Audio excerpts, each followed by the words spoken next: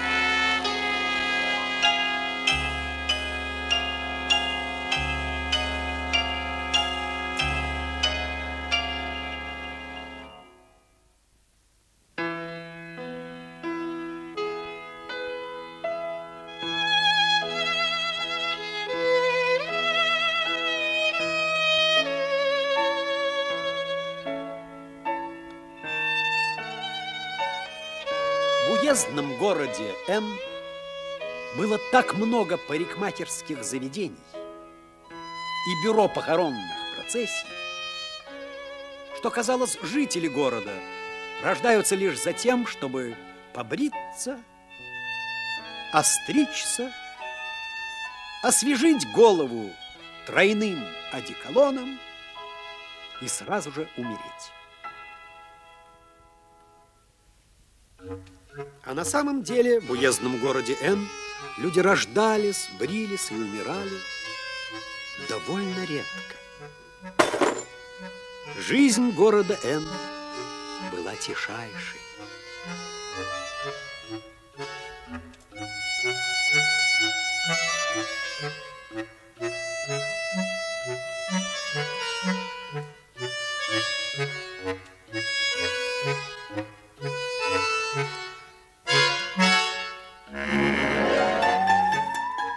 Весенние вечера были упоительны. Грязь под луною сверкала, как антрацит.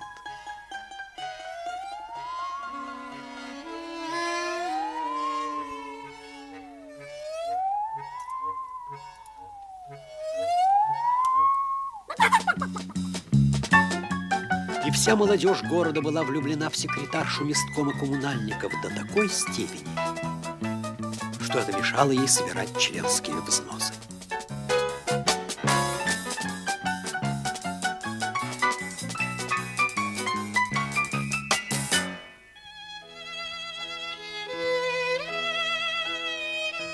В пятницу, 15 апреля 1927 года, бывший предводитель уездного дворянства Ипполит Матвеевич Воробьянинов, как обычно, проснулся в половине восьмого.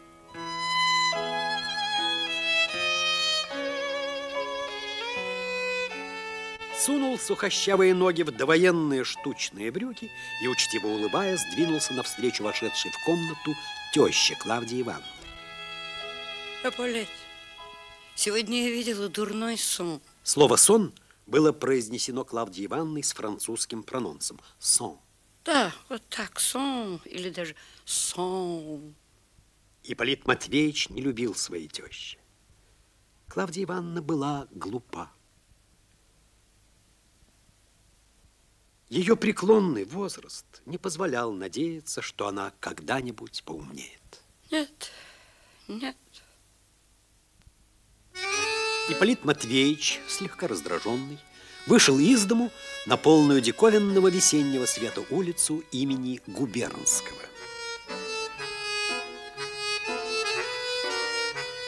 По правую руку серебрились гробы похоронного бюро «Нимфа».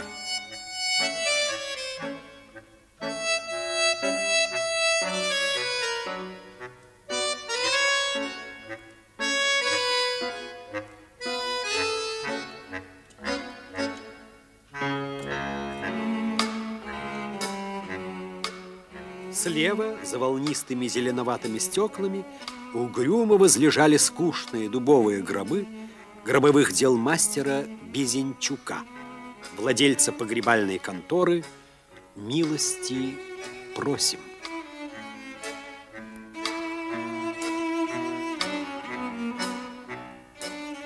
Хотя похоронных дел было множество, но клиентура у них была небогатая.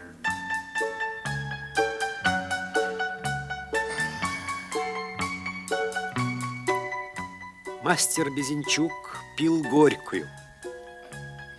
И даже однажды пытался заложить в ломбарде свой лучший выставочный гроб. Закладывал. Было дело.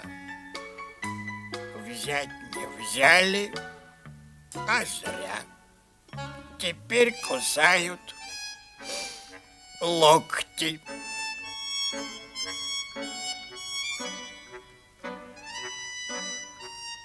Против нашего товара ни одна фирма выстоять не может.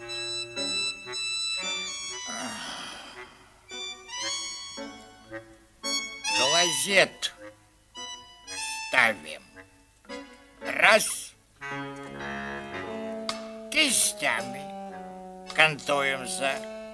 Два. У нас первый сорт. Прима. В нем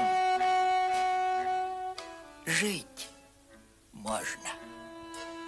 Безрадостно поглядев по сторонам, Ипполит Матвеевич двинулся дальше.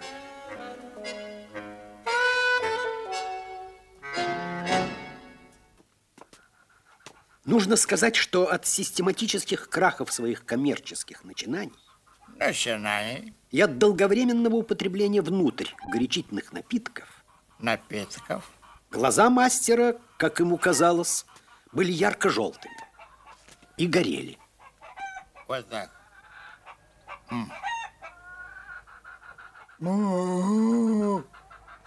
горят неугасимым огнем.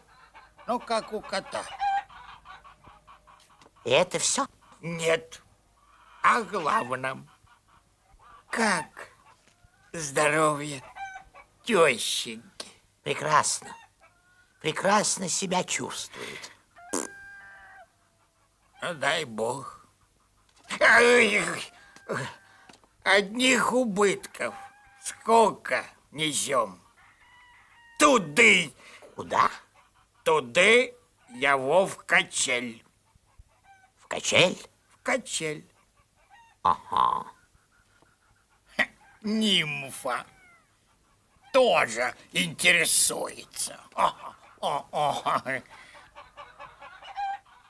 Не обращай внимания. Разве у них товар? Разве они могут аккуратно похоронить? Тем более старушку.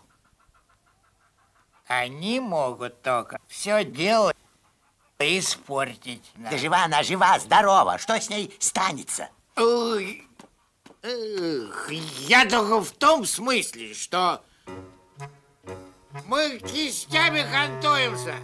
У нас что не гроб, то огурчик. Огурчик!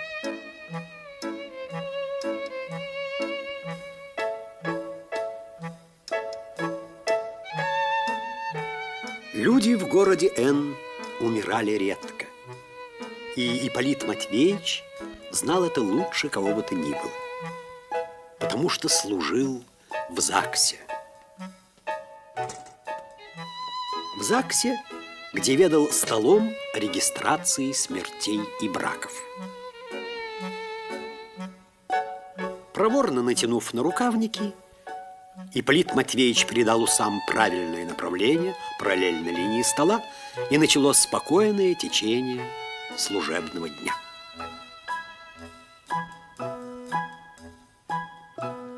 В этот день никто не тревожил стол регистрации смертей и браков. В окно было видно, как мимо ЗАГСа осторожно прошелся мастер Безенчук. Он целыми днями шатался по городу, выпытывая, не умер ли кто.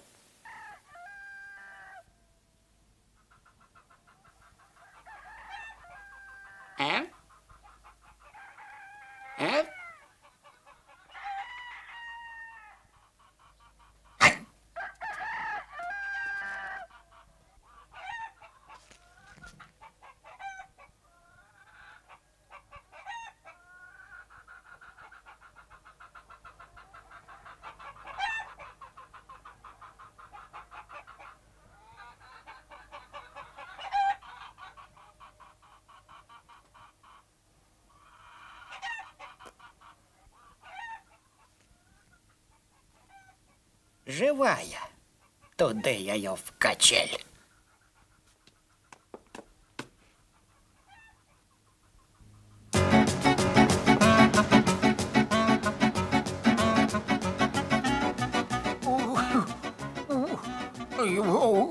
Не, не понял.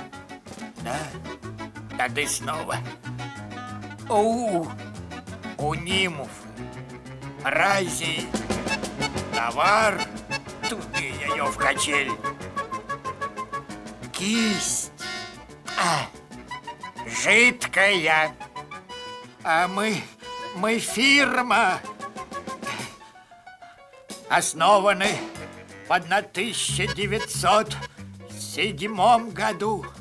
У нас что не гроб, то огурчик. Обалдеешь ты среди своих гробов. Не обалдею. Ипполит Матвеевич влетел на крыльцо, и тут...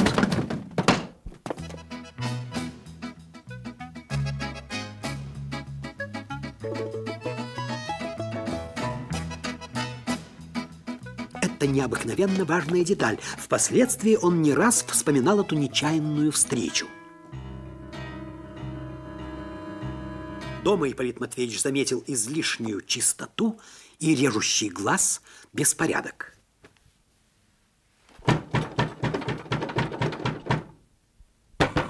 Соседка-агрономша Кузнецова объяснила все сразу. Ей хуже. Она только что исповедовалась. Сильнейший сердечный припадок. Не исключена возможность смертельного исхода. 32 рублика, первый сорт. Можно в кредит? Эполет, помните вы наш гостиный гарнитур? Тот, обитый английским ситцем. В моем доме? Да, в Старгороде. Помню, отлично помню. А почему вы о нем вспомнили? В сиденье стула я зашила свои бриллианты.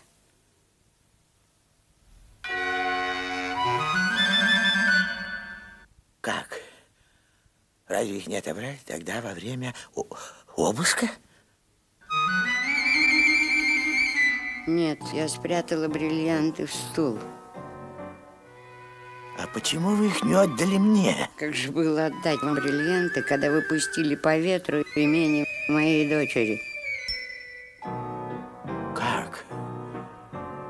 Засадить бриллианты в стул? Стул на, на 70 тысяч, на котором неизвестно, кто сидит. В голове Ипполита Матвеевича творилось черт знает что. Зазвучали цыганские хоры, задергались грудастые дамские оркестры. Многое представилось Ипполиту Матвеевичу. И лакейская преданность, и оранжевые упоительно дорогие кальсоны. И возможная поездка в Канны.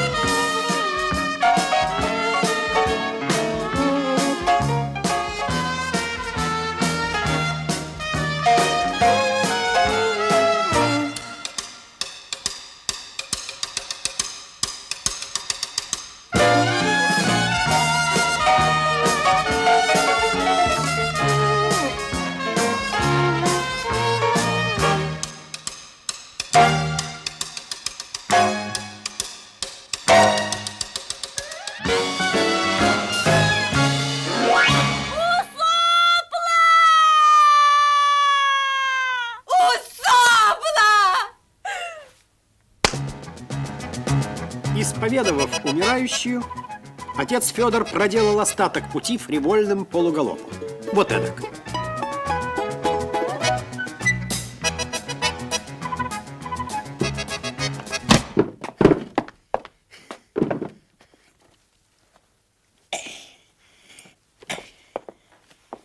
Батюшки, опять новое дело затеял. Ко священному успению вечный покой подай, Господи, и сотвори ему вечную память. Феденька, Феденька, что ж ты учиняешь-то над собой опять, а? Тихо, тихо. Постригаюсь. Феденька, родненький, никак к обновленцам решил податься, а? А почему бы не мать и перейти к обновленцам?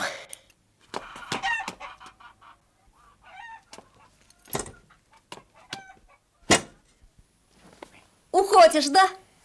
Бросаешь, да? Бросаешь. Да не бросаю. Ну, не бросаю. Бросаешь. Не бросаю. Бросаешь. Бросаешь. Через неделю, ей-богу, назад. Ну, ну, может быть, у человека дело. Не может. Ну, может быть. Нет. Ну, может быть. Может быть, дело. Господи. Бросает. Да не бросай. Бросает. Отцу Федору, человеку в обращении с ближними кроткому, пришлось даже постучать кулаком по столу. Вот так. Господи! Нет, э, вот так. Так. Или даже нет. Вот как. Да.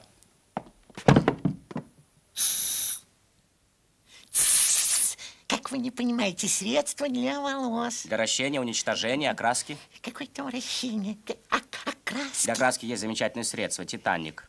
Получено с таможни. Контрабандный товар. Не смывается ни холодной, ни горячей водой, ни мыльной пеной. У вас керосин есть? Есть. Так вот, керосином тоже не смывается. Радикальный черный цвет. Флакон на полгода. Цена 3 рубля 12 копеек. Однако...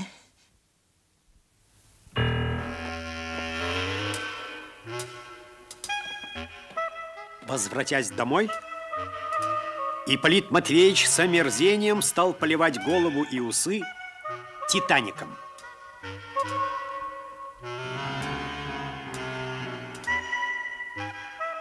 По квартире распространилось зловоние. Радикальный черный цвет оказался с несколько зеленоватым оттенком, но вторично красить было уже некогда. О, боже мой. Я уже не надеялась вас увидеть. Куда же вы запропастились? Я и спросил отпуск. Двухнедельный законный. Я уезжаю, А че это вы такой зеленый? потому что мне некогда. Я уезжаю по делам. В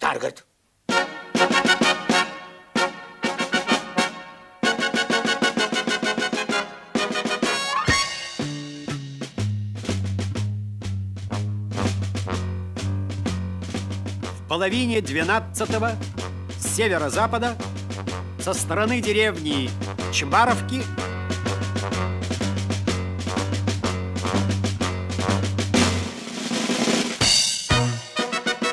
в Старгород вошел молодой человек лет 28.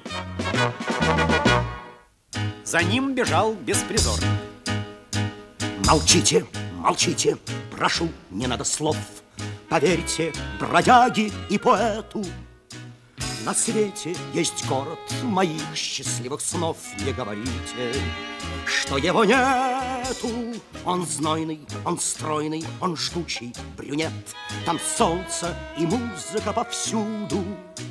Там все есть для счастья, меня там только нет, так это значит, что я там буду. О, Рио, рокот прилива, шум прибоя южный размах. О, Рио, Рио, сколько порыва, сколько зноя в черных очах. О, Рио, Рио, о, Рио, Рио, о, Рио де Жанейро, о, Рио, Рио, о, мама мия, потерпи, я прибуду на днях. Не скрою, быть может, я слишком доверял рекламным картинкам из журналов. Быть может, обманчив мой хрупкий идеал, но это свойство всех идеалов. Кто верит в Аллаха, кто строит рай земной, пожалуйста, разве я мешаю? Я верю в кружочек на карте мировой И вас с собою не приглашаю. О, Рио, Рио, рокот прилива, Шум прибоя южный размах. Ах, о, Рио, Рио, сколько порыва, Сколько зноя в черных очах. О, Рио, Рио, о, Рио, де Жанейро, о, Рио, Рио, о, мама мия, потерпи, я прибуду на днях.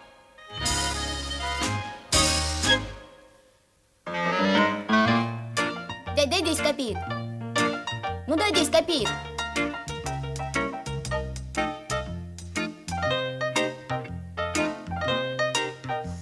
Десять копеек дай. Может быть, тебе дать еще ключ от квартиры, где деньги лежат? Это была историческая тирада. Хотя в момент ее произнесения молодой человек еще не подозревал, что фраза обречена на бессмертие. Действительно, это прозвучало эффектно.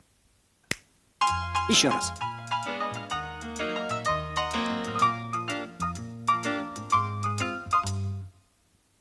Дай, дай 10 копеек. Может быть, тебе дать еще ключ от квартиры, где деньги лежат?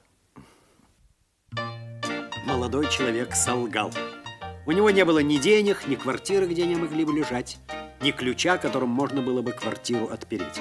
У него не было даже пальто. В город молодой человек вошел в полосатом пиджаке в талию. Его могучая шея была несколько раз обернута старым шерстяным шарфом. Ноги были в лаковых штиблетах апельсинового цвета. Носков под штиблетами не было.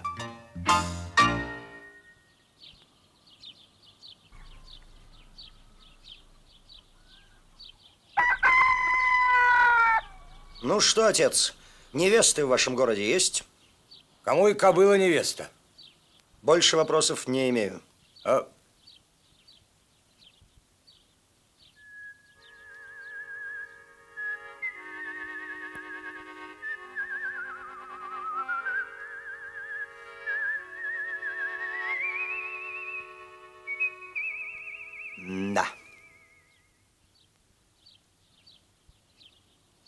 таком доме и без невест. Наших невест давно на том свете с фонарями ищут. Здесь государственная богадельня. Старухи здесь живут на полном пенсионе. Те, что до исторического материализма родились? Вот это верно. А что же в этом доме до исторического материализма было? Когда было? При старом режиме. А, при старом режиме барин мой здесь жил. Буржуй? Не, предводитель дворянства. Пролетарий, значит? Сам ты пролетарий. Я ж тебе говорю, предводитель. Разговор с умным дворником, слабо разбиравшимся в классовой структуре общества, продолжался бы еще бог знает сколько времени, если бы молодой человек не взялся за дело решительно.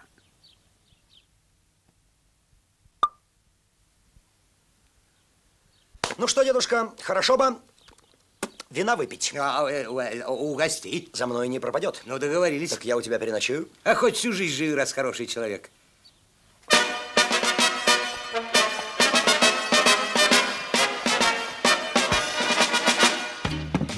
Добившись так быстро своей цели, гость проворно спустился в Дворницкую, снял апельсиновые штиблеты и растянулся на койке, обдумывая план действий на завтра. Звали молодого человека Остап Бендер. Из своей биографии он обычно сообщал только одну подробность. Мой папа был турецко-подданный.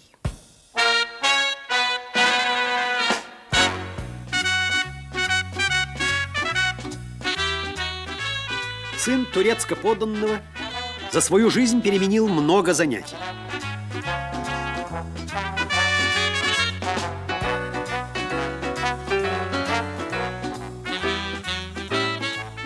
Живость характера, мешавшая ему посвятить себя какому-нибудь делу, постоянно кидала его в разные концы страны.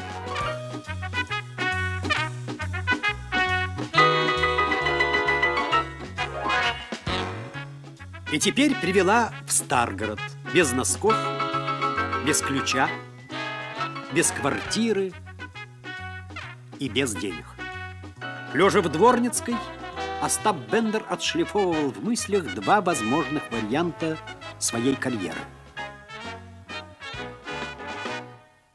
Можно было сделаться многоженцем и спокойно переезжать из города в город, таская за собой новый чемодан с захваченными у дежурной жены ценными вещами.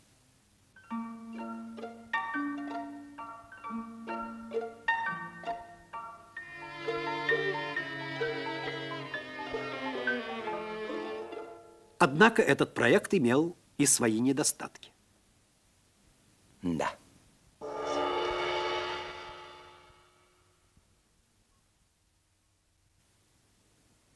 Низкий сорт. Нечистая работа. Но начать карьеру многоженца без дивного серого в разводах костюма было невозможно.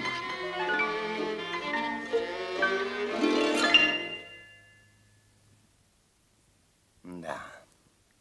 При случае этот вариант сулил многое.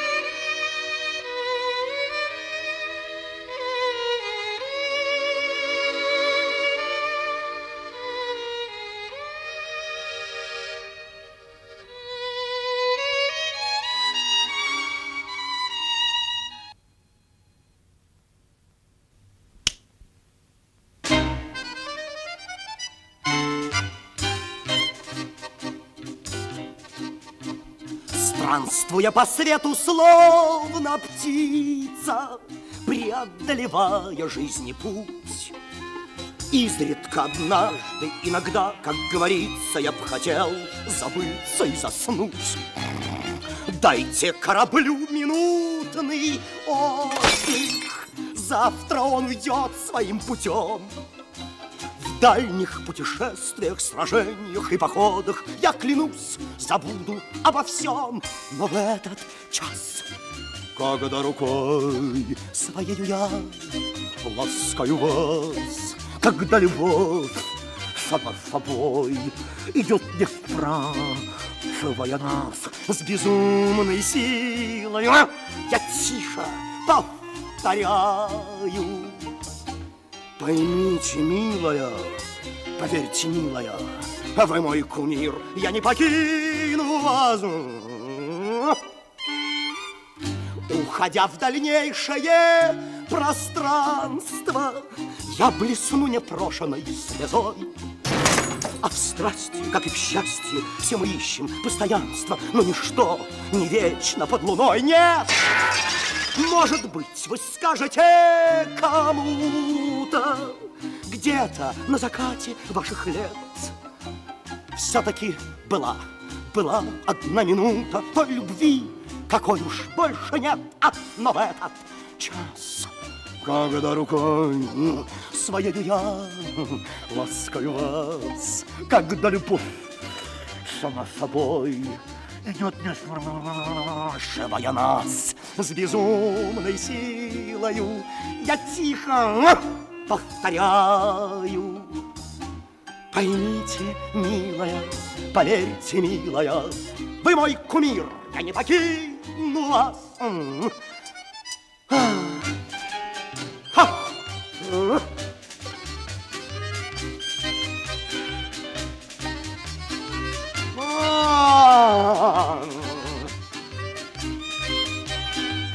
За безумной силой я тихо повторяю. Поймите, милая, поверьте, милая, вы мой кумир, я не покину вас.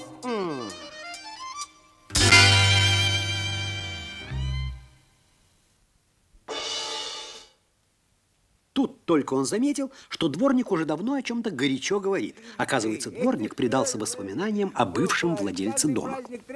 Что ж, барин твоего, шлепнули, что ли? Зачем шлепнули? Никто его не шлепал, шлепнули. Он сам уехал. Сейчас я скажу, куда уехал. Ну и куда ж твой барин уехал? А кто его знает, куда уехал? Ну, я тебе скажу. Ой, он тебе скажу. Ой, о, Париж, говорят, люди. О, белые акации, цветы иммиграции. Что ж твой барин эмигрант? Сам ты иммигрант, иммигрант. Эти, у Париж, говорят, люди уехал. Париж, Париж. О, Париж. А этот дом под, под старух забрали. А их сколько не поздравляй, гривенника не получишь. Э, э, барин был, барин еще.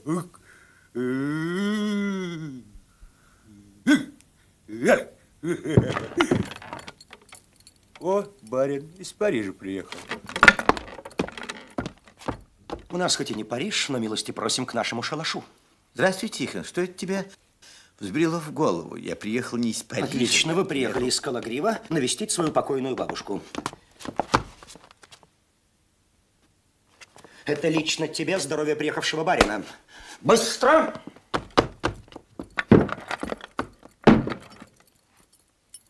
Спокойно, все в порядке. Моя фамилия Бендер. Может быть, слыхали? Не слышал. Ну, конечно, откуда же в Париже может быть известно имя Остапа Бендера? Тепло теперь в Париже. Хороший город. У меня там сестра двоюрная. Замужем. Какая сестра? Двоюрная. Что чепуха? Какие сестры? Я приехал не из Парижа. Чудно, приехал- чудно. Из Маршанска. Ипполит Матвеевич никогда еще не имел дела с таким темпераментным молодым человеком, как Бендер, и почувствовал себя плохо. Ну, знаете, я лучше пойду. Куда же вы пойдете? Вам торопиться некуда. За вами придут. Ипполит Матвеевич не нашелся, что ответить, и стал недружелюбно глядеть на Бендера. Я вас не понимаю. Это не страшно. Через какую границу шли? Польскую, румынскую, финскую? Честное слово, честное слово, я подданный РСФСР. В конце концов могу показать паспорт. При современном развитии печатного дела у них на Западе подделать советский паспорт – это такой пустяк, о котором даже смешно говорить. Ипполит Матвеевич чувствовал сильную робость при мысли о том, что неизвестный молодой человек разболтает по всему городу, что приехал бывший предводитель. Тогда всему конец. А могут еще и посадить. Могут. Я все-таки очень прошу, никому не говорите, что меня видели. Могут и впрямь подумать, что я иммигрант. Это он гениально. А кто вы такой? Зачем вы сюда приехали? По делу. По какому? По личному. И после этого будете утверждать, что вы не иммигрант. Хорошо, я все объясню. Хорошо. Кто вы такой? Хорошо, хорошо, я вам все, все объясню. В конце концов, без помощника трудно, подумал Ипполит Матвеевич, а жулик он, кажется, большой. Такой может быть полезен. Я вас внимательно слушаю. И Ипполит Матвеевич рассказал Остапу Бендеру, первому встреченному им проходимцу, все, что ему было известно о бриллиантах со слов умершей тещи. В продолжении рассказа Остап несколько раз вскакивал и восторженно восклицал. Лед тронулся, господа присяжные заседатели. Лед тронулся. А уже через час оба сидели за шатким столом и, упираясь друг в друга головами, читали длинный список драгоценностей. Три нитки жемчуга, хорошо помню, две по 40 бусин, одна большая, 110, бриллиантовый кулон, Клавдия надо что 4 тысячи стоит старинной работы. И Это то- подвеска, это браслеты, а это? Это фермуар, на который ушел урожай из 50 десятин, колье и 40-тысячная диадема. Ипполит Матвеевич оглянулся.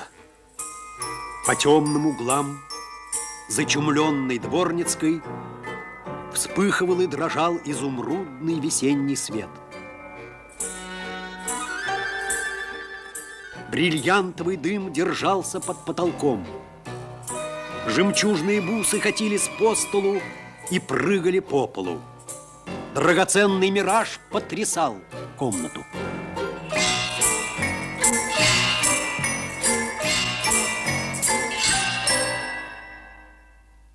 Выбор неплохой. Камни, я вижу, подобраны со вкусом. И сколько вся эта музыка стоила? Тысяч 70-75. М, теперь, значит, полтораста тысяч. Только вы, дорогой товарищ, из Парижа плюньте на все на это. Как плюнуть? Как же вам плюнуть-то? Слюной. Как плевали до эпохи исторического материализма. Сколько было стульев? 12 гостиный гарнитур. Давно сгорел ваш гостиный гарнитур в печах. Этого не может быть. этого не Спокойно, может быть. спокойно, спокойно. За дело берусь я, заседание продолжается. Кстати, нужно с вами заключить небольшой договорчик. Согласен. В случае реализации клада, как непосредственный участник концессии, технический руководитель дела, получаю м, 60%. Это же гравер среди белых дня. Сколько хотите мне предложить? 5%, ну 10 наконец, поймите, это 15 тысяч рублей. Вы пошлый человек. Любите деньги больше, чем А надо. вы не любите денег? Нет. Зачем же вам такая сумма? 60%? Из принципа. Хорошо, 15%. А больше ничего не хотите? Нет, может, хотите, чтобы я работал бесплатно, дал вам еще ключ от квартиры, где деньги лежат? В таком случае, простите, у меня все основания полагать, что я один справлюсь со своим делом. Ах, так. Так. В таком случае у меня есть не меньше оснований предполагать, как говорил Энди Таккер, что и я один справлюсь с вашим делом. Мошенник!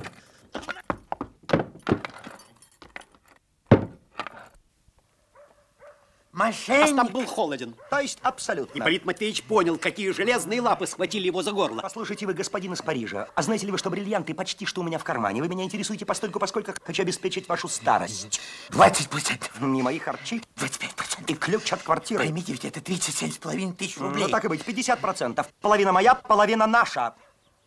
Ведь это же грабеж средь бела дня. Ну, хорошо. Только из уважения к личности бывшего предводителя... Дворянство я готов работать из 40%. Лед тронулся? Тронулся, трон. По рукам. Уездный предводитель Каманчи. Я не потерплю никаких команчей. Ну, хорошо. Я буду называть вас фельдмаршалом. Э, Ваше Высочество. Что такое? Необходимо немедленно выработать диспозицию, знать, в чьи руки попала ваша мебель. Вот об этом наверняка знает Тихон. На Муромской дорожке стояли... Пролетарий умственного труда, работник метлы. Это он гениально. Ваш дворник большой пошляк. Разве можно так напиваться на рубль?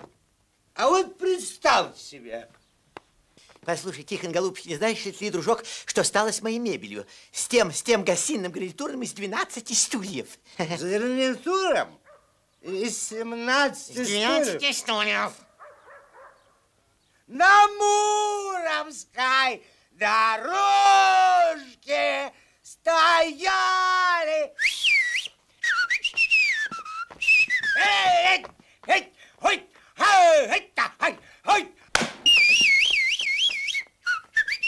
Придется отложить опрос свидетеля до утра. Будем брать живьем.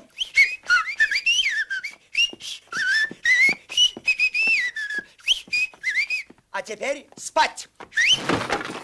Спать.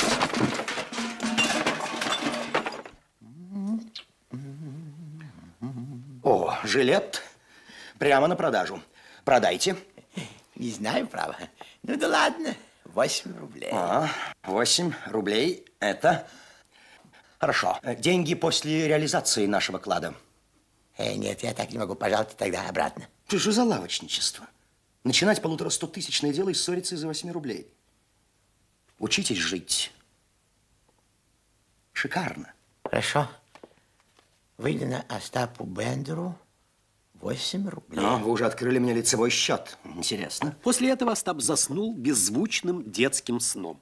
Было холодно, но помещение согревалось молодым, полным трепетных идей телом великого комбинатора. Ему снились сны в весенней фиолетово-сиреневой дымке.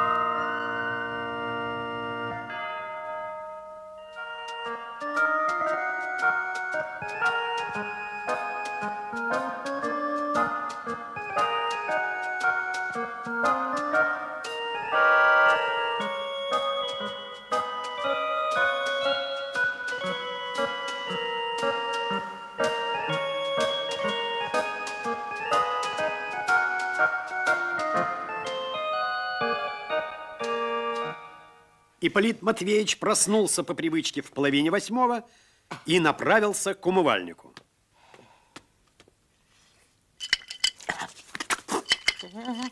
Он умывался с наслаждением, отплевывался и тряс головой.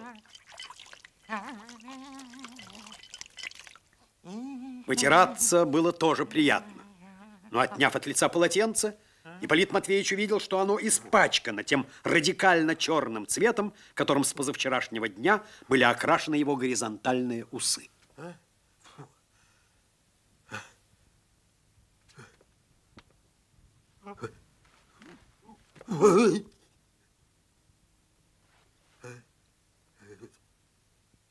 Вы с ума сошли.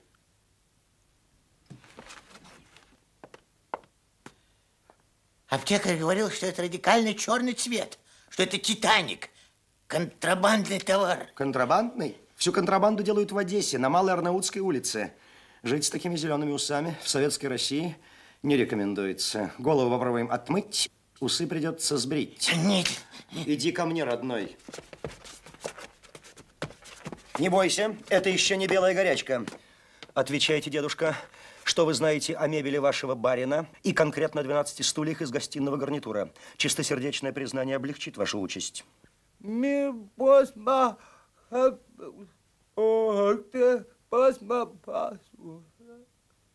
Начал хорошо. Не разменивайся на детали, говори главное. Весной 1918 года вся наличная мебель была отвезена в уездный жилотдел. А, может ведь? А, а, а кроме одного стула, который забрал завхоз второго дома соцобеса. Стул здесь? В доме? Так точно! Стул у богадельни на первом этаже стоит. У помещения культурно-массового сектора. Больше вопросов нет. Быстро на похмелку. Будем брить и немедленно. Я, я, я, я не могу. Почему? Это невозможно. М, усы вам дороги, как память. Все равно не могу. Ну тогда сидите здесь в дворницкой. А я пойду за стульями, тем более, что первый стул находится над нашей головой. Брейте, только всякий немного, немножечко. Оставлю все, что в моих силах. Не забудьте записать на мой дебет 2 рубля за бритье и стрижку. Почему же так дорого? Везде стоит 40 копеек. За конспирацию, фельдмаршал. Ага. Я по следам в жилотдел, вы к старухам. Я не могу. Мне тяжело будет войти в свой собственный дом. Но волнующая история, барон-изгнанник. Ладно, идите в жилотдел, а здесь поработаю я.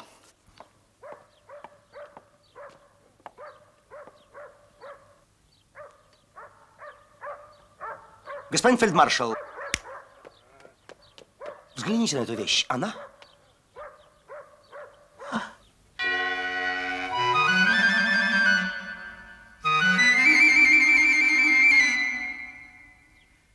Он.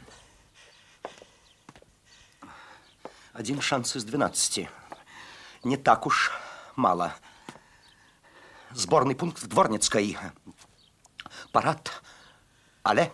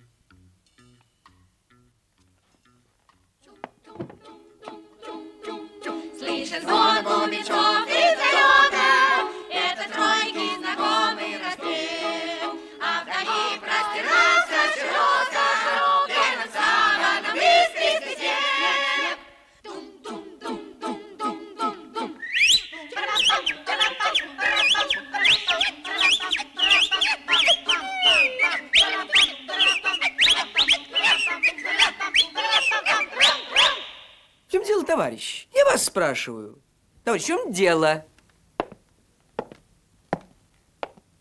Песни народностей. Ну что ж, неплохо, неплохо. Инспектор пожарной охраны. Простите, а я завхоз второго дома Старсобеса. И Вообще, заведующий совещаю. Вот. Вот вы-то мне и нужны. Очень приятно. А, нет, Александр Яковлевич. Об этом человеке следует сказать особо.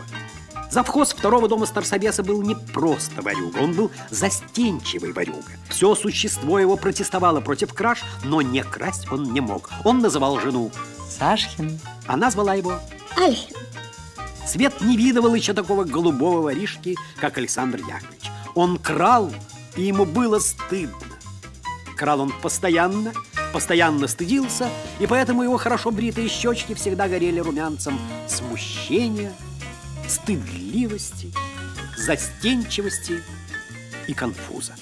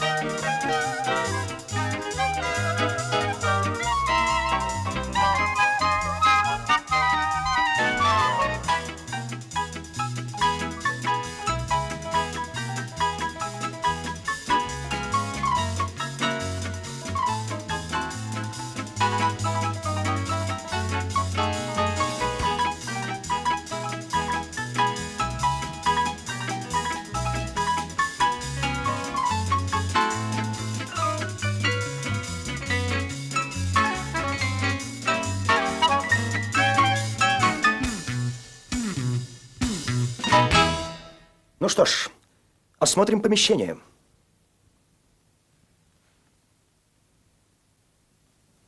Прошу вас со мной.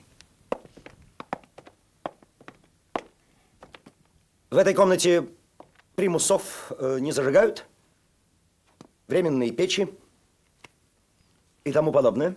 Нет, здесь у нас кружки. Драматический, музыкальный, э, изобразительного искусства. А здесь э, сводный духовой оркестр.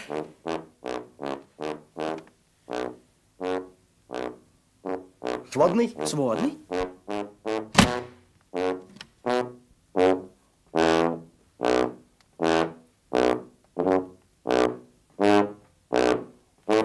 Ну, хорошо. А где остальные инструменты? После слов «остальные инструменты» Альхину стало невыносимо стыдно. Он давно уже продал почти все духовые инструменты и сейчас испытывал страшные муки. Да.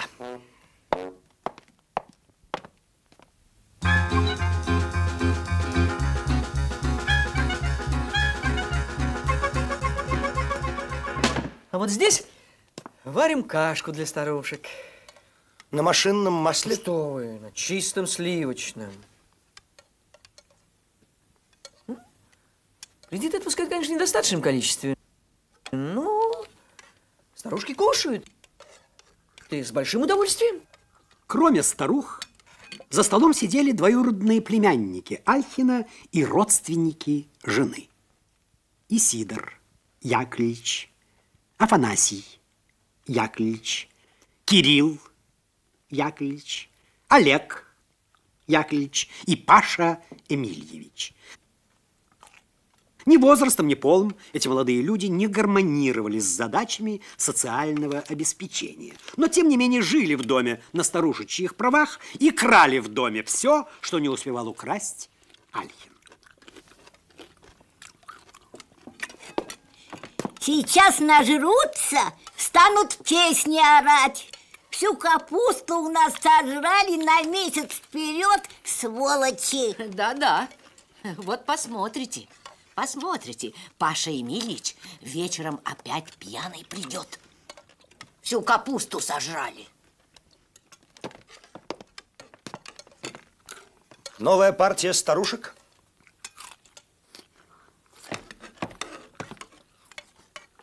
Это сироты. Дети по Волжье. Тяжелое наследие царского режима.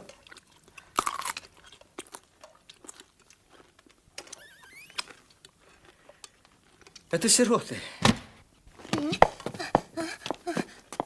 изволите ли отобедать в кабинете? Прошу познакомиться, это моя жена, это товарищ из губ пожара. Очень-очень рада. Сударыня, я чрезвычайно рад нашему знакомству, ибо ирония судьбы, не спаславший нам этот э, своего рода сюрприз... м, Остап сказать, неожиданно для себя объявил ей такой длиннющий и двусмысленный комплимент, что даже не смог довести его до конца, несмотря на все старания. Прошу, товарищ, отобеда, чем Бог послал. Чем Бог послал? Не примену. Прошу вас. Пожалуйста, чем Бог послал.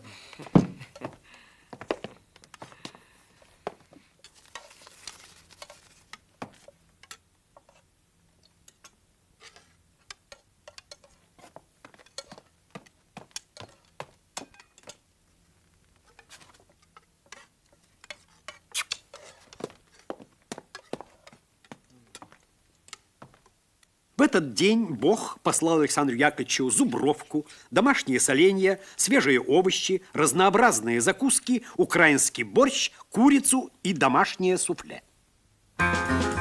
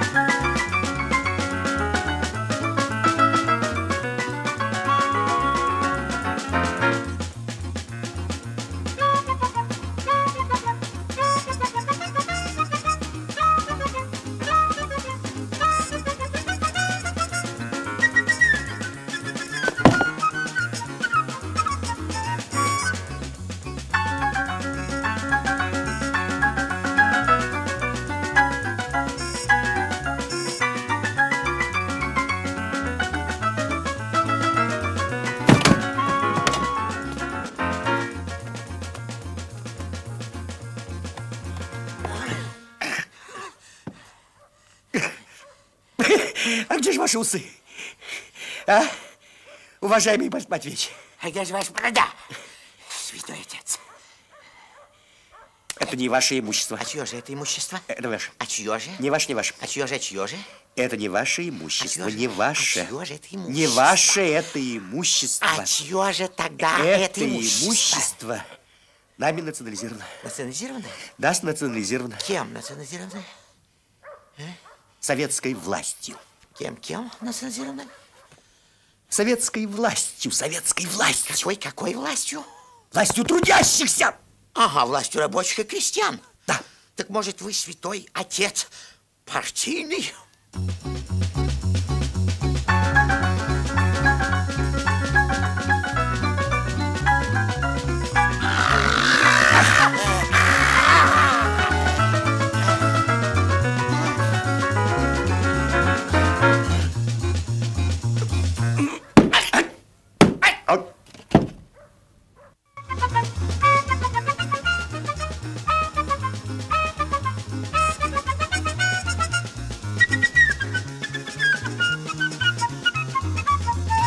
Мне многое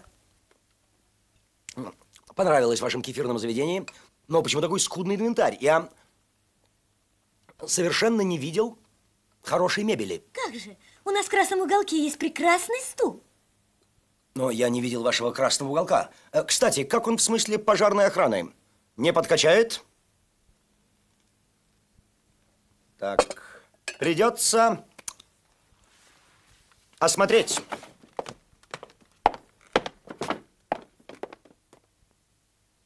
Прошу.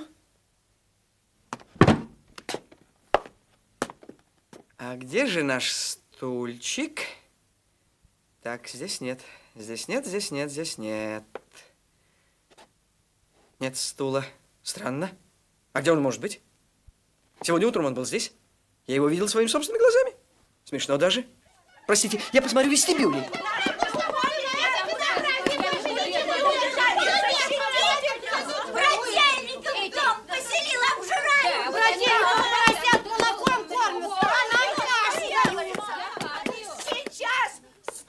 Кому продал стул? Здесь Александр Яковлевич, обладавший сверхъестественным чутьем, понял, что сейчас его будут бить, может быть, даже ногами. Ты кому продал стул? Перекупщику. Адрес. Я его видел первый раз в жизни. Первый раз в жизни. Ей-богу. Слушай меня, жертва аборта, перекупщик, блондин или брюнет, быстро рост, приметы. Я не знаю. Я старался не смотреть ему в глаза. Я даже отворачивался. Почему? Мне было стыдно. Статья 114 Уголовного кодекса. Дача взятки лицу при исполнении служебных обязанностей.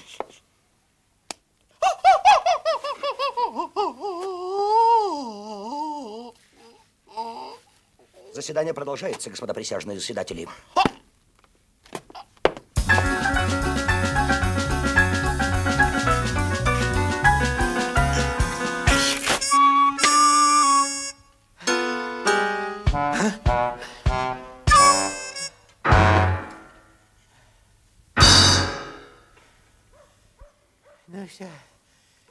Батюшка, нашли? А вы? Вы, батюшка, аферист, я в морду побью. Руки короткие. Вы просто батюшка-ворюга. Чего ж я вас украл? Использовали в своих интересах тайну исповеди. Очень хорошо. Вскоре на место происшествия неожиданно прибыл сам технический директор и главный руководитель концессии. После его появления отец Федор предупредительно занял удобную позицию в глубине пустыря. Стул из богадельни. Он использовал в своих интересах тайну исповеди. Здесь Ипполит Матвеевич сообщил главному концессионеру обо всех подлостях отца Федора. Кислое дело. Пещера Лихтвейса. Таинственный соперник. Надо его опередить. Я его... Что вы его? Что вы его? «Опережу», — подумал Ипполит Матвеевич, но промолчал. Однако его душа наполнилась уверенностью, и он неожиданно предложил. Морду бы ему набить. Морду мы ему пощупать всегда успеем. Сейчас важно отыскать следы остальных 11 стульев. А когда же будем бить морду? Во второй серии.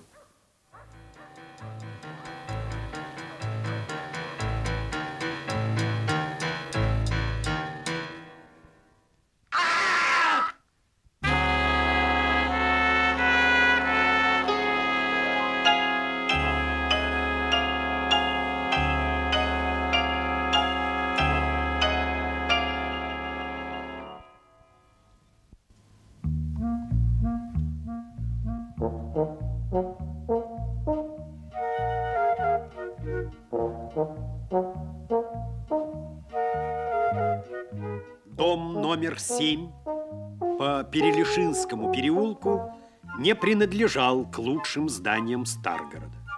В доме было всего три украшения, но чисто коммерческого характера. С одной стороны дома висела лазурная вывеска «Одесская бубличная артель. Московские баранки». С другой стороны двора имелась дощечка с намалеванными на ней буквами «Моды и шляпы». И, наконец, неподалеку белела жестянка «Слесарная мастерская. Починка примусов. Полисов В.М.» Слесарь-интеллигент со средним образованием.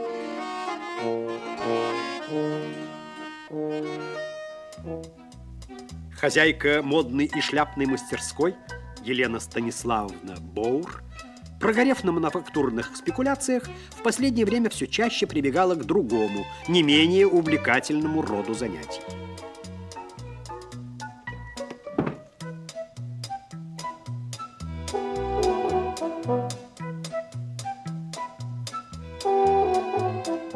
Должна вас предупредить девушка, что за сеанс меньше 50 копеек я не беру. Вдова, не знавшая преград в стремлении отыскать нового мужа, согласилась платить установленную цену. Только мне, пожалуйста, и будущее. Вас надо гадать на даму Треф. Ну, я всегда была червонная дама. Черновое определение вдовьей судьбы было дано уже через несколько минут. Вдову ждали большие и мелкие неприятности, а на сердце у нее лежал трефовый король, с которым дружила бубновая дама. Набело гадали по руке. Линия жизни простиралась так далеко, что конец ее заехал в пульс. И если линия говорила правду, вдова должна была бы дожить до страшного суда. Все это гадалка объясняла вдове, употребляя слова и термины, принятые в среде графологов, хиромантов и лошадиных барышников. Окрыленная вдова зашагала домой, а гадалка, сбросив карты в стол, зевнула, показав пасть 50-летней женщины.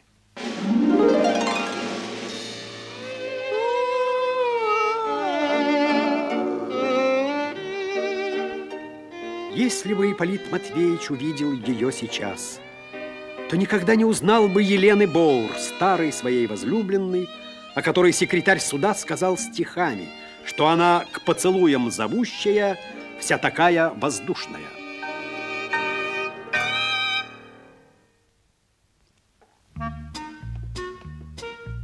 Зевнув, мадам Боур вышла во двор, где ее приветствовал Виктор Михайлович Полесов, слесарь-интеллигент со средним образованием. Ну до чего дожили, а? Вчера весь город обегал, плашек пять восьмых достать не мог. Нет! Ха! Нет у них, а? Нет! А трамвай собирается пустить. Елена Станиславовна, имевшая о плашках в 5 восьмых дюйма такое же представление, какое имеет о сельском хозяйстве слушательница хореографических курсов имени Леонардо да Винчи, все же посочувствовала. Какие у них магазины? А какие у них трамваи? Действительно, какие у них трамваи? Здесь стекла даже не в резине ставят. Ну вот вам и трамвай. Лично я на него не сяду. А я сяду? Э, Я не сяду. Это же харьковская работа. Она... же- А кто сядет? Я не знаю, я, Ну, а, я уже вам она сказала. версты не протянет. Тем более нет Да у них. Если надо плашки трамвай, трех то восьми нормальный иметь, а трамвай, а то а, трамвай, трамвай. Плашек нет. А как? Среди кустарей, которыми изобиловал Старгород, Виктор Михайлович Полесов чаще других попадал в просак. Причиной этого служила его чрезмерно кипучая натура. Это был кипучий лентяй. Целыми днями он бегал по городу, распоряжался, давал ценные советы. Ему было не до работы. Кто так раствор кладет, а? Ты что, не что ты неровно кладешь? А? Ну-ка дай сюда. Уйди отсюда. Уйди, чтобы я тебя вообще не видел.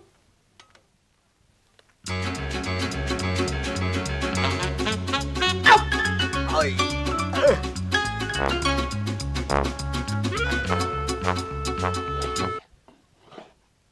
Это что, у тебя стружка, да? Ну, ну-ка дай рубанок. Уйди отсюда. Уйди, чтобы я тебя не видел. А.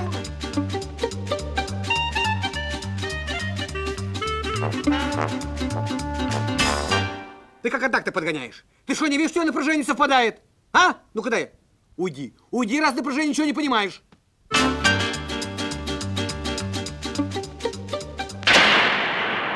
Что же ты, морда, не пре- предупредил, что она у тебя под напряжением?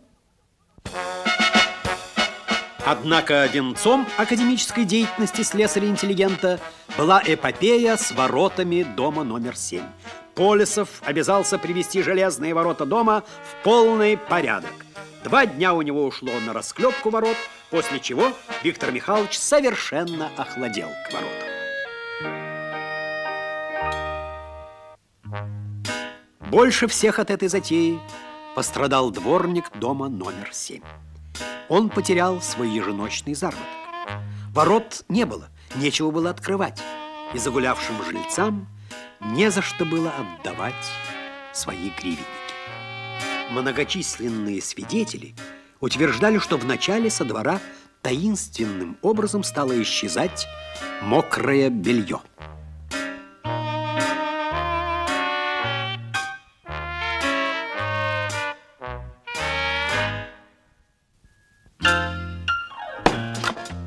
Затем в раскрытом настежь дворе стали происходить другие ужасные события. Говорят, стали пропадать вещи.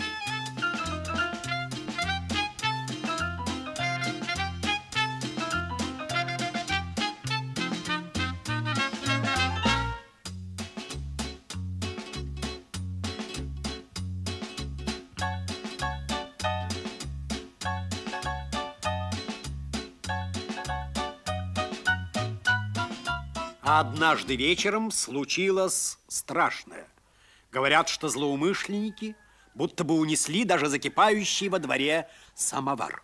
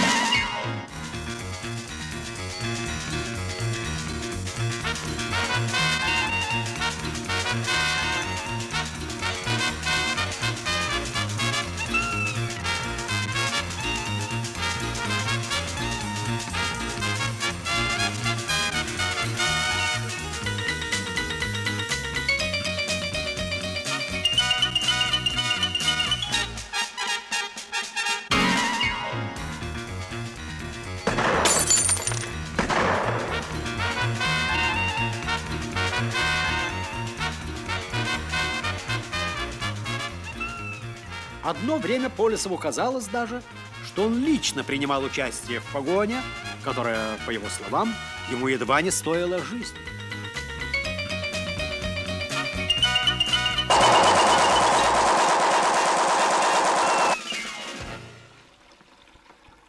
При наличии отсутствия пропитанных шпал это будет не трамвай, это будет одно горе. Слушайте, вы знаете, кого сегодня видел? А? Воробьянинова и Полит Матвеевича. Хрена!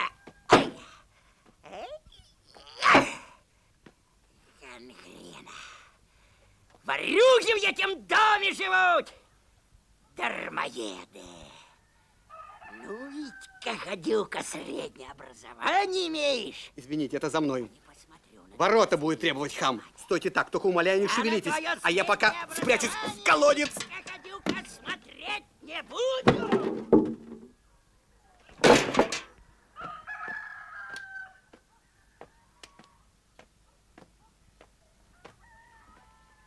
Ведь слесаря опять нету. Ах, я не знаю, я ничего не знаю. А кто знает? Кто знает?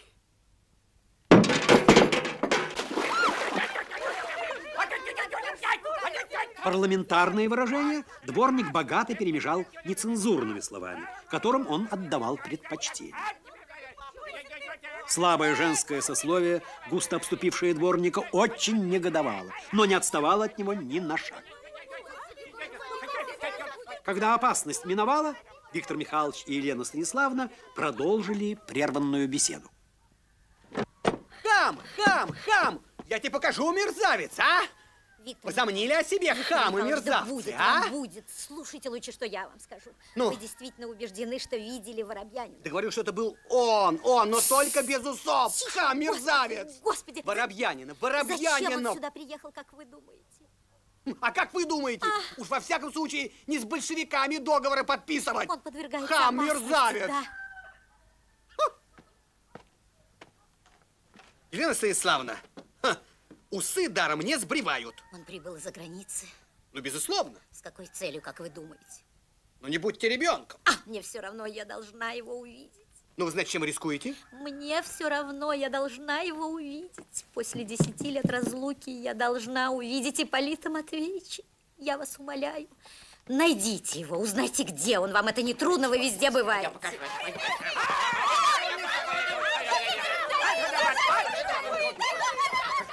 Передайте ему, что я хочу его видеть, слышите?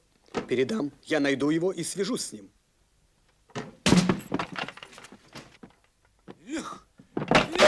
Барин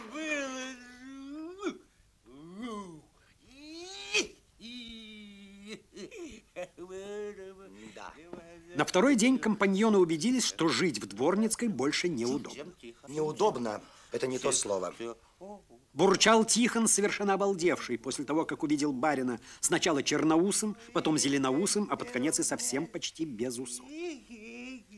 По Дворницкой стоял тяжелый запах, распространяемый новыми валенками Тихона. Старые валенки стояли у печи, и воздуха тоже не озонировали. Считаю вечер воспоминаний закрытым. Вечер Надо закрыт? переезжать в гостиницу. Этого нельзя. Почему? Ехал Нам придется прописаться. И что? Паспорт не в порядке. Паспорт? Что паспорт? Где паспорт? Нет, паспорт в порядке, но мою фамилию в городе хорошо знают, пойдут толки. А фамилия Михельсон вам подходит? Не надо так говорить. Не надо так Больше говорить. он не вернется. Михельсон!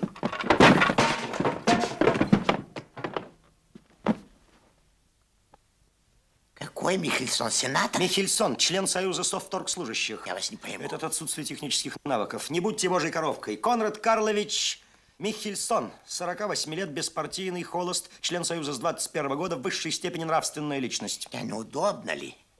В сравнении с нашей концессией, это деяние, хотя и предусмотрено Уголовным кодексом, имеет вид невинной детской игры в крысу.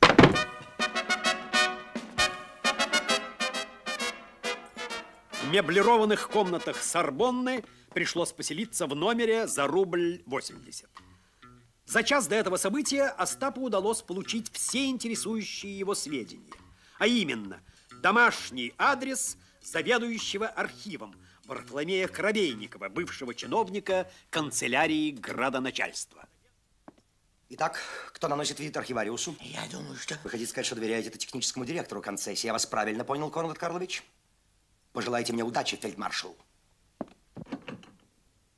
После ухода технического директора Ипполит Матвеевич стал в волнении прохаживаться в ущелье между кроватями. В этот вечер решалась его судьба. Если удастся достать копии ордеров, по которым распределялась изъятая из Воробьянинского особняка мебель, дело можно считать наполовину удавшимся. Итак, сегодняшний визит Бендера решал судьбу всего предприятия. Жизнь, судьба. Что вы знаете о моей судьбе, господа присяжные заседатели? Что вы знаете о жизни сына турецко-подданного?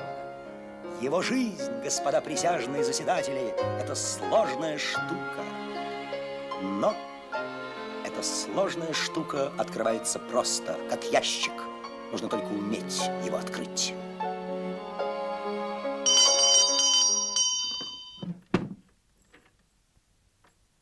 Кому? Гражданину Коробейникову. Зачем? По личному делу.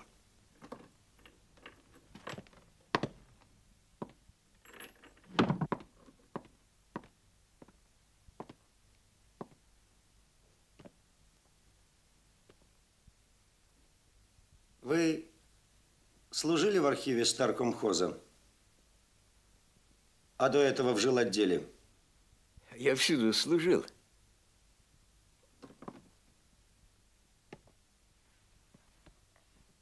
А также в канцелярии градоначальства.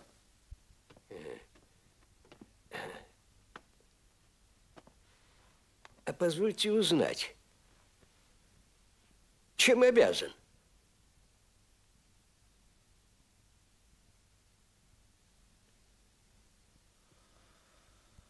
Я Воробьянинова сын.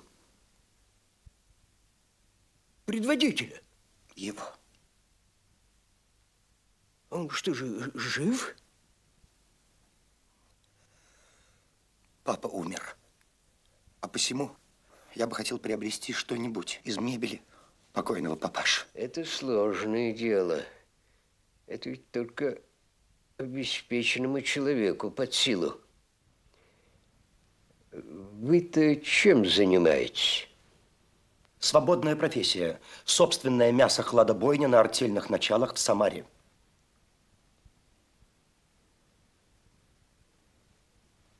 Да. Прыткий молодой человек.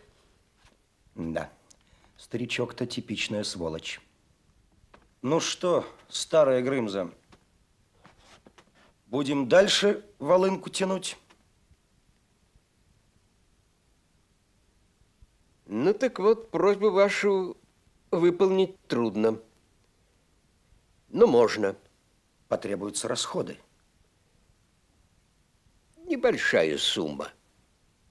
Ближе к телу, как говорил Мопассан. Сведения будут оплачены. Рубликов 70 положите? Ишь ты. Чего ж так много-то? Овес нынче дорог? Извольте шутить. Что ты, милый, это еще не шутка. Шутка будет позже. Собственное мясо хладобой не говорите. Вас одолели сомнения? Напрасно. Уймите сомнения, страсти, Замри, безнадежное сердце. Хм. Деньги при вас? Сомневаться в наших деньгах? Ого.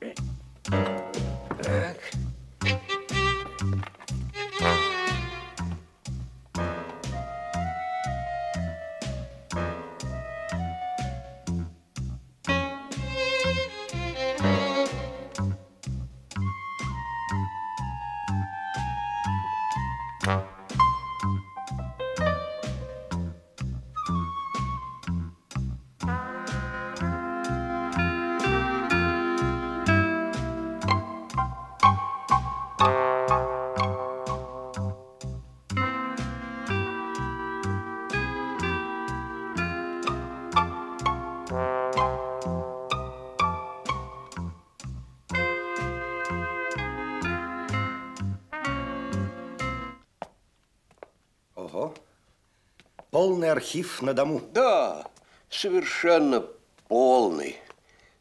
Совершенно полный. Вот так.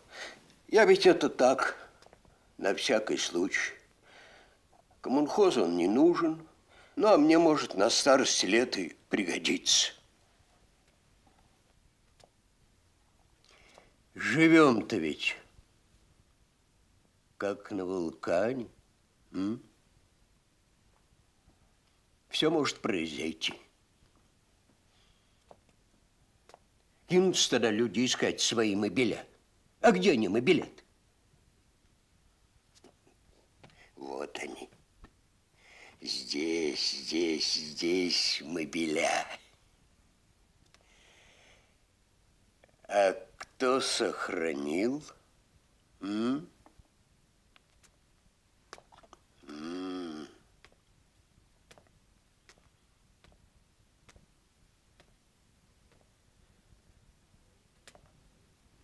А кто уберег? Коробейников. А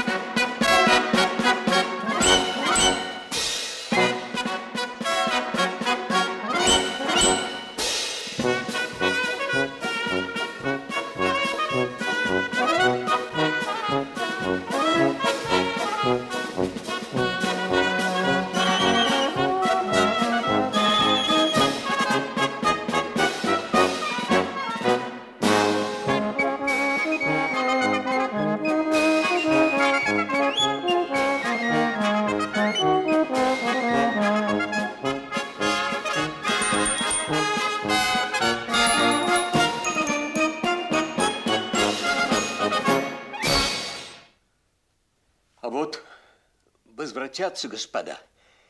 Да, спасибо и скажут старичку. Помогут на старости лет.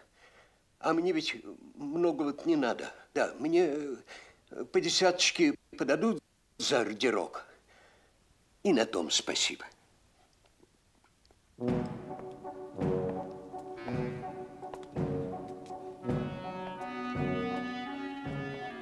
Дивная канцелярия. Вы просто герой труда. Да, да, да. Тут все. Весь Таргород здесь. Здесь вся, вся мебель. Все пронумеровано. Все пронумеровано. У кого когда взято, кому когда отдано. Вот так. А вот это вот алфавитная книга. Да, это зеркало жизни. Как вы сказали? Я говорю, зеркало жизни.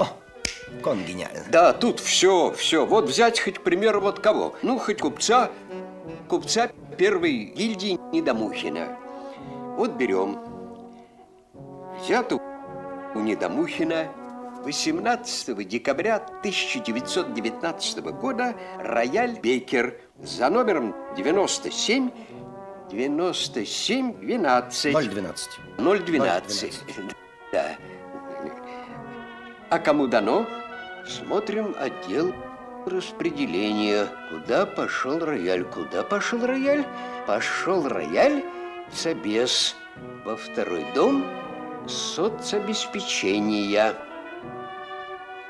Что-то я не видел там рояля за номером 97012. Ближе к делу. Буква В. Воробьянинов. А, Сейчас, сейчас.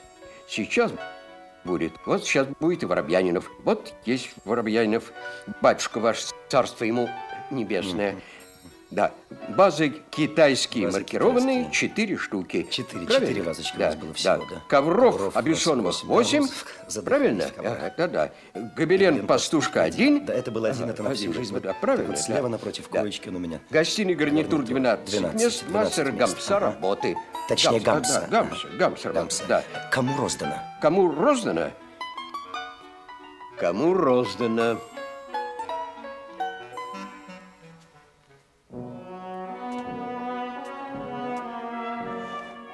Стол круглый, стол один, во второй дом Собеса. Ну-ну. Так, э, сейчас, сейчас, сейчас, сейчас. Вот еще один стул. Товарищу Грыцацуеву, как инвалиду империалистической войны, по его заявлению. Так, э, так, ну вот. Остальные 10 стульев в Москву. Музей мебельного мастерства, согласно циркулярного распоряжения, Даркомпроса. Э, Тут... Хвалю. Тут э, вся ваша, у батюшки, мебель. Вся. Куда мне вся? Ограничимся, папаша, гостиным гарнитуром. А, хорошо, хорошо. Вот, значит, тут пять ордеров. Один на 10 стульев, два по одному. Извольте видеть, все, все в порядке. Где что стоит, все известно. На корешках собственноручные подписи, так что в случае э, чего, чего э, никто не отопрется. Э, э, В случае чего э, никто не отопрется.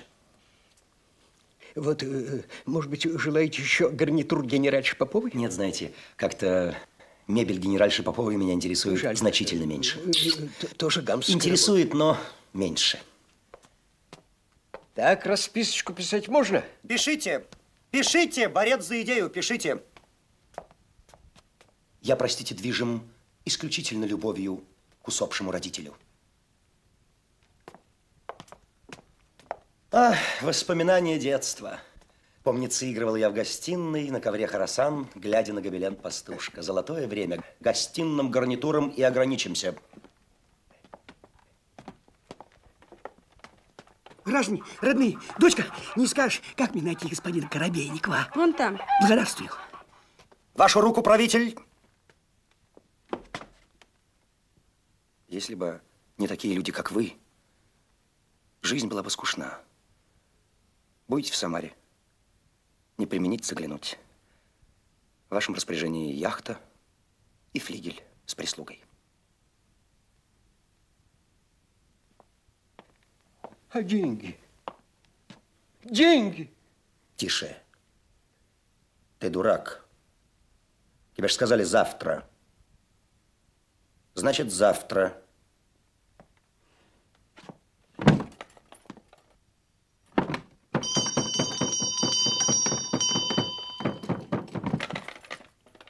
Извините великодушно. Имею превеликий интерес касательно мебели. Господин Воробьянинова.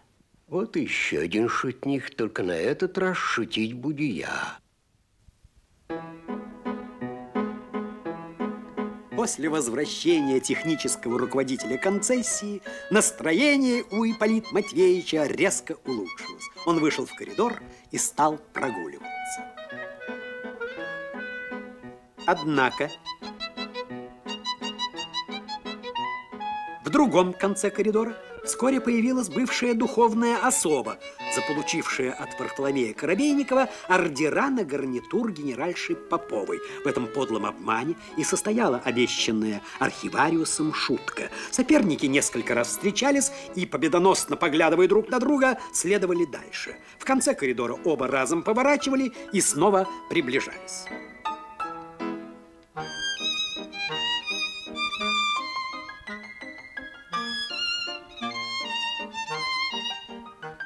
Наконец, во время пятого рейса Ипполит Матвеевич не выдержал. Здравствуйте, батюшка.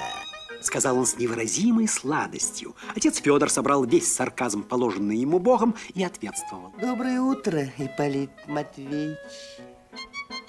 Не ушиб ли я вас во время последней встречи? Нет, а чего же? Очень приятно было встретиться.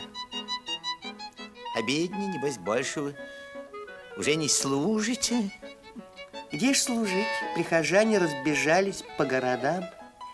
Сокровища ищут. Заметьте, свои сокровища. Сва... Свои? Национализированные. Ипполит Матвеевич хотел сказать какую-нибудь гадость и даже открыл для этой цели рот, но выдумать ничего не смог и рассерженно проследовал в свой номер. Вечная память. И, и, и. Покупаем старые вещи, стулья, потроха, что еще? Что вы молчите, как архиерей на приеме?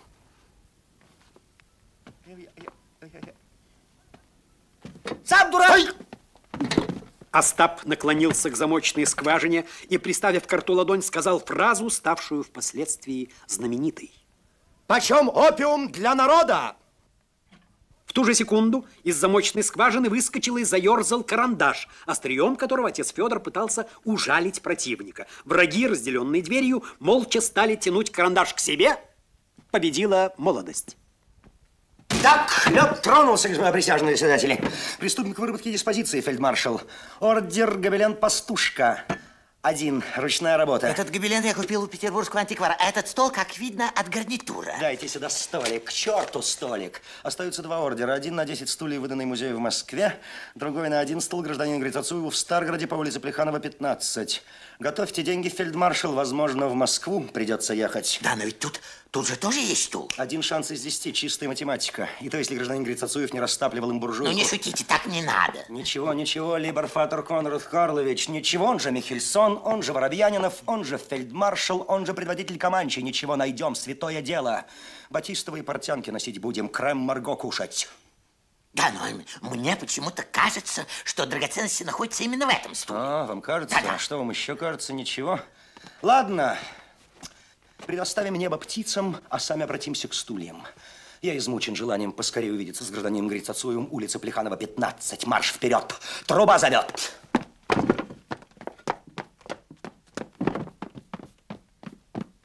Проходя мимо двери отца Федора, мстительный сын турецко-подданного пнул ее ногой и повторил известную фразу. Так почем опиум для народа? Слышали? Как бы он за нами не пошел. После сегодняшнего свидания министров на яхте никакое сближение невозможно. Он меня боится. Меня тоже.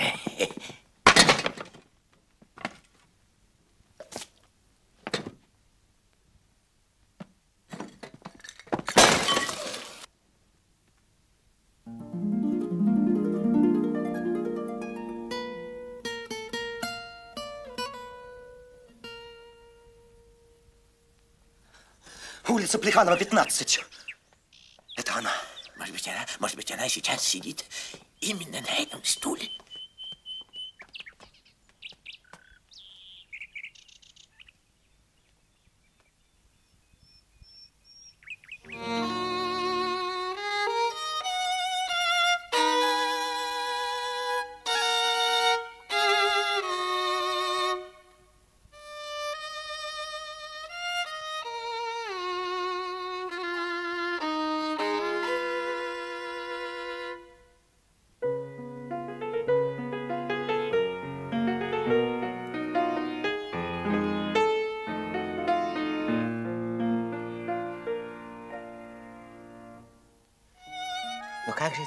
Достать? Может быть, купить? Не говоря уже о совершенно непроизводительном расходе, это вызовет толки. Почему только один стул? Почему именно этот стул? Но что же делать? Не волнуйтесь, господин Михельсон, операцию я беру на себя. Его нужно выкрасть.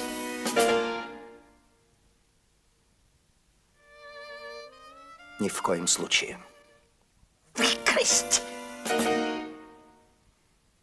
Технику этого дела знаете? Нет, но его нужно выкрасть. Для предводителя дворянства слишком мелкие масштабы. Выбросьте это из головы. Это типичное пижонство.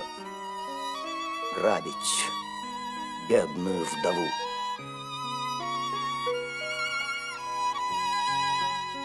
Но ведь, но ведь хочется как скорее. В этот момент великий комбинатор изрек еще одну известную фразу, впоследствии широко разошедшуюся в народе. Скоро только кошки родятся. Я женюсь на ней, на мадам Грицацуевой, чтобы спокойно без шума покопаться в стуле. Это же большая жертва. Что не сделаешь для блага концессии. Мое счастье, а что ж ты? На всю жизнь. Большая жертва. Это очень большая жертва.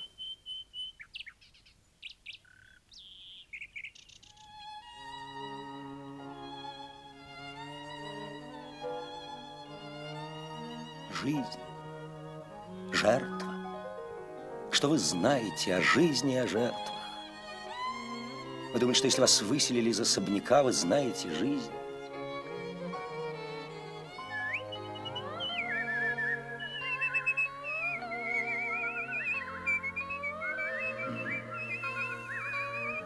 Если вас реквизировали поддельную китайскую вазу, это жертва.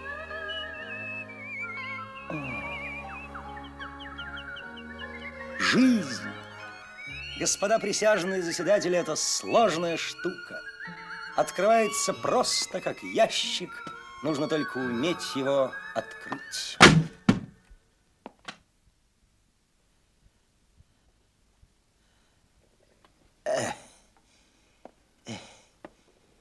Ко- ко- который час? Пять часов утра. И вы женитесь на ней? Теперь я уже должен жениться, как честный человек. А, Знойная женщина. Мечта поэта.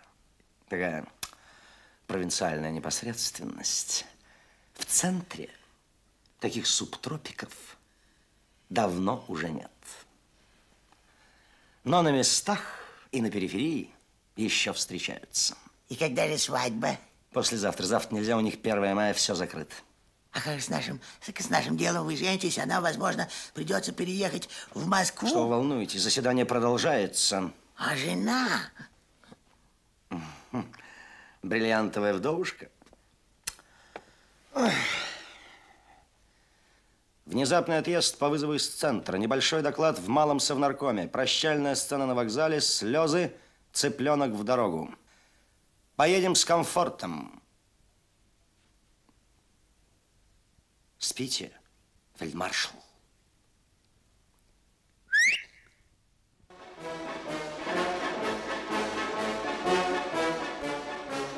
Что это? День международной солидарности. Я понимаю. А что они там несут? Чучело английского министра Чемберлена. А это? Сводная колонна физкультурников, допризывники, пионеры, колонна работников Собеса. О, мой застенчивый друг. Вот до британских морей Красная армия всех сильней. Справедливая мысль. Я целиком ее разделяю. Так пусть же красная сжимает яростно свой штык мозолистой рукой. И это не вызывает возражений. Огорчает другое. Куда девался рояль Беккер за номером 97012? Повторная дача взятки должностному лицу. Статья 13, пункт. 114. Он свободный. Как позже красная. За нами следят, уверяю вас, вон тот тип. Вчера весь день пялил на меня глаза, а сегодня буквально ходит за нами по пятам. А чуть что прячется. Еще одна конкурирующая организация, маловероятно. Впрочем, не мешает проверить. За мной! В Сорбону!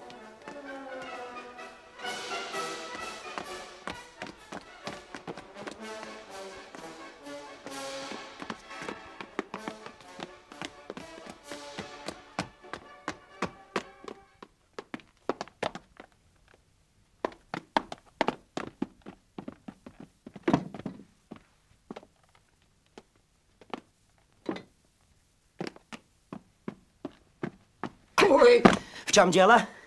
Ни в чем. А что вам нужно? Ничего мне не нужно. О, добрый день, господин Ипполит Матвеевич. Добрый день. Имею чести. А вы не беспокойтесь, я Пелена Станиславовна. Дядя, как, как она здесь? Да, и очень хотел вас видеть. Да, но откуда она узнала? Э, Я был в горкомхозе и сразу вас узнал. Вы не беспокойтесь, все будет тайно. Тайна? Тайна. Знакомая женщина? Старые знакомые. Может быть, поужинаем с старой знакомой? Пожалуй, пожалуй. Я вам гарантирую, что все будет тайно. Ведите нас к ней, таинственный незнакомец. Минуточку. Это наш друг. Сам дурак!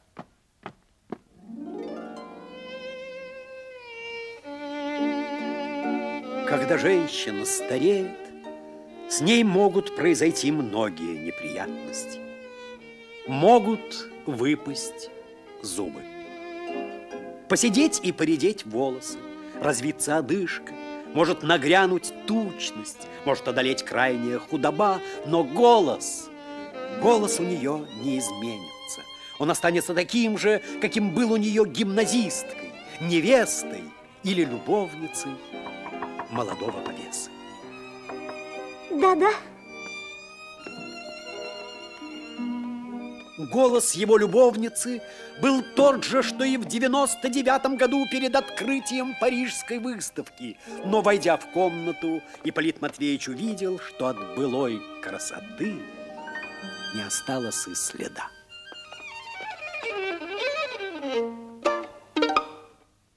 Как вы изменились. Спасибо. Я знаю, чем вы рисковали, придя ко мне. Вы все тот же великодушный рыцарь. Я не спрашиваю вас, зачем вы прибыли из Парижа. Видите, я не любопытна. Но я приехал вовсе не из Парижа. Мы с коллегой прибыли из Берлина, но об этом не рекомендуется говорить вслух. Как я рада вас видеть. И я безумно рад. Вы помните, Ипполит Матвеевич, А помните, Елена Станиславна, выборы в городскую управу? О, Нет, выборы вспоминать не будем. Кажется, наступил психологический момент для ужина. В Берлине есть странный обычай. Там едят так поздно, что нельзя понять, что это поздний обед или ранний ужин. о, мы заболтались с вами, друг мой. Я бегу на кухню. А теперь действовать, действовать, действовать. Сказал Остап, понизив голос до степени полной нелегальности. Действовать! Старуха не подкачает, надежная женщина. Э, а Ваше политическое кредо. всегда, Всегда? всегда. Надеюсь, вы кирилловец? Так точно. Россия вас не забудет.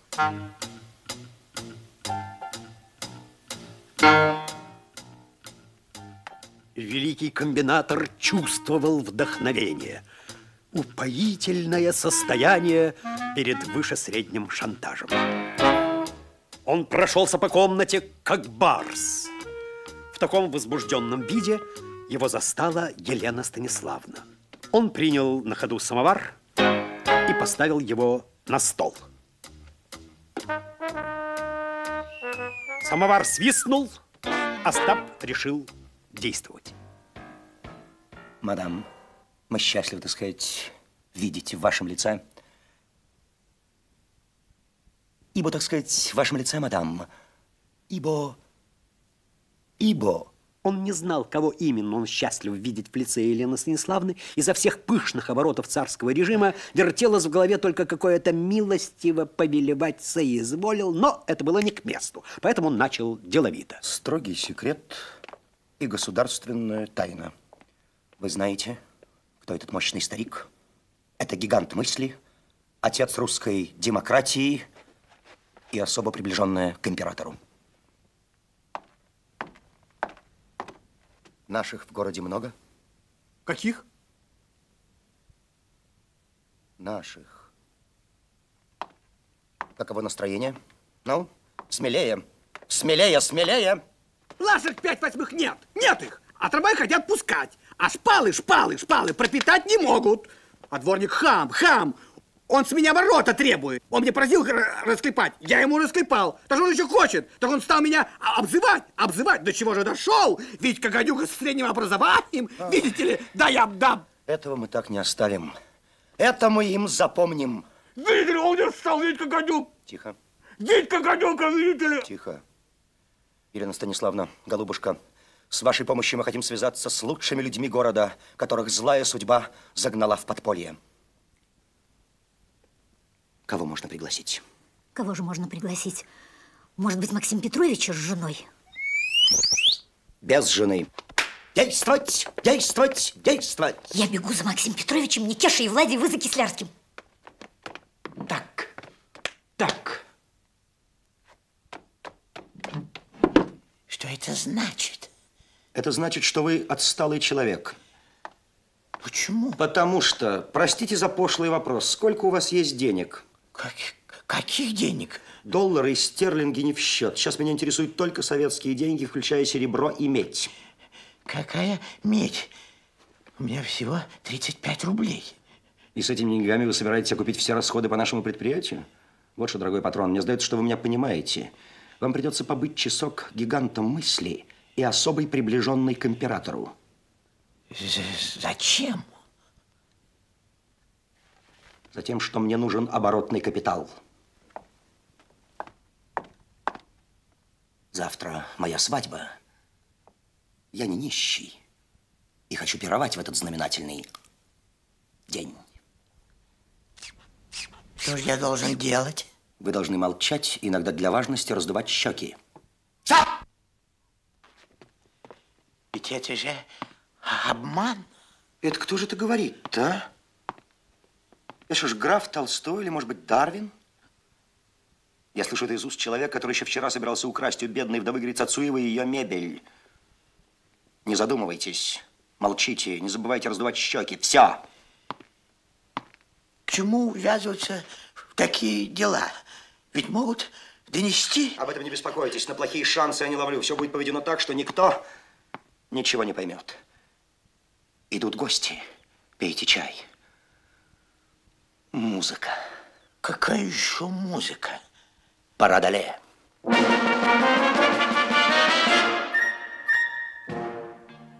Никеша и Владя пришли вместе с Полисовым. Виктор Михайлович не решился представить молодых людей гиганту мысли. Они засели в уголке и принялись наблюдать за тем, как отец русской демократии ест холодную телятину.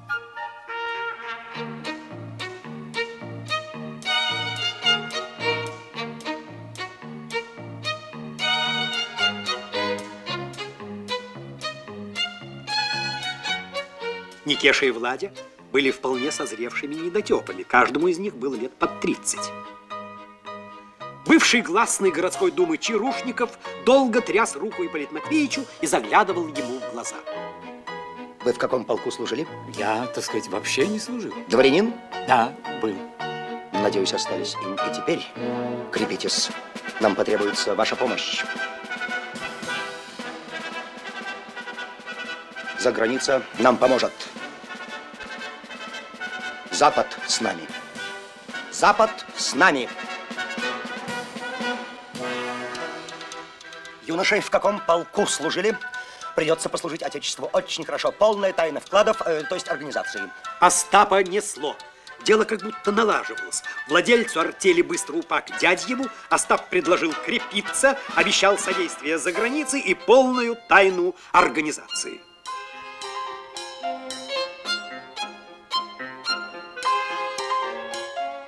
Первым чувством владельца артели быстро упак было желание как можно скорее убежать. Но, оглядев ловкую фигуру Остапа, он заколебался.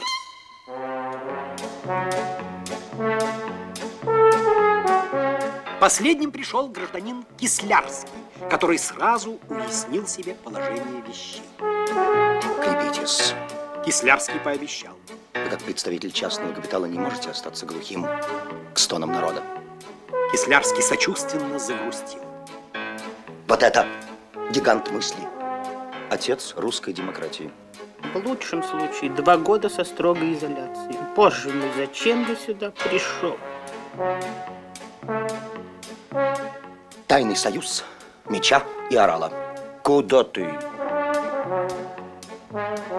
Десять лет, не меньше. Впрочем, вы можете уйти. Но предупреждаю, у нас длинные руки. Может быть, еще откуплюсь, дам рублей пятьдесят. Или сто. Не меньше.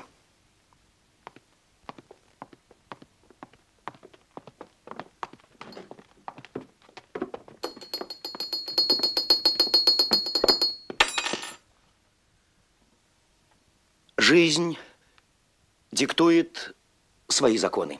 Я не стану говорить вам о цели нашего собрания. Она вам известна. Цель святая.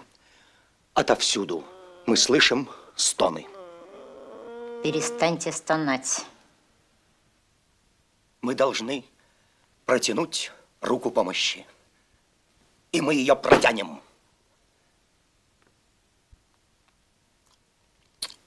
Но эту руку мы протянем не всем, господа, а только маленьким, беспризорным детям. Красиво. Тут не придерешься. Помогал детям и баста. Золотая голова, конспиратор. Я приглашаю вас, господа, делать свои взносы. И Полит Матвеевич подтвердит мои полномочия.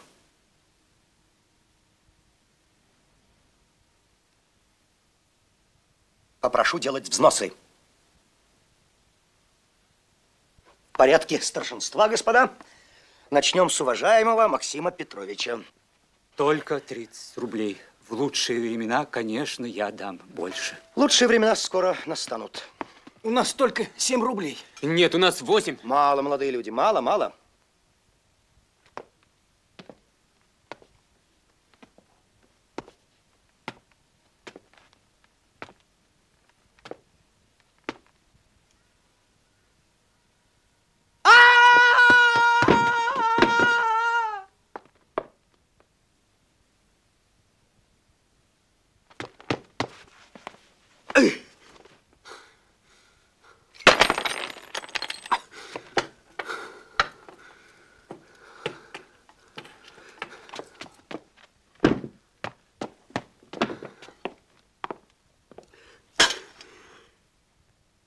Пятьдесят рублей. Браво, гусар. Ну, купечество? Что?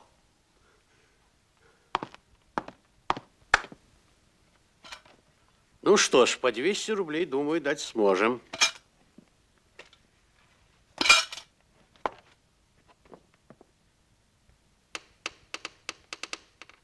Итого 488 рублей. 12 рублей не хватает.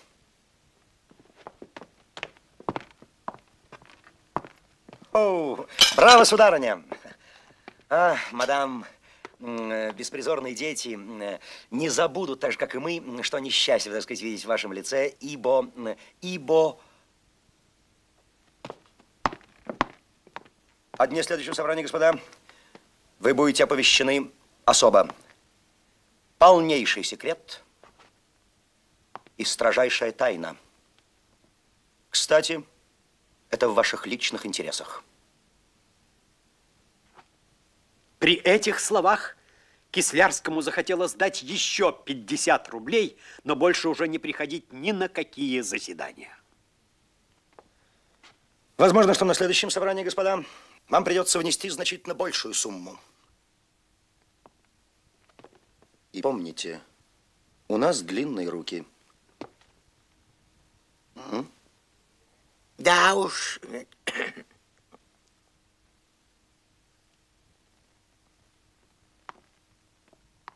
Нос. Будем двигаться, гигант мысли. Деньги с вами? Со мной. Необходим короткий отдых перед бурей. Завтра моя свадьба.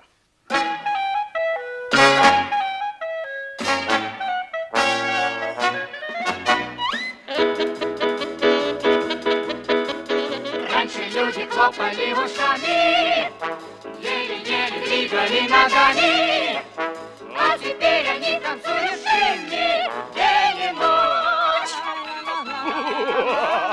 Шимми – это танец заграничный, не совсем, но все-таки приличный. Это надо делать до упада день и ночь.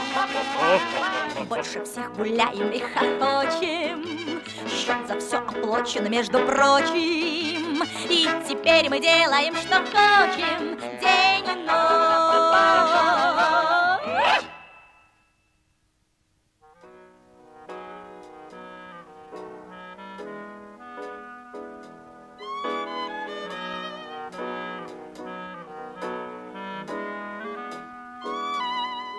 Молодая была уже не молода. Природа одарила ее щедро. Тут было все. И арбузные груди, и нос, и мощный затылок. Нового мужа она обожала и очень боялась. Поэтому звала его не по имени и даже не по отчеству, которого она так никогда и не узнала, а по фамилии. Товарищ Бендер.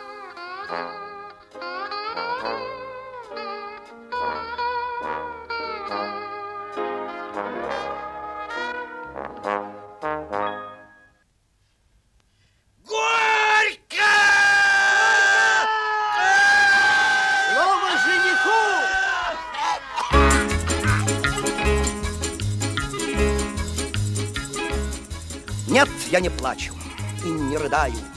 На все вопросы я открыто отвечаю, что наша жизнь — игра, и кто ж тому виной, что я увлекся этой игрой. И перед кем же мне извиняться? Мне уступают, я не смею отказаться. И разве мой талант и мой душевный жар не заслужили скромный гонорар? Пусть весится ветер жестокий, в тумане житейских морей. Белеет мой парус такой, одинокий на фоне стальных кораблей. И согласитесь, какая прелесть Мгновенно в яблочко попасть, почти не целясь Орлиный взор, напор, изящный поворот И прямо в руки запретный плод. О наслаждение, скользить по краю Замрите, ангелы, смотрите, я играю. Моих грехов разбор оставьте до поры. Вы оцените красоту игры. Пусть бесит за ветер жестокий. В тумане житейских морей. Белеет мой парус такой одинокий на фоне стальных кораблей. Я не разбойник и не апостол. И для меня, конечно, тоже все непросто. И очень может быть, что от забот моих я посидею раньше остальных. Но я не плачу и не рыдаю, хотя не знаю, где найду, где потеряю.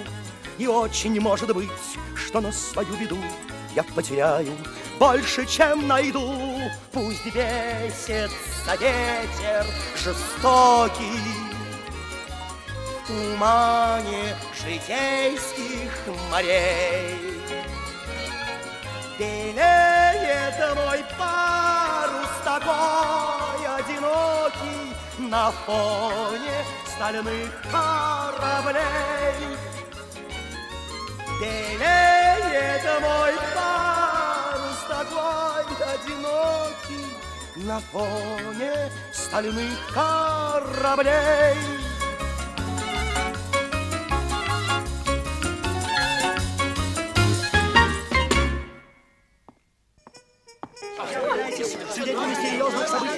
После этого Остап стал произносить тосты и спичи.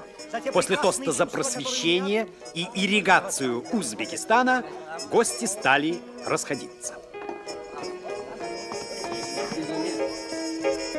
Так вы не тяните, они там. Мне удалось нащупать, понимаете? Я почувствовал, они были подо мной. Достижатель, ждите меня в гостинице и никуда не уходите. Я могу нагрянуть каждую минуту. Уплатите по счету, чтобы все было готово. Адье, фельдмаршал. Фу. Пожелайте мне спокойной ночи. Спокойной ночи.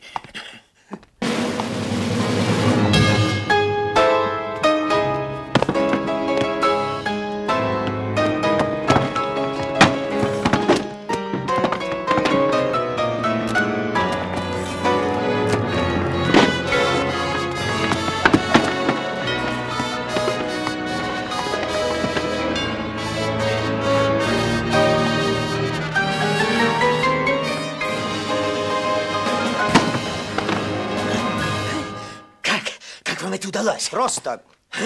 По-семейному. Вдовица спит и видит сны. Пришлось оставить записку. Выезжаю в Новохоперск с докладом, к обеду не жди. Твой суслик. Суслик? Спокойно.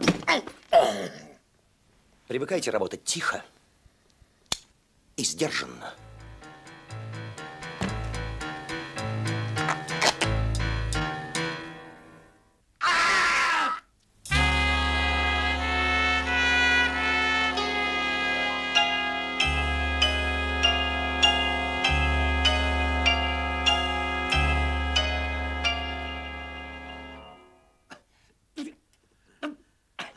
Подождите вы.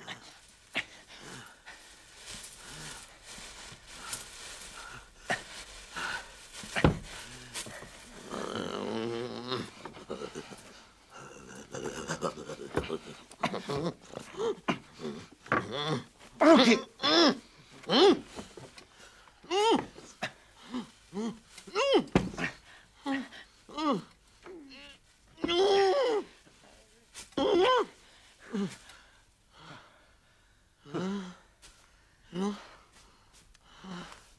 Ну и ну. Один шанс против одиннадцати. Этот шанс пока не наш. Фу. Ничего.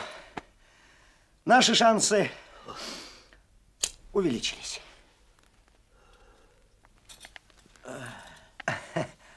Вдове этот, этот стул обошелся больше, чем нам. А, Пошлые вещи. Согласитесь, я не могу покинуть любимую женщину, не оставив о ней никаких воспоминаний. Заседание продолжается, фельдмаршал. С вашего решения мы направляемся в музей мебельного мастерства. В Москву.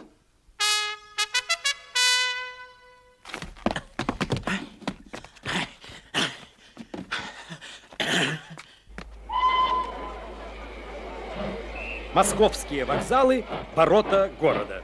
Через Александровский вокзал входит в Москву иностранец в костюме для гольфа. С Курского попадает в Москву рослый волгарь в пеньковой бороде, с Октябрьского выскакивает полуответственный работник с портфелем. Представители Киева и Одессы проникают в столицу через Брянский вокзал.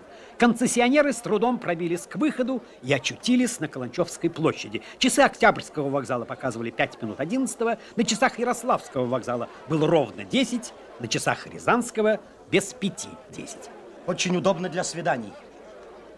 Москва меня совершенно не радует. Все время думаю о мебельном музее, все время переживаю. Как, что и вообще обойдется ли? Вам, предводитель, давно уже пора лечиться электричеством. Не устраивайте преждевременные истерики. Однако, куда мы пойдем? К хорошим людям в Москве их масса и все мои знакомые. Что, у них можно остановиться? Да.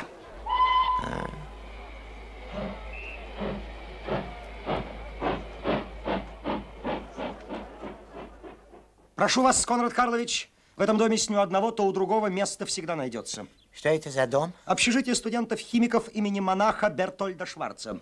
Здесь живут студенты? О, нет. Как и полагается рядовому студенческому общежитию в Москве, дом уже давно заселен людьми, имеющими отдаленное отношение к химии.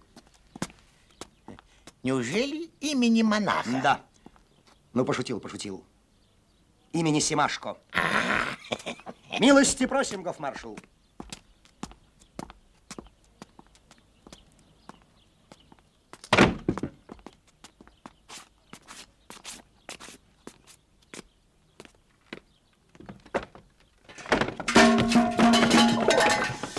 Свет и воздух.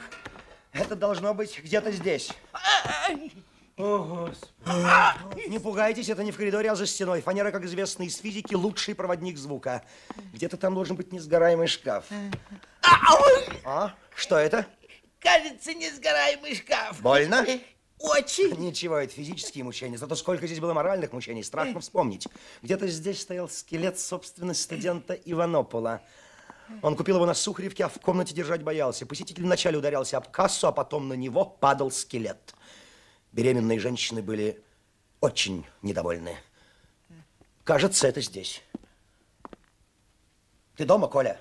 Только и слышишь целыми днями, Коля, Коля, ты дома, Коля. Опять к этому дураку в гости с позаранку пришли. У. Да дай ты ж человеку поспать. Да тут у нас как же? Да это Кольки из милиции пришли за вчерашнее стекло. Слышите? Нам рады. Да-да, войдите. Картина, представившаяся взору Остапа, при внешней своей невинности была ужасна. Рядом с Колей сидело такое небесное создание, что Остап сразу омрачился. Такие девушки никогда не бывают деловыми знакомыми. Для этого у них слишком голубые глаза и чистая шея. Это любовницы. Или еще хуже, это жены. И жены любимые. Остап вызвал Колю в коридор, а Ипполит Матвеевич снял свою касторовую шляпу.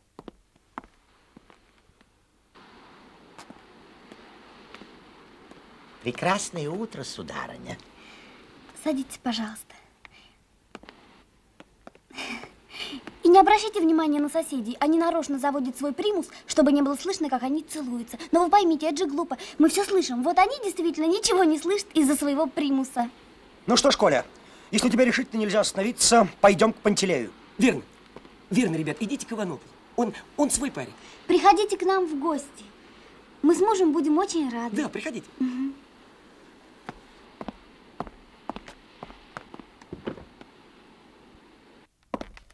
Он живет где-то здесь. Вот. Скорее всего, что возможно, буду примерно никак не раньше 9 часов. Иванопола. Не беда, я знаю, где ключ.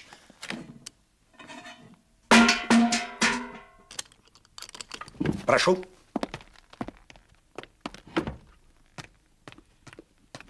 Да, но здесь нет даже и матраца. Не беда.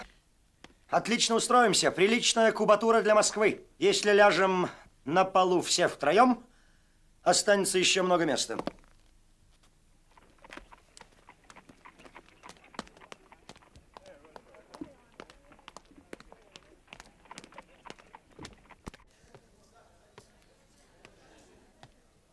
Нет, эта вещь неинтересная. Она к нам в дверь не влезет. Нет, не влезет. Не влезет. Вот и это. Этот экспонат тоже не поместится. А вот это подойдет. Вот Хм. да. В переднюю. Вот это вот э, в самый раз. Комодик бы я этот взяла. Какой комодик? Этот? Ай? Или тот? Обои бы взяла. Здравствуйте. Как хорошо, что я вас встретила. А то одной так скучно смотреть. Ну, мы типичные провинциалы, но как попали сюда вы, москвичка? Простите. Совершенно случайно. Я поссорилась с Колей. Кажется, в этом зале ничего интересного нет. Этого не может быть. Этого не может быть. Ну, конечно, не может быть. Знаете, здесь масса красивых вещей. Знаете что, пойдемте в следующий Нет, зал. нет, девочки, в остальных залах мы уже были совершенно не на что смотреть. Упадочный стиль. Эпоха Керенского. Может, еще раз осмотреть все снова? Пойдем, Ах а то я уже устала. Деточка, раз устали, садитесь здесь и отдыхайте. А нам с дедушкой нужно еще кое-что осмотреть. Ладно, стол не иголка найдется. Дайте сюда ордера. Придется вступить в неприятный контакт с администрацией музея. Садитесь рядом с девочкой и ждите, а я сейчас приду. Вот если бы эту всю штуковину к дому подтянуть, а? Елизавета? Петровна Калачева. А вас как зовут? Ипполитом Матвеевичем Воробьяниновым. Очень приятно. Он подарил Лизе улыбку и придал лицу печать вдохновенной задумчивости. Ему вдруг так страстно захотелось женской ласки. Ему так захотелось быть богатым, расточительным и неотразимым. Ему захотелось увлекать и под шум оркестров пить редереры в отдельном кабинете, что он немедленно взял Лизину лапку в свои руки и горячо заговорил о Париже.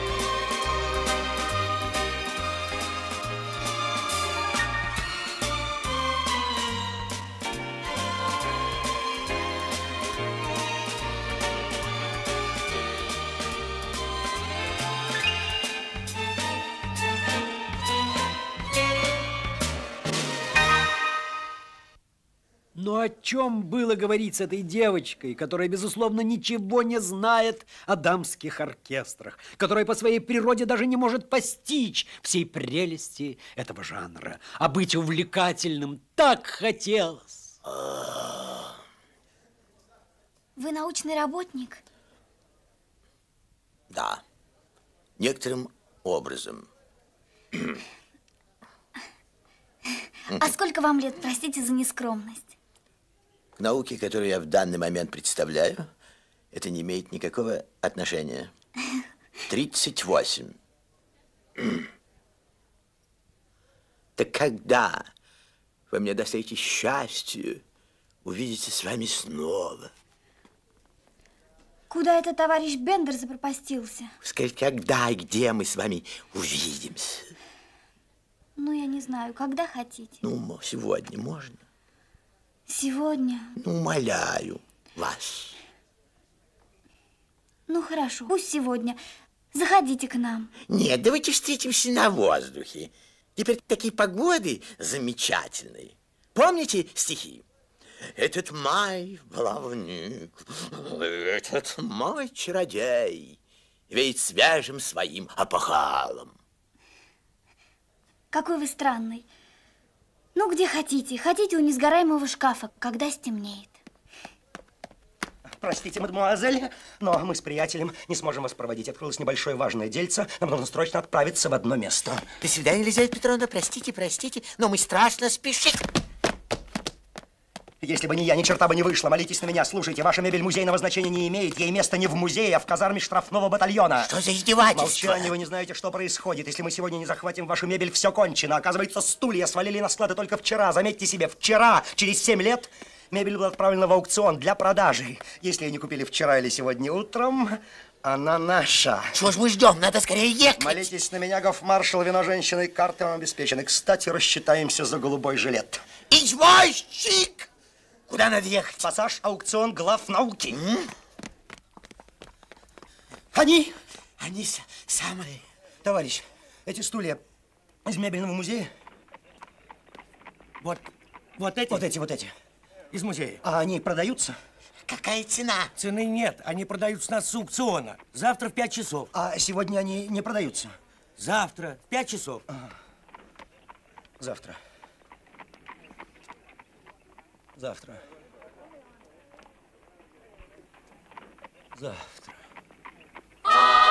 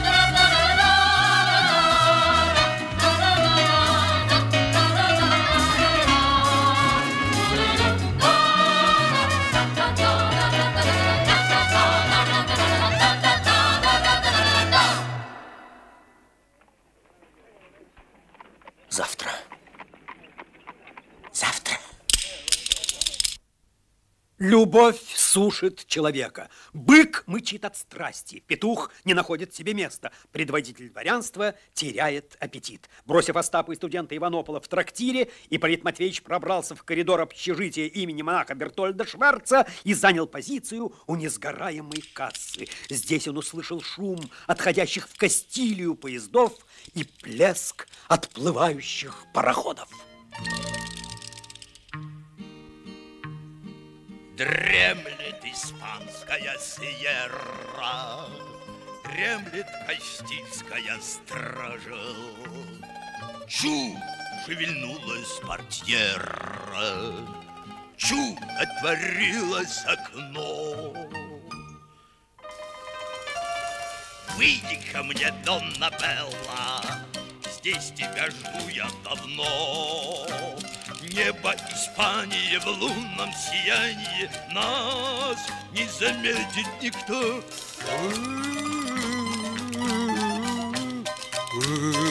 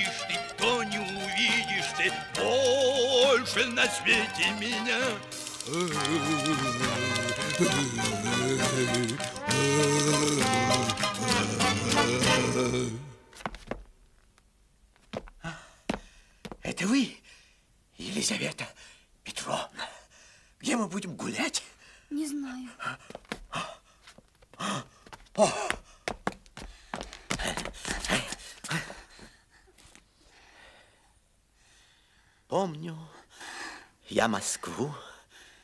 Елизавета Петровна не такой. Сейчас все не то. И все не так. А мы в свое время денег не жалели. В жизни живем мы только раз. Есть такая песенка. А мы с Колей поссорились. Надоело так жить. Бывшие химики, наши соседи все время подслушивают. И вы знаете, очень надоела вегетарианская столовая. Да-да, конечно. Ипполит Матвеевич слушал и соображал. Один за другим в нем просыпались демоны. Мнился ему замечательный ужин.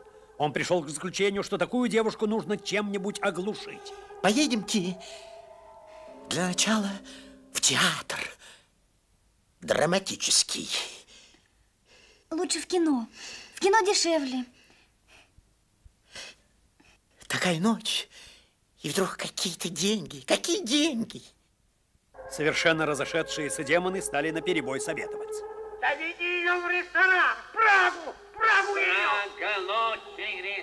В кармане Ипполит Матвеевича лежала половина суммы, полученной концессионерами от старгородских заговорщиков. Теперь, взволнованный возможностью легкой любви, он собирался слепить Лизу широтою размаха.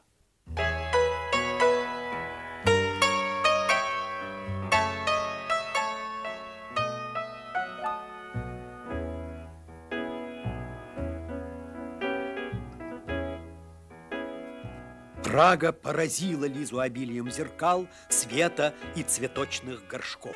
Лизе это было простительно. Она никогда еще не посещала больших образцово-показательных ресторанов. Но зеркальный зал совсем неожиданно поразил и Ипполита Матвеевича. Он отстал, забыл ресторанный уклад. Теперь ему было положительно стыдно за свои баронские штиблеты с квадратными носами и штучные довоенные брюки.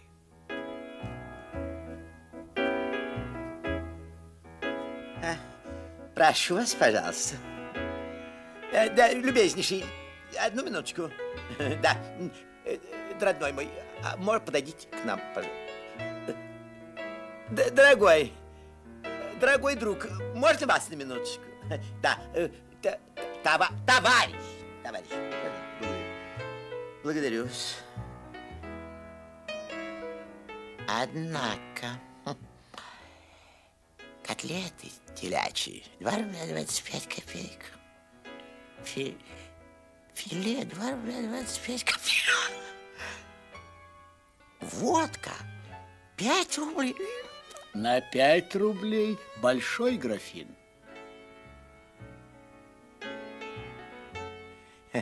Вот, пожалуйста, не угодно ли выбрать?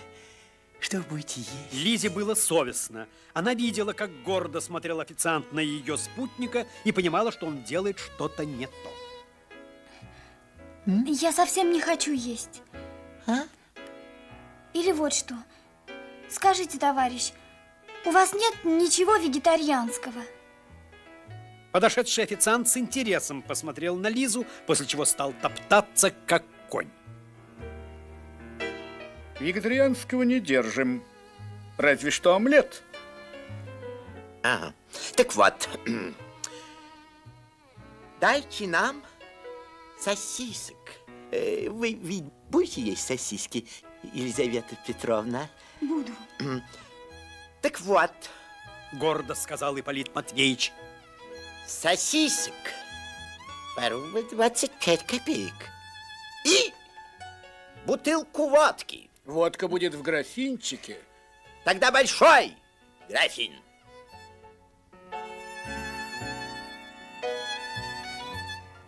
Водку будем чем закусывать? Икры свежей, растягайчики. В Ипполите Матвеевиче продолжал бушевать делопроизводитель ЗАГСа. Не надо. Почем у вас огурцы соленые? То хорошо, черт с ним. Дайте два.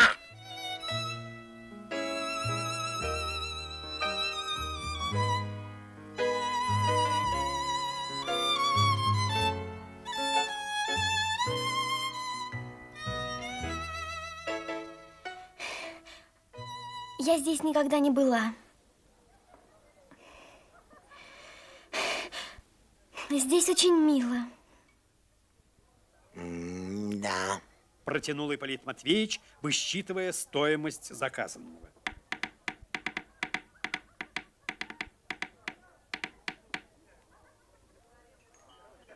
Ничего, ничего, подумал Ипполит Матвеевич, выпью водки, разойдусь. Дорогие друзья, ну и вот мы опять с вами вместе. Следующим номером нашей концертной программы выступит мировая исполнительница русских народных песен, хорошо известная в Марьиной роще, Варвара Ивановна Годлевская. Попросим.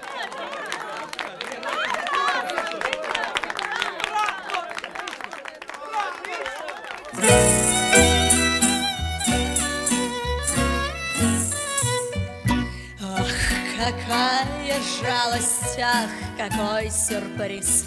Нельзя себе позволить, нельзя себе позволить Нельзя себе позволить ни шалость, ни каприз. А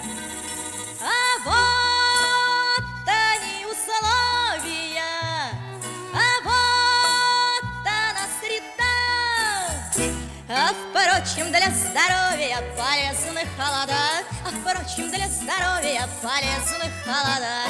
Робкие стремления, скромный аппетит, А сердце, тем не менее, а сердце, тем не менее, А сердце, тем не менее, возьмет да пошалит.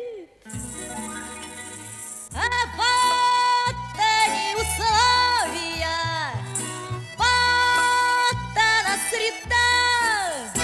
впрочем, для здоровья полезны холода, впрочем, для здоровья полезны холода. Сердце подурачится, споет на взрыв, И хочется Знаете, я пойду. и хочется Нет, лучше я пойду, а вы Я умоляю вас, никуда вы не, не сидите. Закуску сейчас допьем. А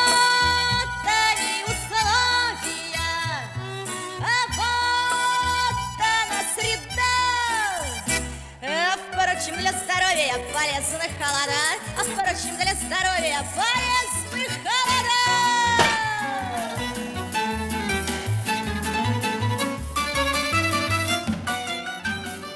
Ипполит Матвеевич уже порядочно захмелел, часто вскакивал и, извинившись, убегал в уборную.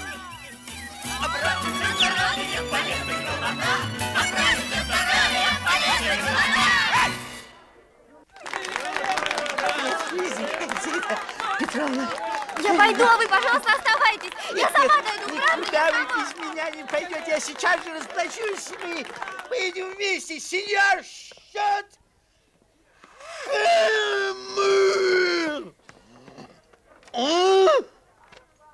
А? 10 рублей 20 копеек. Может, вам дать еще ключ от квартиры, где деньги лежат? А?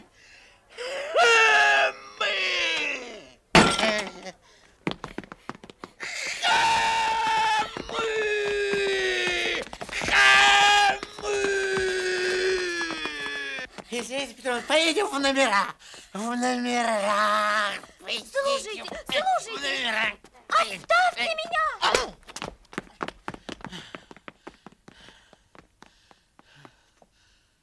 Поедем в номера. На выход. Пожалуйте на выход. Пройдемте, пройдемте.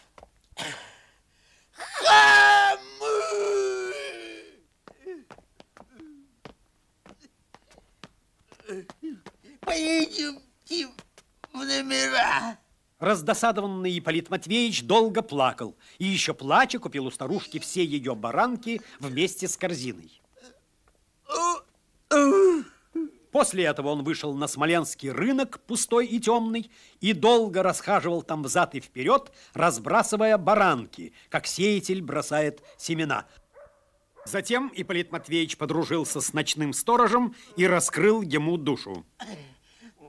12 стульев называется. В общем, бриллианты ищем. Бриллианты. Папаша, в стульях. Но как? Спарываем каждый стул. Каждый стул. Да, но предупреждаю. У нас длинные руки. Веселый вы Да, веселый. но не, но не барин. Отец русской демократии. О, понимаю. Гигант мысли. Лед тронулся, господа, песчаный. Да, да, ой, ой, ой, ой, не балуй, не, не, не, ба- ой, не.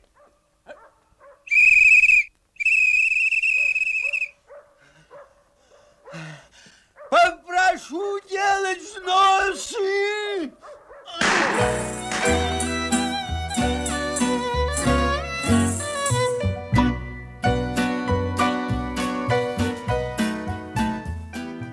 Э, по- Поедемте в номера. Сейчас поедем. Поедемте.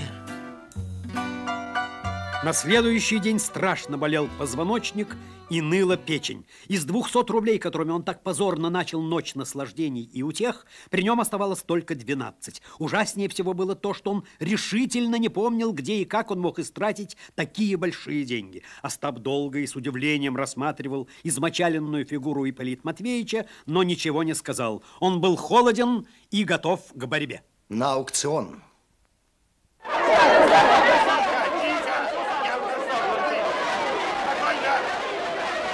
Прошу немедленно прекратить! Спокойно! Продолжаем торг! Тихо, граждане, тихо! Охотник, стреляющий в диких уток! Тихо! Охотник, стреляющий в диких уток! Семь с полтиной! Восемь рублей даю. Восемь пятьдесят. Девять. Девять пятьдесят. Одиннадцать. Одиннадцать рублей раз, одиннадцать рублей два, одиннадцать рублей три. Продан охотник, стреляющий в диких уток.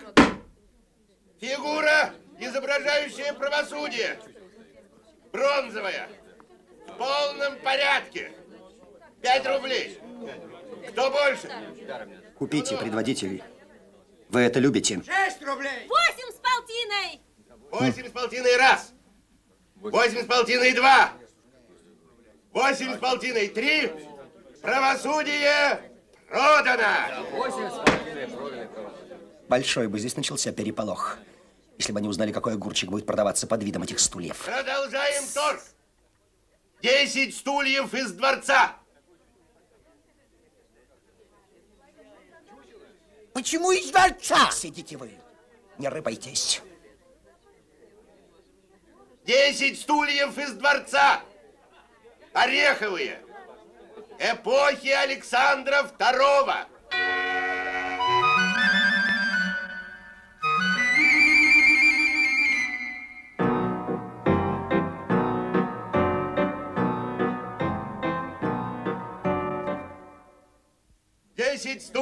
Дворца. 80 рублей. Кто больше? Ну-ну-ну. Да сидите вы, идиот проклятый, навязался на мою голову. Сидите, я вам говорю. Александра Второго. 90. 90 рублей. Дама в третьем ряду слева. Раз. 90 рублей. 100 рублей. Дама в третьем ряду справа. Раз. 100 рублей. Два. Ну-ну-ну-ну. 110. 110 рублей гражданин из четвертого ряда. Раз. 110 рублей. 120 рублей гражданин в четвертом ряду. Раз. 120 рублей. Чего ж вы не торгуетесь? Ну, Пошел вон. 130 рублей. Два. 145. 145. В пятом ряду слева. Раз. 145. Два.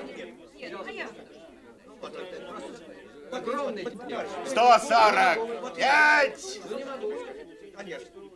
Три.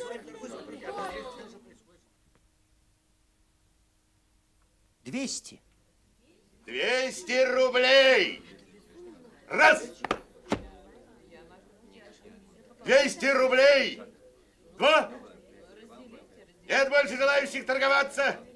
Из 10 предметов 200 рублей. Три. Продано. мама. Ну, председатель, эффектно. Интересно знать, что вы делали без технического руководителя. Вы купили стулья? Мы, мы, когда их можно взять? Пожалуйста, хоть сейчас. А почему здесь 230, а не 200? 15% комиссионного сбора. А, ну что ж делать? Берите, 200. Но, дорожайший, гоните 30 рублей, да поскорее. Не видите? Дамочка ждет. Что вы мне смотрите, как солдат на вож? Обалдели от счастья, да? У, ми- у меня нет денег.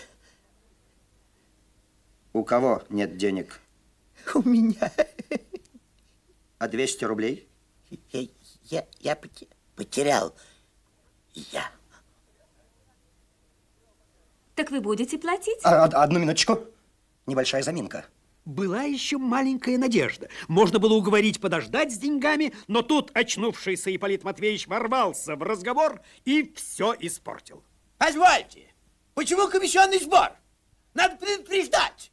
Мы ничего не знаем о таком сборе. Я отказываюсь платить эти 30 процентов рублей. Хорошо, я сейчас все устрою.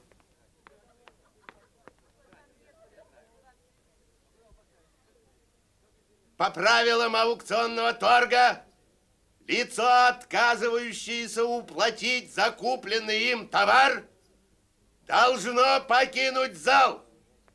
Торг на стулья отменяется. Я попрошу вас покинуть зал. Эффект был велик. Таких ударов великий комбинатор не испытывал давно. Попрошу вас выйти.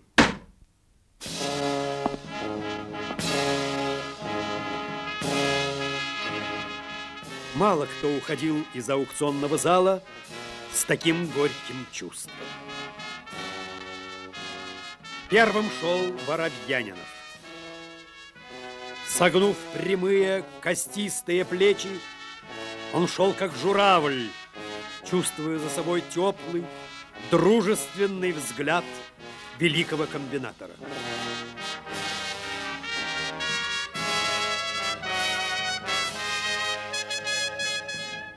Путь в аукционный зал был прегражден.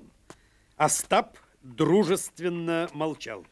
В возмутительной порядке. Форменное безобразие. В милицию на их нужно жаловаться. В милицию. Действительно, за какие черт знает, что такое? Сдерут с трудящихся в три дорога!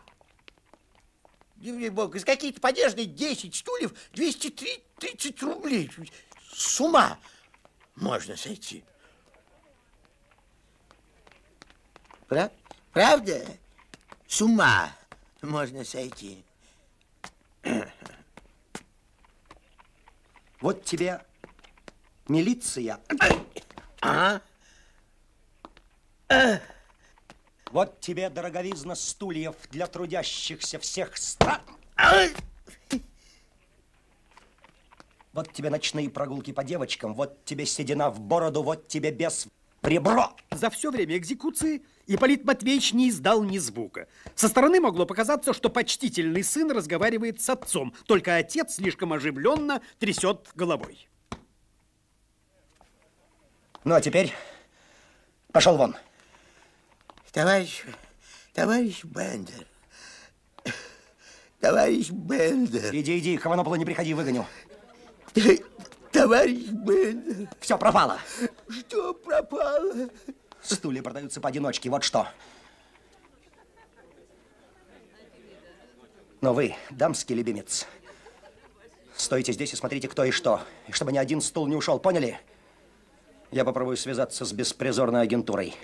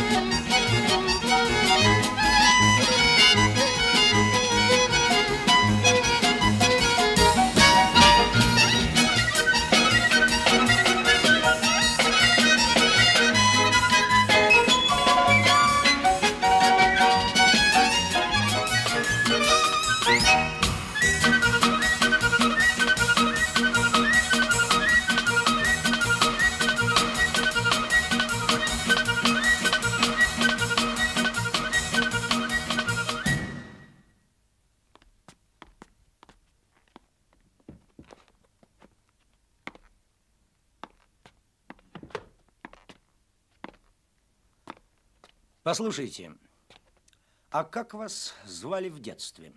Зачем вам? Да вот не знаю, как вас называть. Михельсоном надоело, Конрад Карловичем слишком сложно, Ипполит Матвеевичем слишком мрачно. Как же вас звали? Ипа.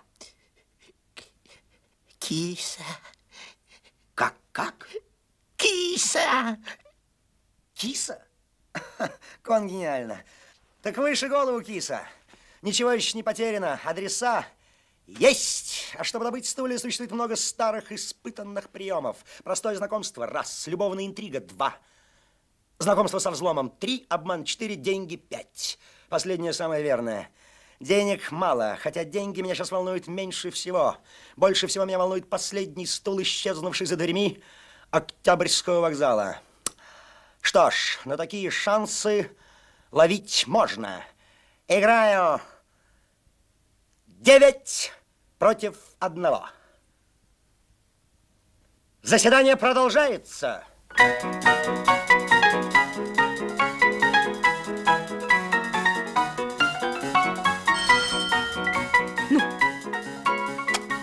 Ну, блеск. Блеск.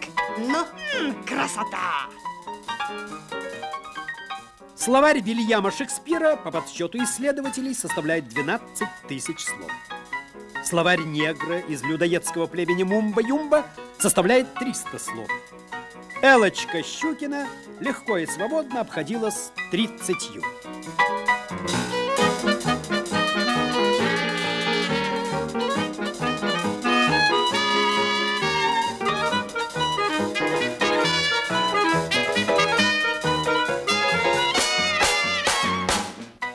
Вот слова, фразы и междометия, придирчиво выбранные ею из всего великого и могучего русского языка. Выражает в зависимости от обстоятельств иронию, удивление, восторг, ненависть, радость и презрение. Жуть! Означает жуткий, например, при встрече с доброй знакомой. Жуткая встреча. Парни? По отношению ко всем знакомым мужчинам, независимо от возраста и общественного положения. Блеск! Опять-таки удивление, восторг, ненависть, радость в зависимости от обстоятельств. На! Жуть! Блеск! Не учите меня жить! Красота! Другие, оставшиеся в крайне незначительном количестве слова, служили передаточным звеном между Элочкой и продавцами универсальных магазинов. 200 рублей, которые ежемесячно получал ее муж, инженер Эрнест Павлович Щукин, никак не могли помочь той грандиозной борьбе, которую Элочка вела уже 4 года. Борьба вела с полным напряжением сил. Она поглощала все ресурсы. Эрнест Павлович брал на дом вечернюю работу, но все было бесплодно. Элочка четыре года назад заметила, что у нее есть соперница за океаном. Сверкающая фотография изображала дочь американского миллиардера Вандербильда в вечернем туалете. Платье, отороченное собакой, нанесло заносчивой Вандербильдихе первый меткий удар. Вторым ударом был шиншилловый палантин, русский заяц, умершленный в Тульской губернии. Новые мощные усилия в корне подрезали хозяйство, ибо приходилось бороться во всех областях жизни.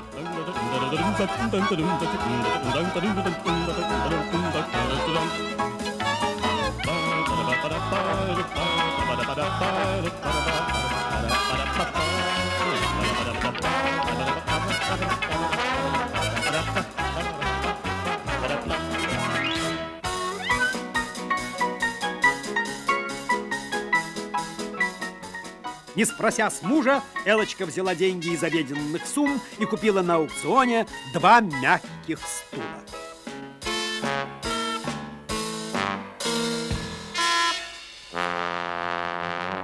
Элочка, откуда эти стульчики? На! Нет, в самом деле. Блеск! Ты их купила? На какие средства? Жуть! Это возмутительно. Ты живешь непосредством. Мрак! Слушай, давай поговорим серьезно. На! Я получаю 200 рублей. Жуть! Да, но я взяток не беру. Я денег не краду и подделывать их не умею. Мрак! Слушай, Давай, так дальше жить нельзя. Жуть. Знаешь, я не могу так жить, я не умею так жить. Мрак. Ты знаешь, мы не сходимся характерами. Скажи, что нам делать? Разойтись? Блеск. Ах так? Ну?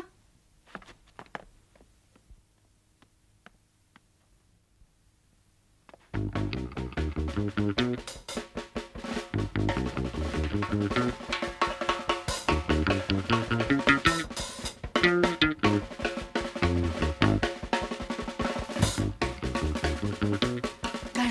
носить длинные и широкие. Элочка с уважением посмотрела на Фиму Собок. Фимочка Собок слыла культурной девушкой. В ее словаре было около 180 слов.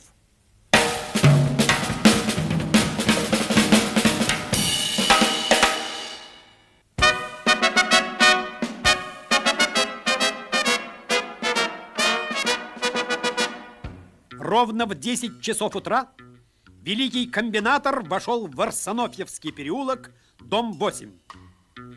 Он появился в дверях, совершенно не думая о том, под каким предлогом он войдет. Для разговоров с дамами он предпочитал вдохновение. Через секунду он понял, как себя вести в данном обществе.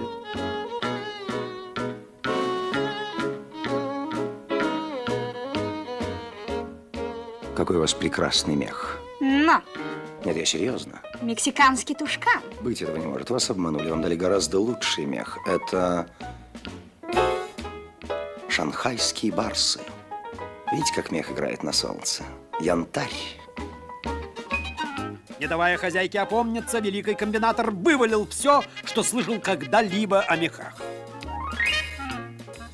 После этого заговорили о шелке, и Остап обещал подарить очаровательной хозяйке несколько сот шелковых коконов, якобы привезенных ему председателем ЦИК Узбекистана.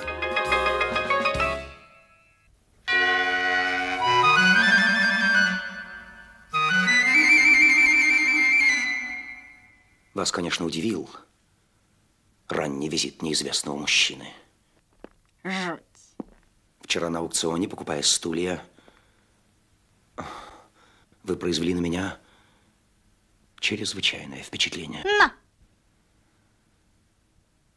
Новое дело, подумал Остап, стулья расползаются, как тараканы. Солнышко, продайте мне этот стульчик. Он мне очень нравится. Только вы с вашим женским чутьем могли выбрать такую художественную вещь.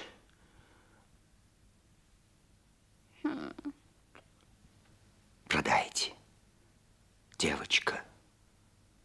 Я вам семь рублей дам. Жуть.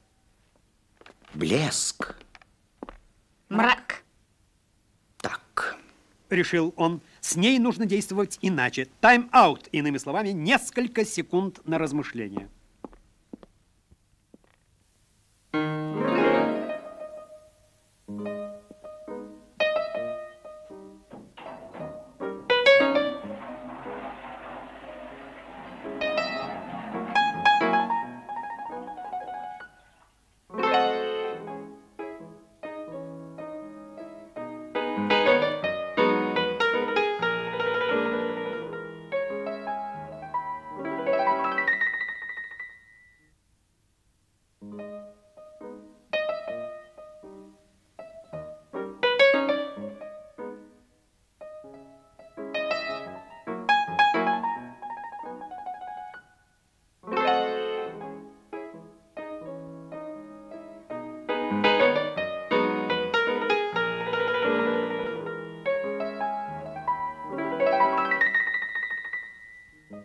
знаете, сейчас в Европе и в лучших домах Филадельфии возобновили старинный обычай разливать чай через ситечко. Необычайно эффектно и очень элегантно. Ко мне как раз знакомый дипломат приехал из Вены, привез, отдал большие деньги, но не жалею. Забавная вещица.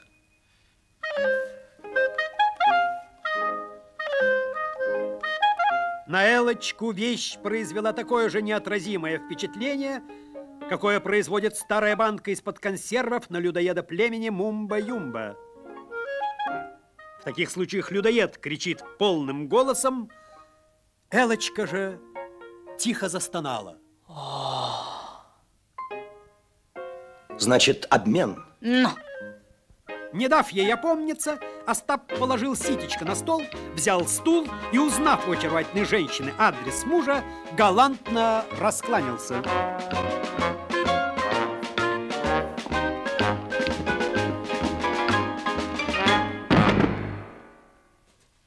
Даже если в стуле ничего нет, считает, что мы выиграли 10 тысяч, по крайней мере.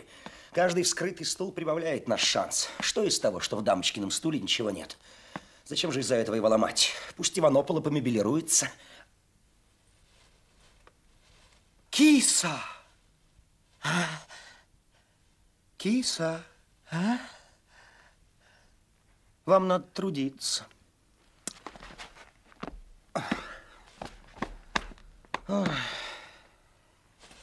Совсем обленились. Какого черта я с вами связался? М? Поезжайте к себе в ЗАГС, там вас спокойнички ждут, новорожденные. Шучу, шучу, шучу. Без вас не так смешно жить. Будем ковать стулья, пока не горячи. Итак, получить адресок. Садово-Спасская, 8, квартира 20, из Нуренков. Повторяю последний раз.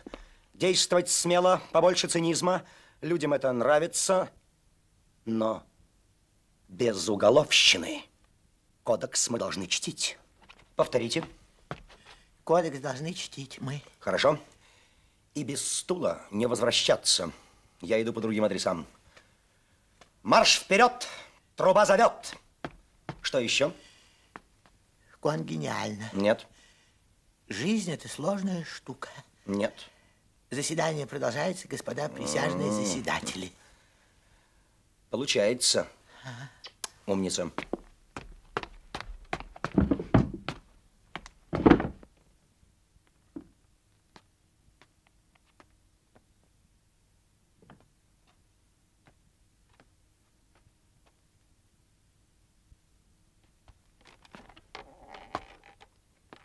Простите, могу я видеть товарища из Нуренкова? А?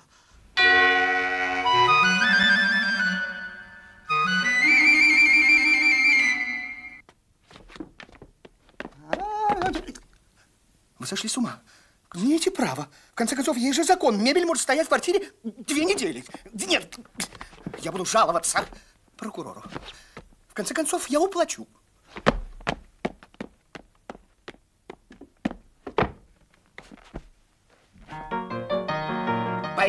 Я не могу с этим согласиться. И потом виноват не я, а сам Муспред.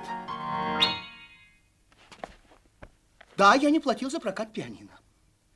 Но ведь я его не продал, хотя имел полную возможность. Я поступил честно. А они подали в суд и описали мебель. Как это называется? Простите, служба такая. Ну, хорошо, значит, договорились. Мебель отбирать у меня сегодня не будете. Бюрократы! Ну, дайте лапку. Вот вам полтинничек. И не возражайте. Каждый труд, солнышко, должен быть у нас оплачен. Служба Абсолютно такая. Простите. Служба. Служба такая. Будьте здоровы. О, да, Всего вам доброго. До свидания. Я вам говорю, служба такая. Да-да-да, я понял, понял. Хорошо, хорошо. И-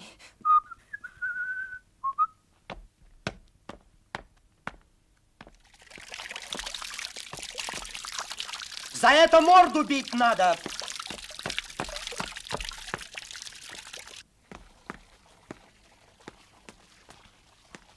Вместо того, чтобы плакать, пошли бы лучше в баню. В таком виде вы похожи на пикадора. Ключ. Что ключ? От квартиры. М, где деньги лежат? Нет. Ключа нет, а дверь захлопнулась. Я начал мыться, пропала горячая вода. Я хотел позв позвать дворника. И вот. Не беда.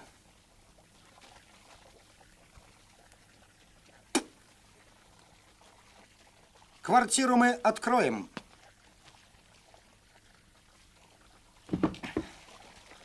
Прошу.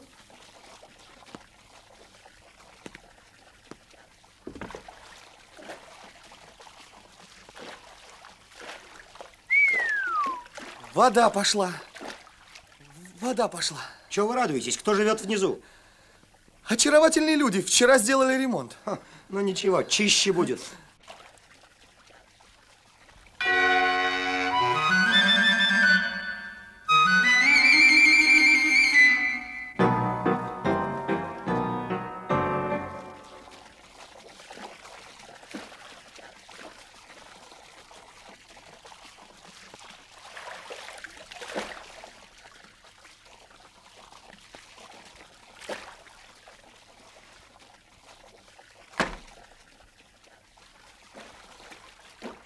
Меня просто спасли. Вы инженер Щукин? Да. А я ведь к вам по делу. Чрезвычайно рад буду вам служить. Ай, сущие пустяки. Ваша жена просила меня зайти к вам и взять стул, он ей нужен для пары. Завтра она пришлет к вам кресло. Ну что вы, что? Ну зачем же вам себя утруждать? Ну я, я же сам ей принесу Да завтра. ну. Ну, ну я сам ей принесу. Ну, сущие пустяки. Нет, нет, нет, нет, ну, ну что вы, что, что? Ну, ну, ну, ну давайте я вам хотя бы помогу. Ну я донесу до ворот, мне не Но трудно. Если это не трудно, и только до ворот. Я прошу вас. Спасибо вам. А, всегда пожалуйста. Спасибо вам. Я вам так благодарен. Не стоит благодарности. А мои инструкции? Мои инструкции. Сколько раз я вам говорил, что красть грешно. Еще тогда в Старгороде, когда вы пытались обокрасть мою жену, мадам Грицацуеву. Уже тогда я понял, что у вас мелкоуголовный характер. Для гиганта мысли и отца русской демократии масштаб мизерный киса.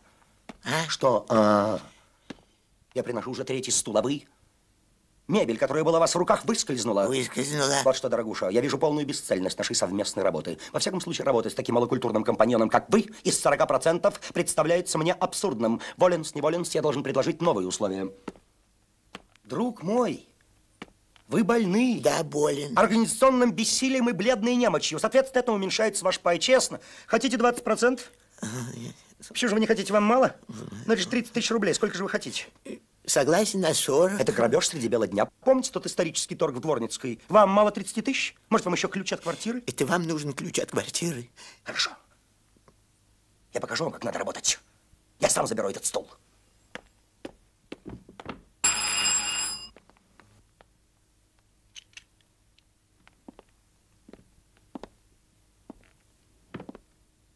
Изнуренков здесь живет?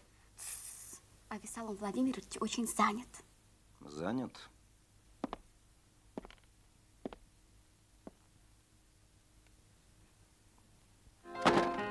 Об Аввессаломе Владимировиче Изнуренкове можно было сказать, что другого такого человека нет во всей республике. Авессалом Владимирович Изнуренков вел хлопотливую жизнь.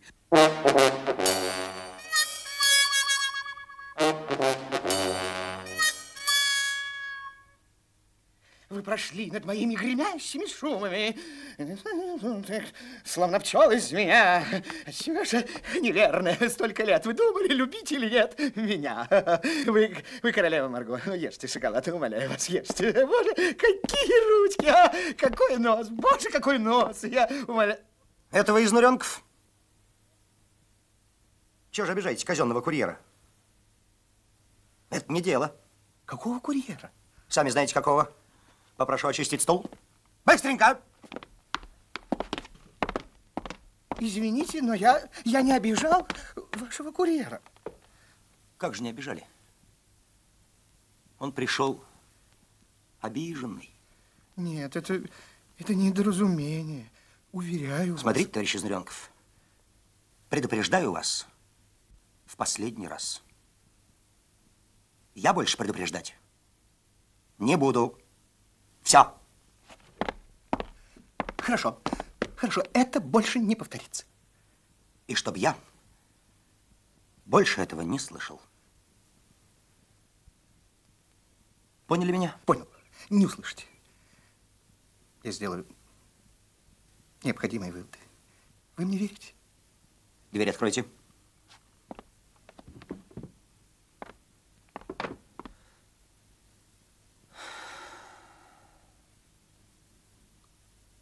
В последний раз поверю.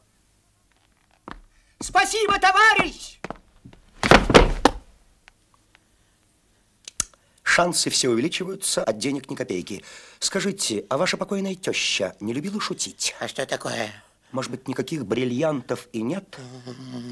А, ну, тогда все прекрасно. Будем надеяться, что достояние Иванопола увеличится еще только на один стул. Войдите. Остап!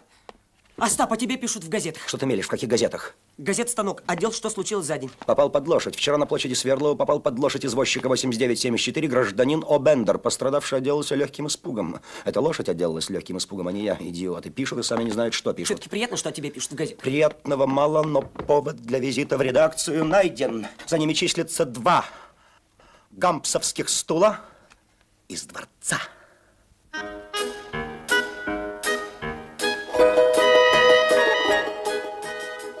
Визит гражданки Грицацуевой к Елене Станиславне Боур не внес успокоения в метущуюся душу вдовы. Елена Станиславна метала карты с возмутительной небрежностью. Карты возвещали то конец мира,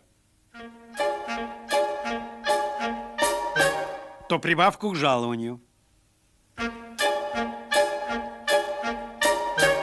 то свидание с мужем в казенном доме, то в присутствии недоброжелателя, то в присутствии пикового короля. Но само гадание кончилось неожиданно и трагически. Попугай Елены Станиславны вдруг заговорил человеческим голосом. Вам палку служили. Сказала птица.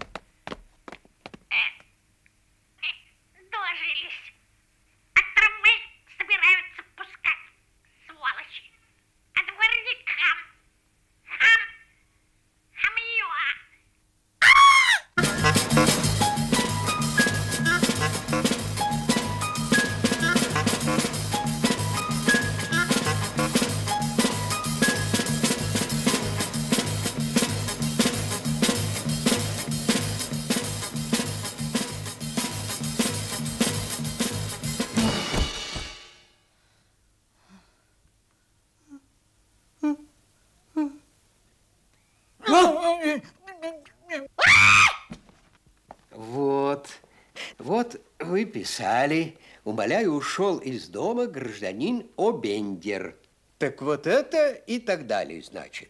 Это пишут старгородские газеты. А теперь посмотрим, что пишут о вашем сыночке в столичных газетах. Что пишут про сыночка в столичных газетах? А вот пишут, попал под лошадь.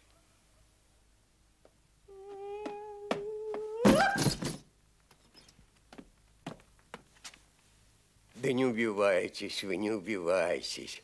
Жив он, живой, живой, живой. Да разве бы я спокойненько деньги брал? Что вы, господи. Живой он, живой. Вот, вот и в газетках пишет. Попал под лошадь, но отделался легким испугом. Ну вот. Вот это документик я вам предоставляю. Нет, нет, вперед денежки. Такое у меня правило. Покорнейше вас благодарю. Какие все-таки у вас организмы-то слабые. Ай-яй-яй-яй-яй-яй. Муж, милый муж в желтых ботинках, лежал на далекой московской земле, и огнедышащая извозчичья лошадь била копытом по его голубой груди. Спасу. Найду. Господи, ты слышишь меня?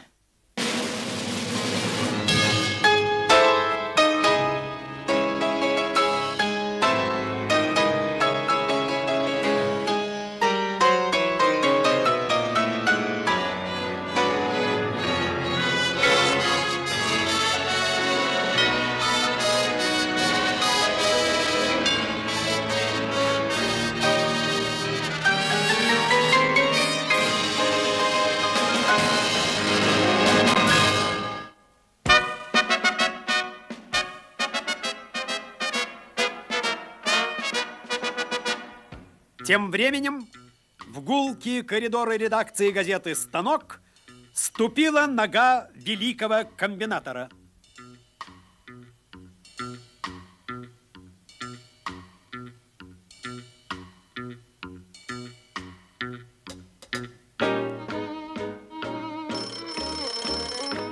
Да-да. Ага. Нет, не Люся. Это вас. Товарищ редактор, на меня помещена форменная клевета. Статья под названием «Попал под лошадь».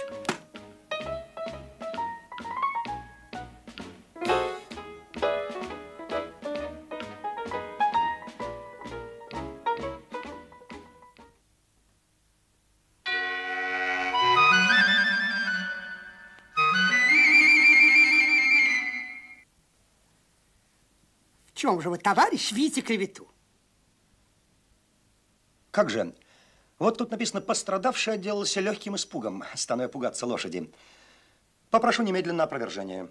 По таким пустяковым вопросам мы опровержения не даем. Угу. Я этого так не оставлю. Пожалуйста, дело ваше. Нет, я не знаю. Я же вам объяснял. Я не могу. Я занят. Я работаю. Вы должны знать, где он. Это было напечатано в вашей газете. Попал под лошадь. Я прошу. Нет! Я умоляю. О, идея. Сейчас я ему устрою за все его подлые розыгрыши. Идите к товарищу Персидскому. Идите, идите к товарищу Персидскому. У него я уже была. А вы сходите еще раз. Он, подлец, все знает. Но я у него была три раза. А тем более теперь ему не отпереться.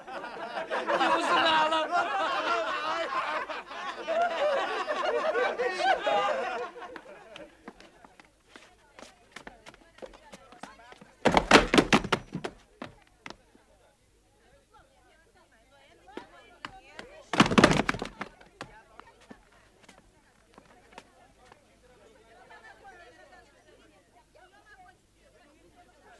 Умоляю, умоляю, адрес.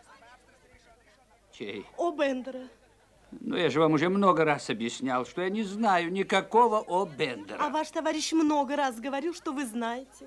Не знаю. Знаете. Ну, не знаете. знаю. Знаете. Не знаю. Ну, не знаю, не знаю. Вы должны знать адрес, в конце-то концов. Ну, может, там хоть вспомните, в желтых ботинках. В Москве еще 200 тысяч в желтых ботинках. Не приставайте ко мне, оставьте меня в покое. Да-да, войдите. Э, Не приставайте, не приставайте, не приставайте ко мне. Вдова ринулась по коридору и вдруг увидела брюнета в голубом жилете и желтых ботинках. Товарищ Бендер. Дальнейшие события показали, что в планы технического руководителя концессии не входила встреча с любимой. Куда же вы?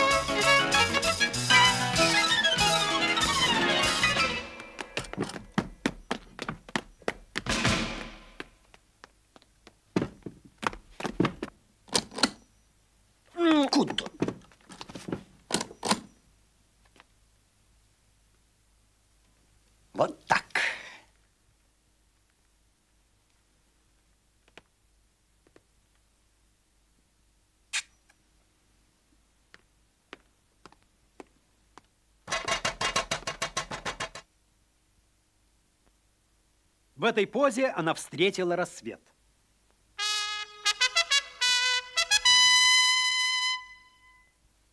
Был тихий час, когда утро еще молодо и чисто. В этот час Грицацуева услышала шаги в коридоре. Вдова живо поднялась и припала к стеклу. Ветренный сын турецко-подданного, стряхивая из пиджака пылинку, приближался к стеклянной двери. Товарищ Бендер! Вы еще здесь? Я здесь, здесь! Ну что ж ты не идешь ко мне, моя курочка? Мой суслик, ну откройся скорее дверь, ну скорее! Тише. Девушка, к чему такие необузданные желания? Женщину украшает скромность. Кто тебе жить мешает? Да, сам уехал, а сам спрашивает. Я ждала-ждала, торговлю закрыла, за вами поехала, изменщик, чтоб тебе лопнуть. Брошь украл мужнин подарок, ситечко спер, стул унес. Зачем стул украл? Зачем украл стул? И это вы называете кражей. В таком случае наши взгляды на жизнь диаметрально противоположны. Согласен на развод. Прощай. Любимая. И разошлись, как в море корабли.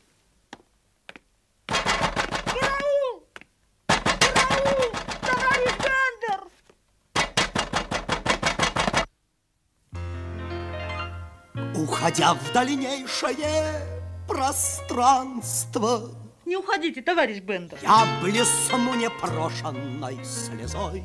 Я сама сейчас заплачу. Страсти, как и в счастье, все мы ищем постоянство, но ничто не вечно под луной. Ну что же мне теперь делать? Может быть, вы скажете кому-то, Что я скажу, кому мне говорить? Где-то на закате ваших лет Ах ты, мерзавец! все-таки была, а была одна минута той любви, какой уж больше, извините, нет. Хам, ворюга, изменщик, подлец!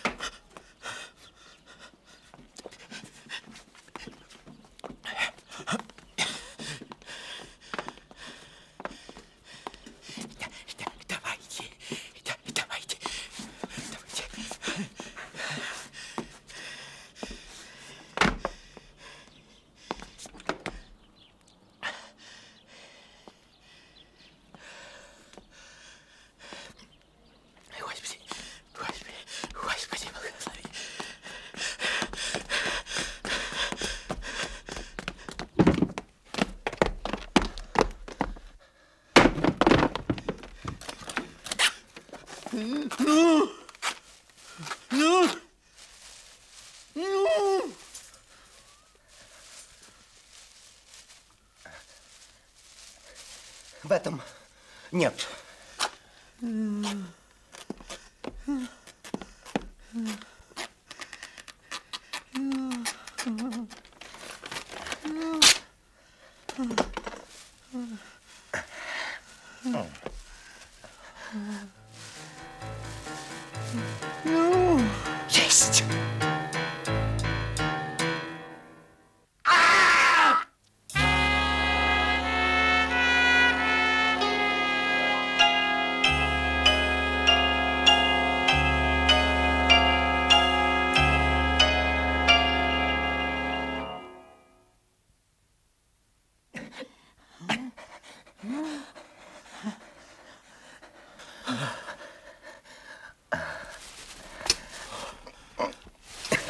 Держите.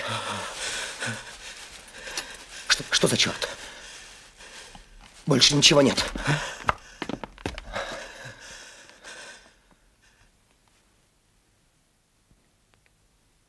Этим полукреслом мастер Гампс начинает новую партию мебели. 1865 год, Санкт-Петербург. На Воробьянинова было жалко смотреть. Усы двигались, стекла пенсне были туманны. Казалось, что в отчаянии он бьет себя ушами по щекам. Холодный рассудительный голос великого комбинатора оказал свое обычное магическое действие. Молчи, грусть, молчи. Хм, киса, когда-нибудь мы с вами посмеемся над дурацким седьмым стулом, в котором нашлась глупая дощечка. Держитесь, киса! Мы с вами прошли больше, чем половину пути. Сейчас должно открыться второе дыхание. Судя по вашему виду, оно у вас уже открылось. Итак, что мы имеем? Стул, исчезнувший в товарном дворе Октябрьского вокзала, по-прежнему остается темным пятном на сверкающем фоне концессионных работ. Четыре стула в театре имени Колумба представляют верную добычу. Агентурные сведения говорят о возможном выезде театра по Волге на гастроли с теплоходом «Скрябин». Слушаю, постановляю. Мы с вами отправляемся в театр на премьеру «Женитьбы». О!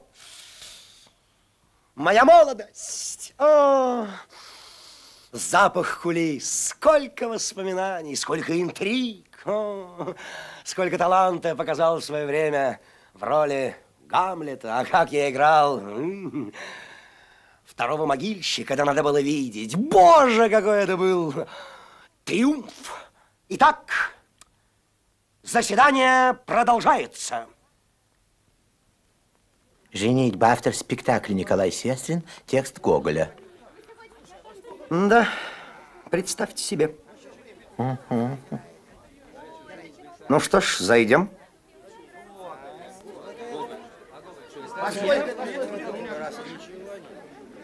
Однако 3 рубля за 16 ряд это слишком дорого. Ох, как я не люблю этих мещан, этих провинциальных простофиль. Куда вы полезли? Разве не видите, что это касса? Да, но ведь без билета же не пустят. Киса, вы дремучий провинциал. В Москве давно уже никто из уважающих себя граждан не пользуется услугами кассы. Для этого есть окошко администратора.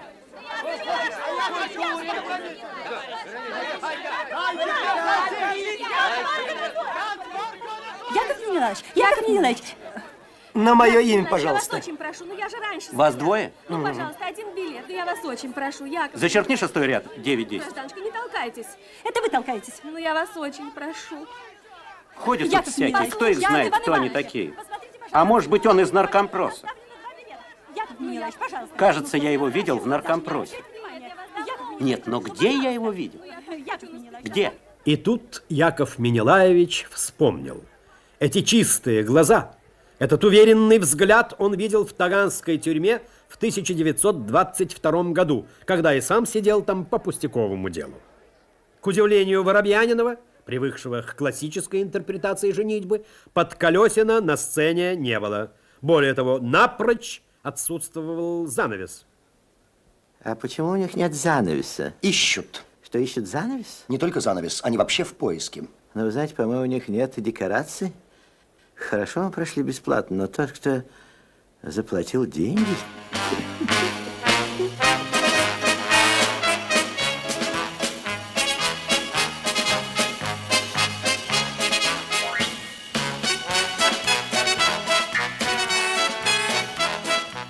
Это кто ж такие? Агафья Тихоновна. Неужели все четыре? Четыре.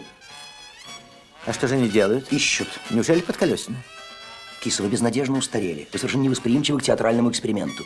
Это поиск.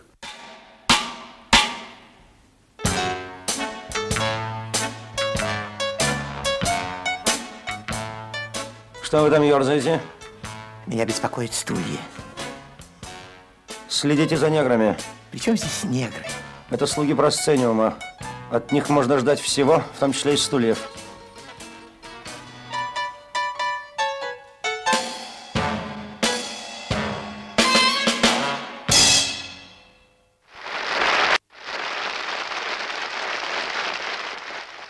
Кто ж такой? Опоздавший? Нет, это Подколесин. Тоже ищет. Этот уже нашел.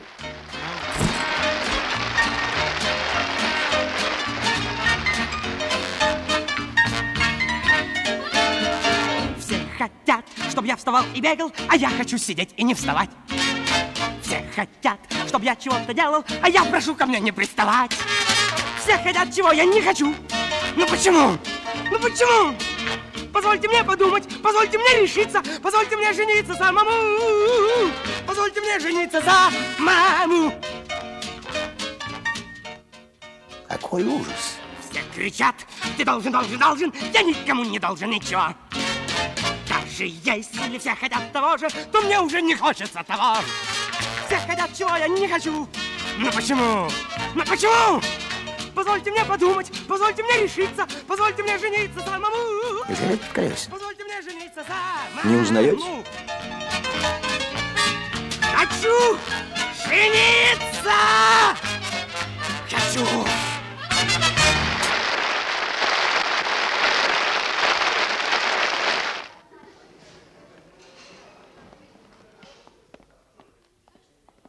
Вы знаете, мне спектакль нравится. Серьезно? Нет, не все одинаково хорошо, не все ровно, но есть главное. Стулья целы. Положим, а четыре Агафьи Тихоновны так плюхаются на них, что они долго не проживут. Вы правы, киса. Нужно торопиться. Промедление смерти подобно. Завтра театр уезжает в Нижний Новгород, оттуда пароходом по Волге. Не могу обещать вам купе в дипломатическом вагоне. Но два жестких плацкарта будут. У вас кружится голова? Нет. Напрасно. Погоня за стульями входит в завершающую стадию.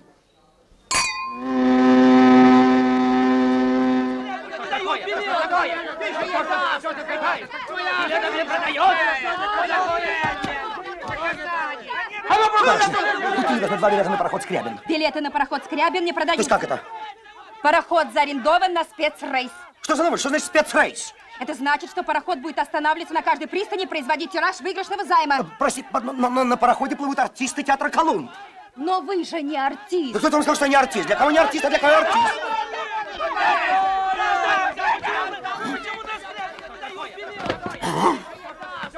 Бросьте стул! Вы что, с ума спятили? Один возьмем, остальные пропадут для нас навсегда. Подумали бы лучше, как попасть на пароход.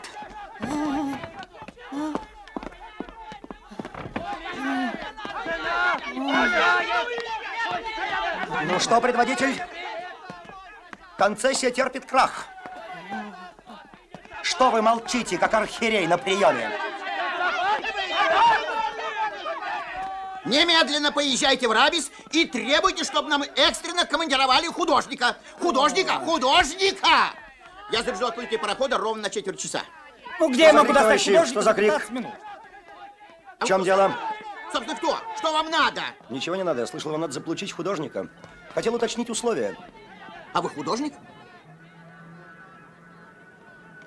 Художник.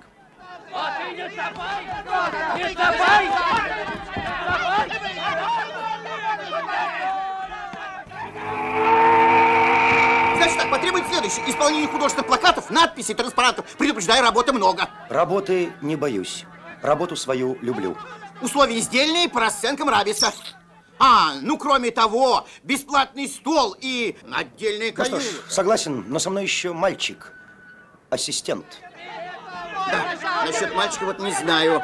На свой счет, пожалуйста. Пусть живет в вашей каюте. Ну что ж, мальчишка у меня шустрый, привык к спартанской обстановке. Отдать мартовик! Пропустите, пропустите мальчика, это мой ассистент. Он ж тебе в отцы годится, что ж ты ему руки-то крутишь, а? Что ж ты его, он же дедушка, что ж ты его держишь, а? Мальчика пропустите, это мой ассистент. Пропустите мальчика, же.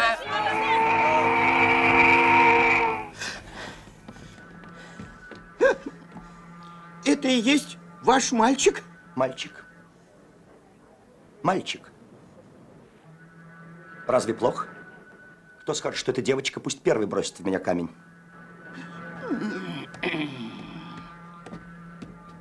Ну что ж, киса, придется с утра сесть за работу. Работа творческая, предупреждаю. Я художник, окончил в Хутымас с отличием. Вы мой помощник из числа наиболее способных учеников. Если думаете, что это не так, можете сейчас же бежать на берег. Нет, почему же? Очень это может быть.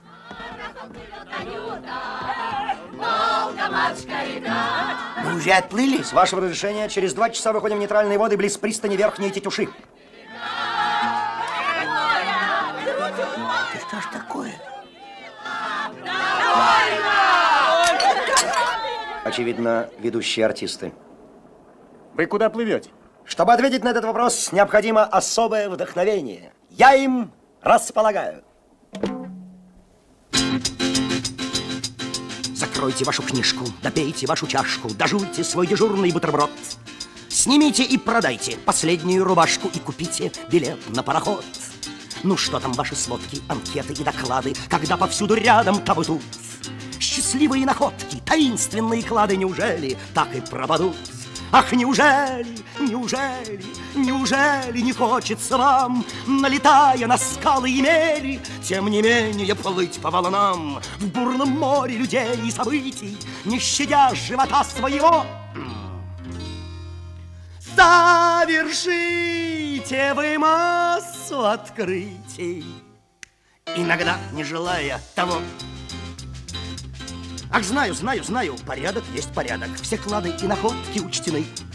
Записаны в анкетах, отмечены в докладах, и законами все защищены. Они помогут делу, они послужат людям, я знаю это, знаю наперед. И значит, мы не станем, и значит, мы не будем покупать билет на пароход. Ах, неужели, неужели, неужели не хочется вам, налетая на скалы и мели, тем не менее плыть по волнам в бурном море людей событий, не щадя живота своего? Совершите вы массу открытий, иногда не желая того.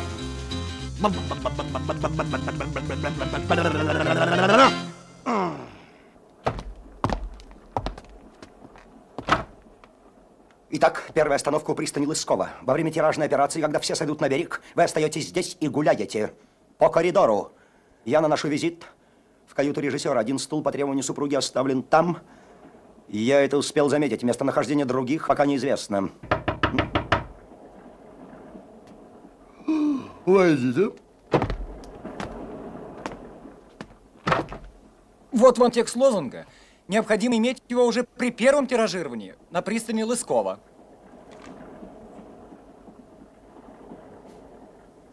Об чем речь? Будет. Чудесно. Будет.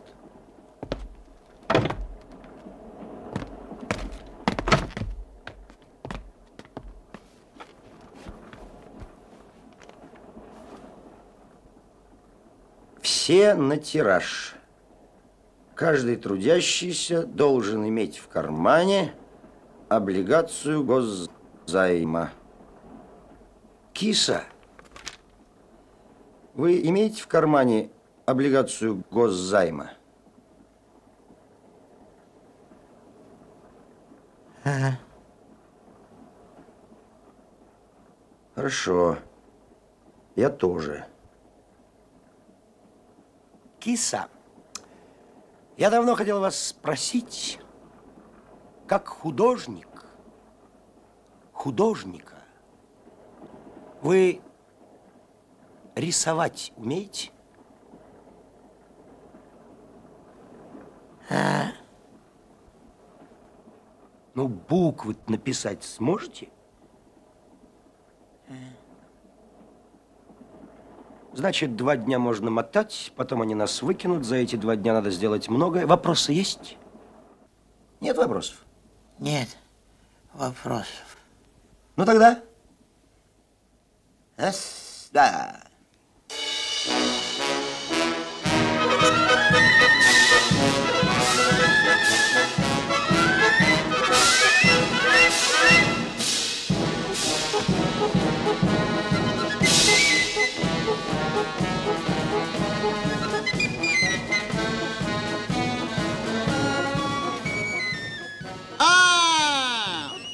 Очень странно. Вы окончили с отличием в Кутемас, так кажется? Да. Я художник, а не шрифтовик. Там, где нужна композиция, где нужен колорит, там, где во главу угла ставится человек, а не буква. Извольте, я к вашим услугам. Хорошо, уважаемый.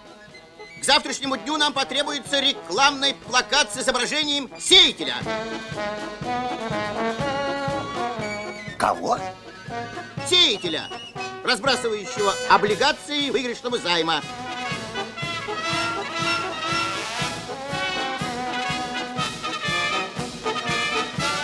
Вот это другое дело. С этого надо было начинать.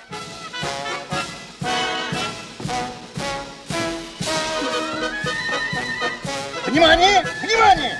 Начинаем тираж выигрышного займа! Срочное дело по художественной части. Встаньте у того выхода. Если кто-нибудь будет подходить, пойте громко. Что петь? Ну уж во всяком случае, не боже царя храни, что-нибудь страстное, яблочко или сердце красавицы склонно. Пшел, пшел.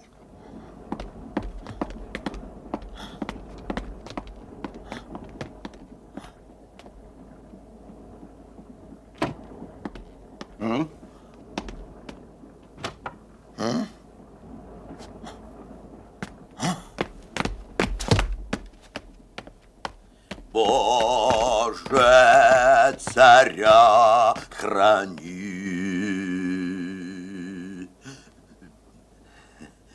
Э, пре, пре, пре, простите, я, я ош- ошибся.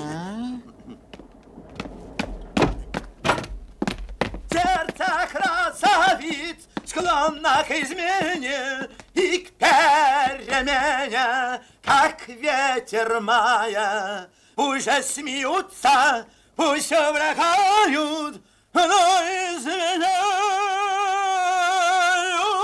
И Нет, нет, не надо!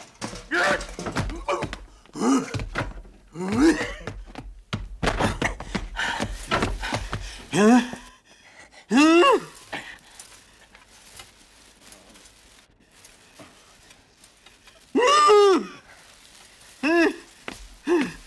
Нет! Тихо.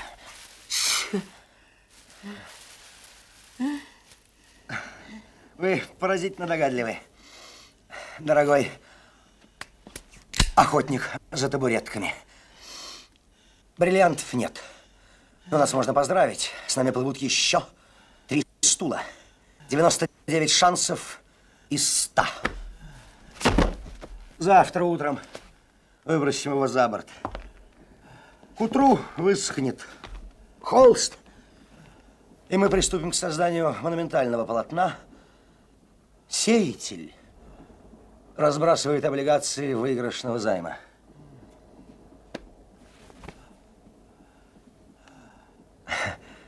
Скажу по чести, киса, я не знаю всего того, что с нами случится завтра, но бессмертие я вам гарантирую.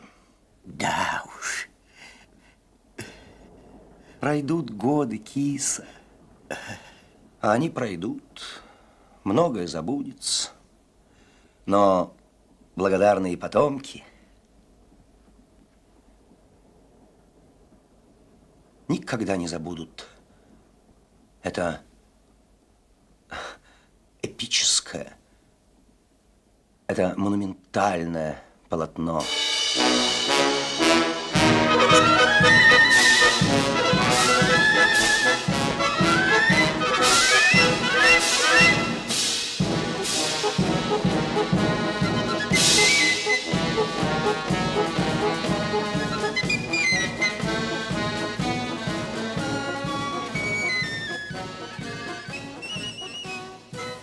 Раз, два, три, четыре. Сколько вообще? Раз, два, три, четыре, пять. пять. А. Раз, два, три, четыре. Сейчас ноготки здесь немножечко. Так. Тише. В чем дело? Потерпите. Сейчас будет готово. Я занят ногами сеятеля. Так, вторая меня интересует с пятки. Хорошо, здесь. Так. Так, ну теперь последний раз, чтобы не ошибиться. У меня, значит, раз, два, три, четыре, пять. У него раз, два, три, четыре. Ну и хватит. Так, ногами меня доволен. Все на тираж! Сейчас будет разыгрываться тираж выигрышного займа!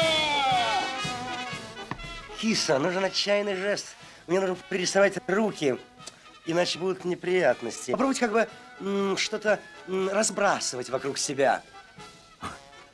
О, хорошо, хорошо.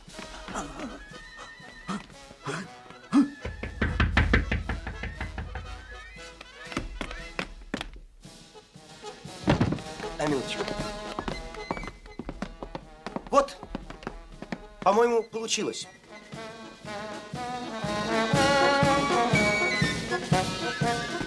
Хорошо, пускай у нас разные вкусы. Давайте спорить. Положим, положим, я вообще за условное Давайте. искусство. Да, да, я не реалист. Да, я вижу мир иначе, чем вы. Ну что из того? Дайте доехать хотя бы до Самары.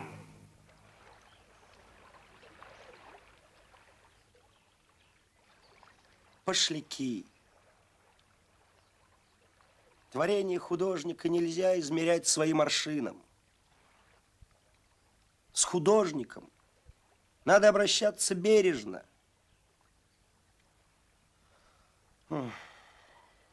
Если художник просится доплыть хотя бы до Самары, грех отказывать ему в этом праве и высаживать черт знает где. Кстати, Кис, где нас высадили? Васюки. Васюки, Васюки, Васюки. О. Фу. А? Вы слышали? Что? А, вы не могли этого слышать. Это всего лишь предчувствие. Это хрупкая, эфемерная, призрачная мечта. О, готово.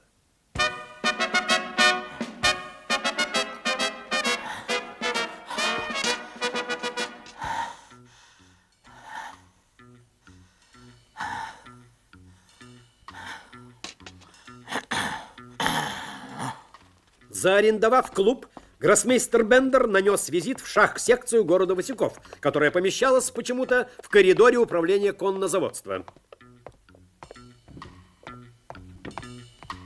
А если так? А что вы думаете, очень может быть. А, В хотя... том-то и дело. Нет, так нельзя. А если м, тоже не годится? Гроссмейстер Бендер, провожу вас в сеанс одновременной игры.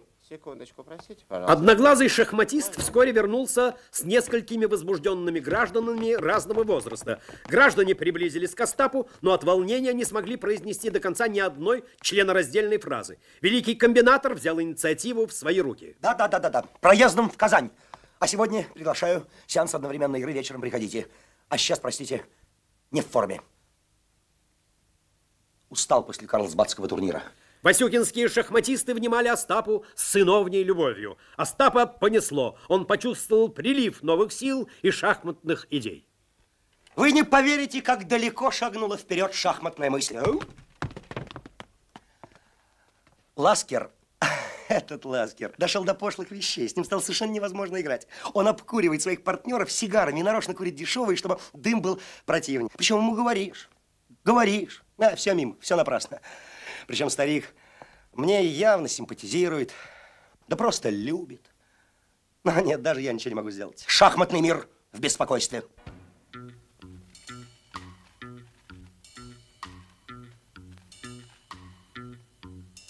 Скучно, девушки. Почему не назвать как-нибудь красиво, истинно по-шахматному? Это привело к вам союзную массу. Назвали бы как-нибудь красиво, например, шахматный клуб четырех коней, а? Или красный эншпиль. Попрошу всех сюда быстренько. Пирожек всех в сборе, все здесь, все на месте. Прекрасно. Значит, проголосуем. Кто за переименование? Попрошу поднять руки. Принято единогласно, прекрасно. Шахматы. а? Да знаете ли вы, что такое шашки? Шахматы. Они двигают вперед не только культуру, но и науку. Знаете, что при правильной постановке дела ваш шахматный клуб четырех коней мог бы совершенно преобразить город Васюки. Остап со вчерашнего дня еще ничего не ел, поэтому красноречие его было необыкновенно. Что такое шахматы?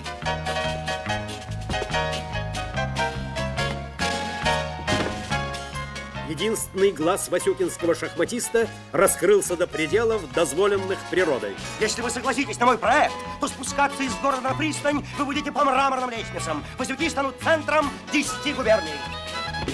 Но вы слышали раньше о городе Саммерринге? Ничего. Поэтому я говорил и продолжаю говорить. В Васюках нужно организовать международный, большой буквы, шахматный турнир. Но как? Как? Как? Как это Каким сделать? образом? Вполне реальная вещь. Мои личные связи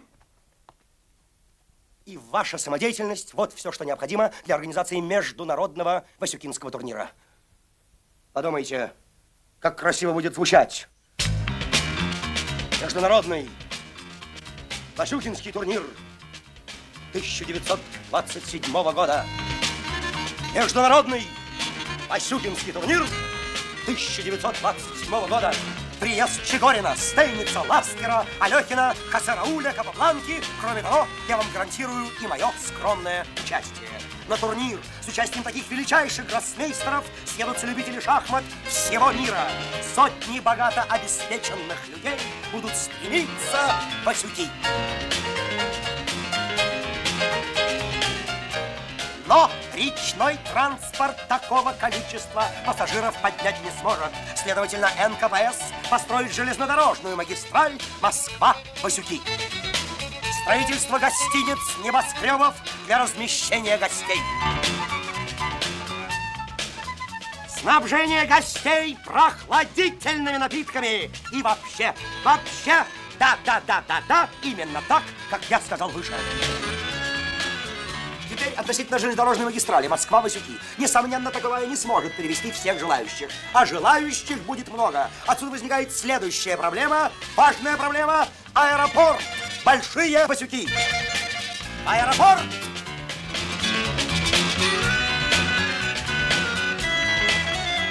Регулярное отправление почтовых самолетов и дирижаблей во все концы света, включая Лос-Анджелес и Мельбурн.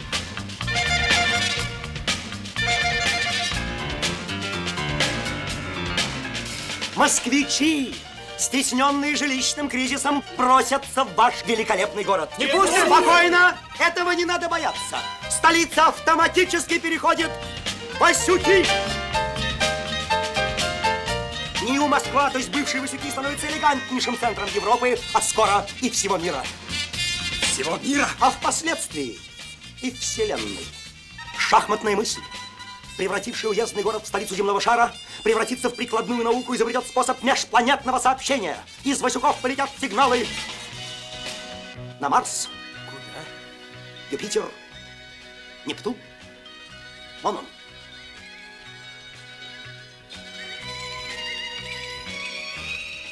А там как знать.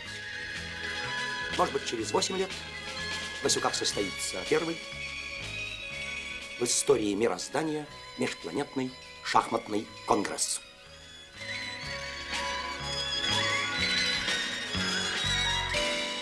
Я повторяю, практически все зависит от вашей самодеятельности. Я повторяю, организацию беру на себя. Материальных затрат никаких, кроме расходов на телеграмм. Сколько денег надо на эти, на телеграмм? О, смешная цифра. 100 рублей. У нас всего 21 рубль 60 копеек. Я понял, что это недостаточно, но... 21 рубль? 21 рубль 60 копеек. 21 рубль. Ну ладно, пусть будет 21 рубль 60 копеек. Пусть будет 21 рубль 60 копеек.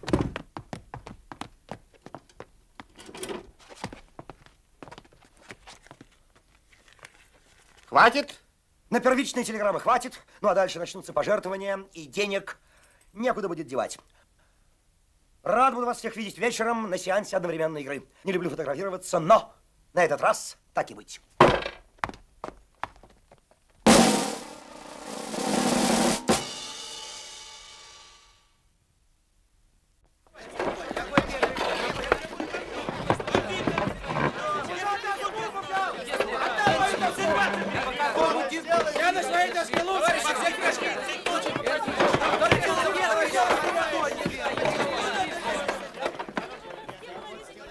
25 по полтиннику, остальные входные по двугривенному. Итого около 35 рублей.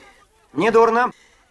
Я не понимаю, зачем нам нужен этот сеанс, когда деньги, которые мы получили от шахматной секции, вполне хватило бы на два билета. Вы думаете? Я уверен, сегодня был пароход Карл Липкнехт. Мы могли спокойно доплыть до Астрахани и ждать там приезда театра. Я не могу оставить концессию с 20 рублями. И потом, вы пожилой человек.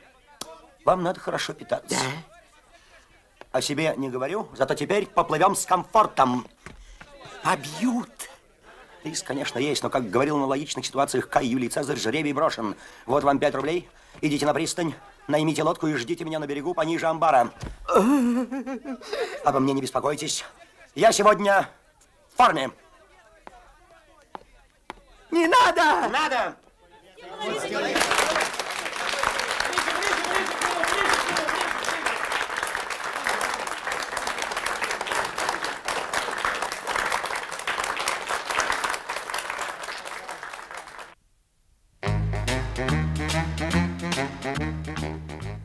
Остап скользнул взглядом по шеренгам черных, которые окружали его со всех сторон, по закрытой двери и неустрашимо принялся за работу. Он подошел к одноглазому и передвинул королевскую пешку с клетки Е2 на клетку Е4. Одноглазый сейчас же схватил свои уши руками и стал напряженно думать. По рядам любителей прошелестело. Гроссмейстер сыграл Е2, Е4. Остап не баловал своих противников разнообразием дебютов. На остальных досках он проделал ту же операцию. Один за другим любители погружались в лихорадочные рассуждения, освежая в памяти сложные варианты, при помощи которых надеялись сдаться гроссмейстеру хотя бы после 22-го хода. На третьем ходу выяснилось, что гроссмейстер играет 18 испанских партий. В остальных семи черные применили хотя и устаревшую, но довольно верную защиту Филидора. Если бы Остап узнал, что играет такие мудреные партии, он крайне бы удивился. Дело в том, что великий комбинатор играл в шахматы второй раз в жизни. С необычайной легкостью и, безусловно, ехидничая в душе над отсталыми любителями, гроссмейстер жертвовал пешки, тяжелые легкие фигуры направо и налево. Одному любителю он пожертвовал даже ферзя. Любитель пришел в ужас, хотел было немедленно сдаться, но только страшным усилием воли заставил себя продолжать игру. Гром среди ясного неба раздался через пять минут. Вам мат, товарищ гроссмейстер. Остап проанализировал положение, позорно назвал Ферзя королевой и высокопарно поздравил победителя.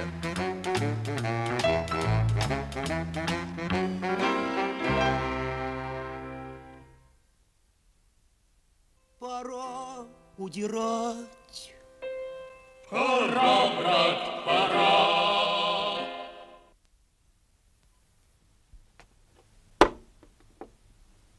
Вы не так коня поставили, товарищ гроссмейстер. Конь так не ходит. А как же, по-вашему, ходит конь? Вот так.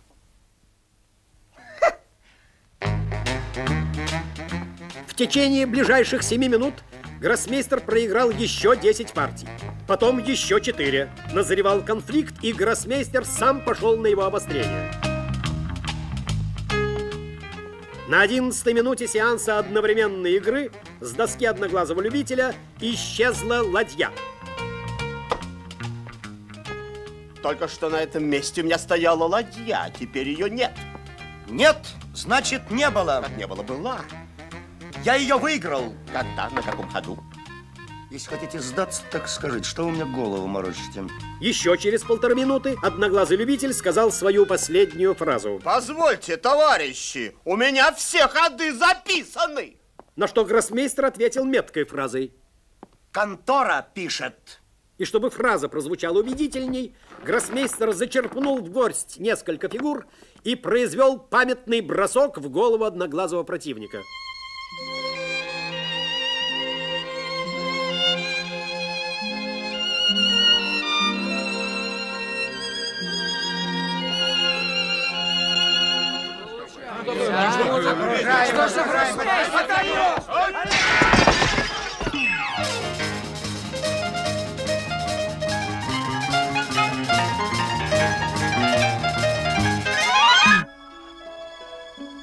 Был лунный вечер.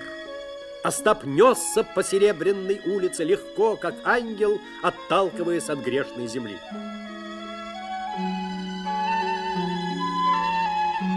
Тщетные усилия васюкинских любителей, как известно, завершили с перевернутым баркасом на середине Волги.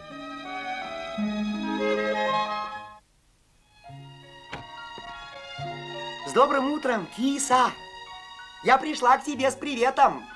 Рассказать, что солнце встало. И уже, кажется, где-то там затрепетало. Разве уже Астрахань? Это не Астрахань, как говорил Анди Таккер, это много хуже Астрахани. Быстро собирайте вещи, мы сходим с парохода. Э, Что за новости? С какой стати? По полученным данным, пароход Скрябин закончил тиражные манипуляции и плывет один без театра. Куда же девался театр? Театр выгрузился и отправился на гастроли в Пятигорск. Каким же образом мы доберемся до Пятигорска? О, умница! Именно этот вопрос хотел вам задать. Кстати, вы умеете ездить с зайцем? Кем? Зайцем. Ах, зайцем. Попробую. А, киса. А? Сколько ценного вы почерпнули, общаясь со мной. Да. Как вы выросли, Да уж. как возмужали. Да уж. Ну, не хмурьтесь, предводитель. Через несколько дней мы будем пересчитывать сокровища вашей тещи и запивать их нарзаном. Выше голову, киса! Нас ждет всесоюзная здравница. Минеральные воды. Раз, два, три, четыре.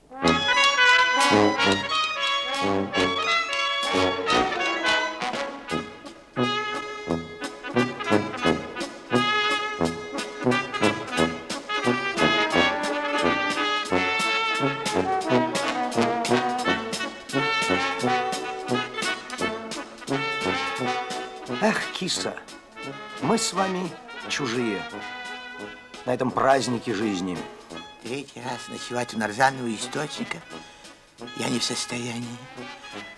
Я больше так не могу. Может быть, вам проникнуть в театр и ночевать на искомых стульях? Вы знаете, что это невозможно. По-моему, там ночует чуть ли не весь коллектив театра. Я не слышу конструктивных предложений. Я тоже их не слышу. У вас плохой слух, мой друг. Вон идет очередное мое конструктивное предложение, причем идет одно без посторонней помощи. Что случается с ним крайне редко.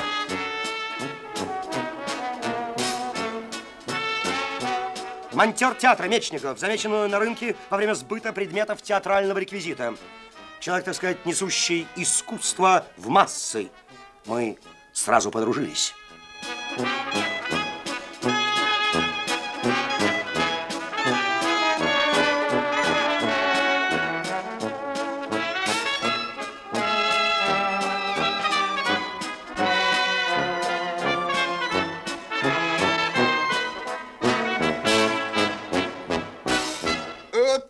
Что с нашей мебелью? Слушаю вас внимательно.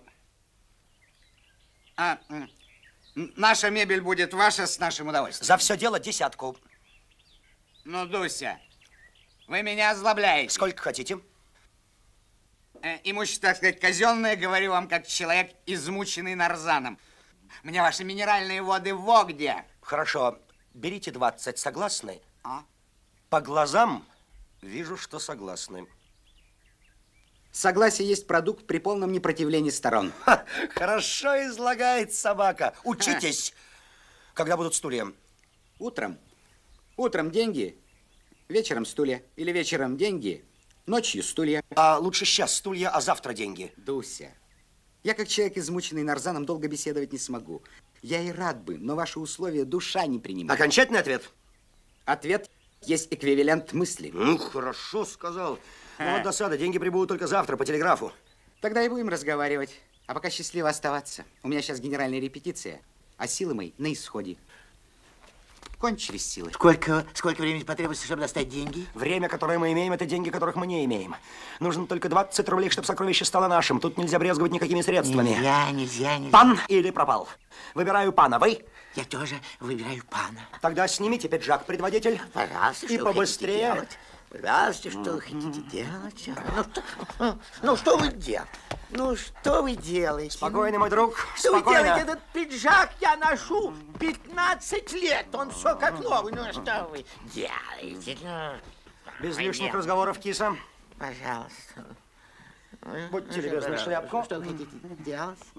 Пожалуйста. Пожалуйста. Что вы хотите делать? Ближе к источнику, пожалуйста. Пожалуйста. Умоемся. Ну, ну, ну, что вы делаете? Ну, ну, ну, что вы делаете? Теперь вы дозрели и приобрели возможность зарабатывать деньги честным трудом.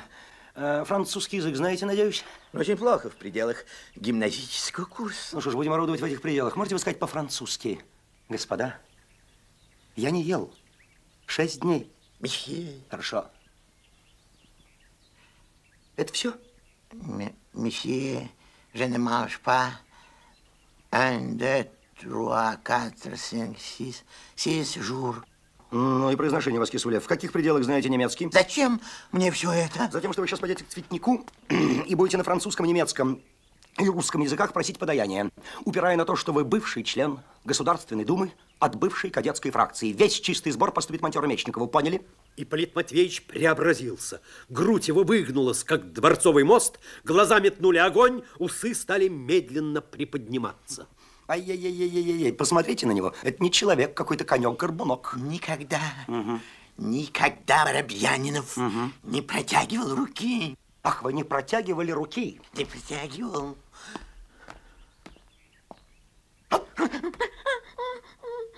Так протяните ноги, старый идиот. Как вам нравится этот альфонсизм? Три месяца живет за мой счет. Три месяца его пою, кормлю, воспитываю. А этот альфон становится в третью позицию. Я, ну вот что, товарищ, довольно? Одно из двух. Или вы сейчас же идете цветнику и приносите вечеру 10 рублей, или вас автоматически исключаю из числа пайщиков кондиционеров. Считаю до пяти, да или нет. Раз!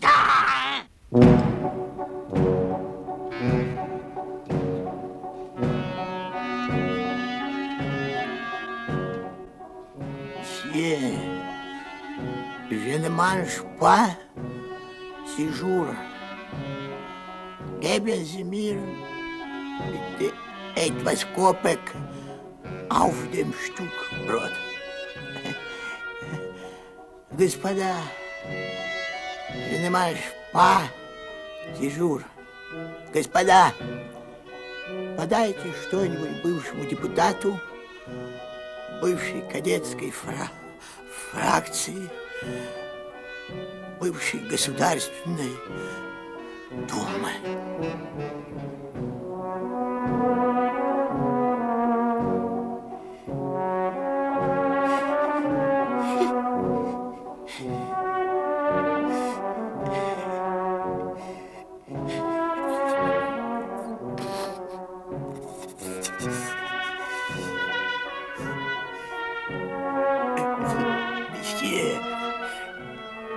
Mas pai, te juro, eles imitam.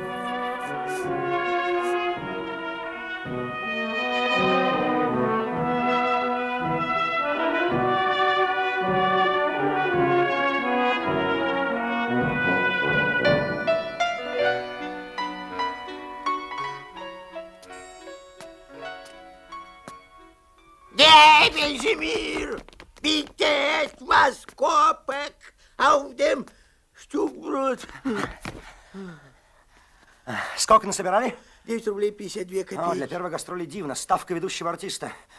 Я тоже зря время не терял. Организовал продажу билетов гражданам, желающим увидеть Пятигорский провал. Что увидеть? Пятигорский провал дает в день чистого дохода 15 рублей, почти как Ниагарский водопад. Вот она, Дуся, пришла. Деньги против стульев. Ну, я вижу только два стула. Где третий? На третьем стуле ведущие творческие силы, Дуся, весь день играют в карты. Взять невозможно при всем нашем удовольствии. Когда будет взят? Завтра. Ладно, оставьте стулья. Ага. Стулья против денег. На. А, Встретимся утром у источника. У источника не смогу, Дуся. А, Э, не смогу, Дуся, потому что у меня от источника начались видения. Тогда у Да. цветника. У цветника, ясно? С великим удовольствием. Оставайтесь здесь. Смотрите по сторонам.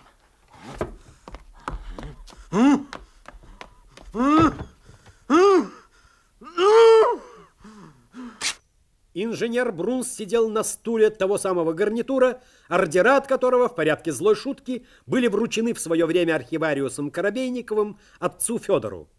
Инженер Брунс не мог предполагать, что отец Федор напал на его след и в настоящее время стремительно приближался к окрестностям Батума. Мусик. Мусик! Мы будем сегодня обедать, в конце концов, или нет? Две минуты. Ты не можешь подождать? Две могу.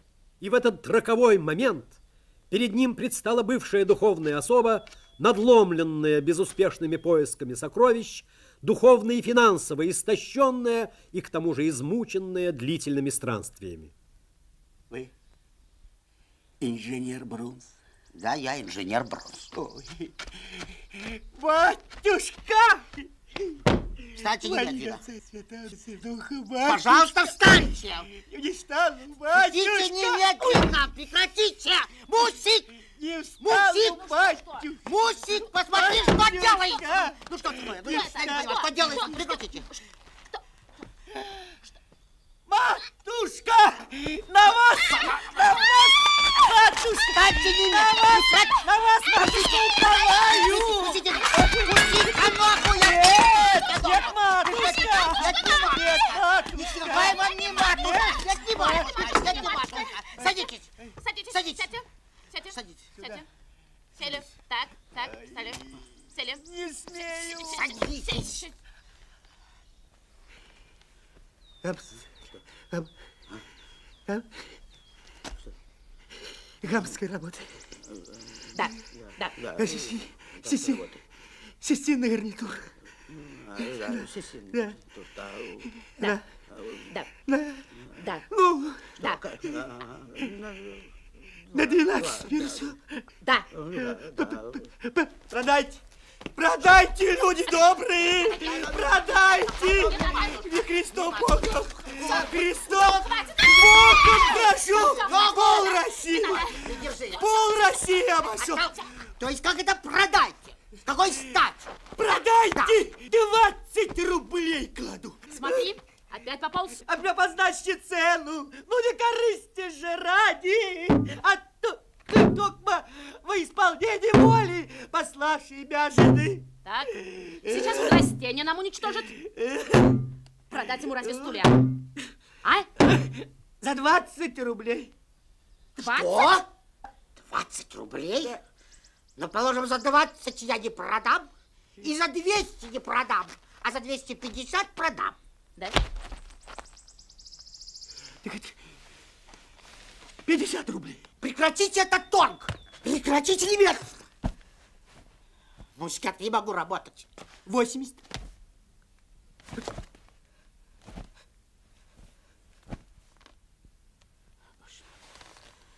Мусик, я этого не переживу.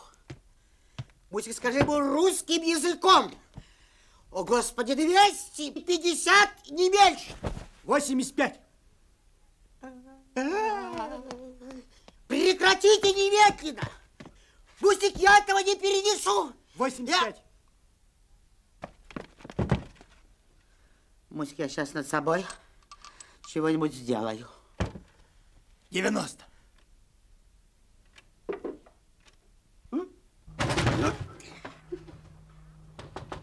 Да-да. 95. 250 не меньше. Мусик, я не вынесу. Мусик, я этого не переживу. Возьми себя в руки, не уступай ни копейки. 125. 200.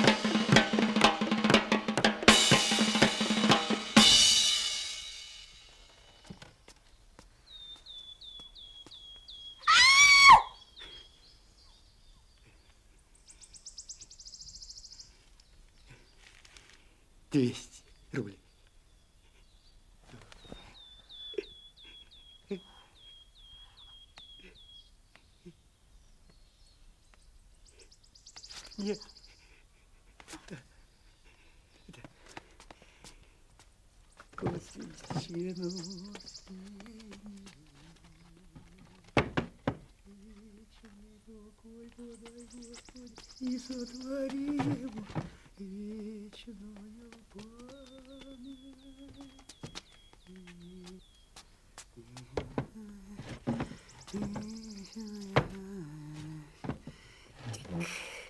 Отлично, я сейчас одиннадцать. Амсовская работа. Гостиный гарнитур. Я сейчас... Вот, я тебе... Нет. Вот он, голубчик.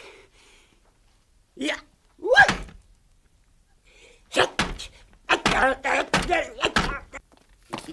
Слушайте, любезный, что происходит с театром? Театр уезжает на гастроли в Тифлис. Интересная новость. А где можно найти монтера Мечникова? Монтера Мещенков теперь вряд ли найдешь. Он вчера где-то деньги достал, ну и озлобился. На кого озлобился? Ну вообще, и на минеральные воды, он давно обещал. Но где его найти? Так его уже отгрузили. Как отгрузили?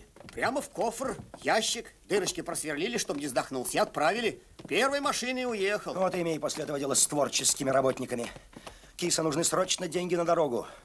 Мы едем в Тифлис на автомобиле по военно-грузинской дороге. Очаровательные виды, свежий горный воздух и в финале всего 150 тысяч рублей. Есть смысл продолжать заседание. Однако пересечь Кавказский хребет на транспорте концессионерам не удалось. Утром 19 июня участники концессии перешли Терек и углубились в долину, двигаясь по военно-грузинской дороге. Одновременно со стороны Тифлиса в Дарьяльское ущелье мерным солдатским шагом вошел отец Федор, возвращаясь на родину. При переходе через Крестовый перевал 2345 метров над уровнем моря его укусил орел. Расстояние между враждующими сторонами медленно сокращалось.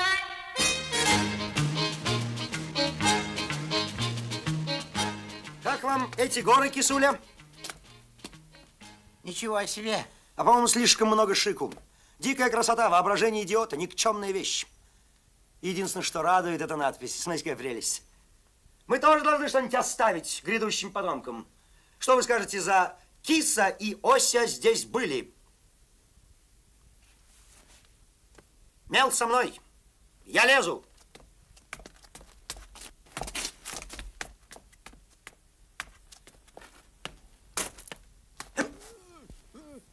Куда девал сокровища? Убиенный теща! Товарищ Петер!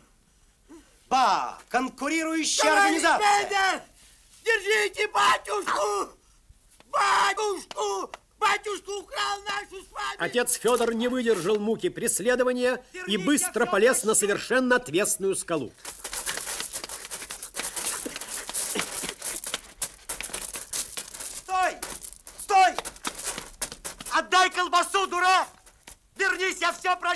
Но он уже ничего не слышал. Отец Федор очутился на ровной площадке, забраться на которую не удавалось до сих пор ни одному человеку. Отцом Федором овладел тоскливый ужас. Он понял, что слезть вниз ему никак не удастся. Ночью он ревел так, что временами заглушал терек.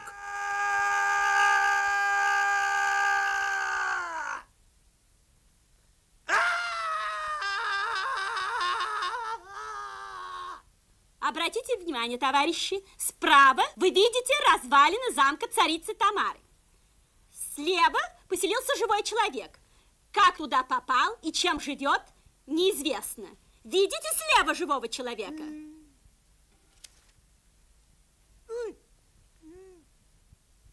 Идите же, народ. Да. Дети гор. Через 10 дней прибывшая из Владикавказа пожарная команда сняла отца Федора с отвесной кручи. Что это? Окраина Тифлиса. Городок, кажется, неплох. Я голодаю вот уже вторую неделю. Наберите терпение, киса, мужайтесь. Через несколько дней я подарю вам этот город. Я великодушен. Вы получите 25 рублей и три дня на разграбление города. Вам хватит трех дней? Оставьте эти идиотские шутки. Я не шучу, друг мой. Обратите внимание на тот столик. Вы узнаете? этого человека. Кто это? Господин Кислярский, владелец Одесской бубличной артели «Московские баранки», а также активнейший член Союза Меча и Орала.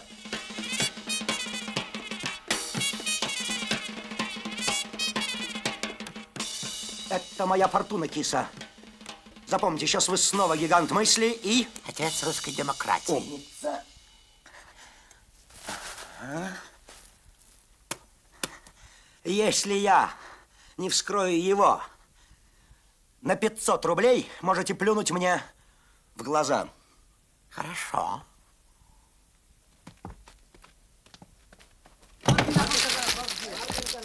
Видите его, видите его, это газа гибия.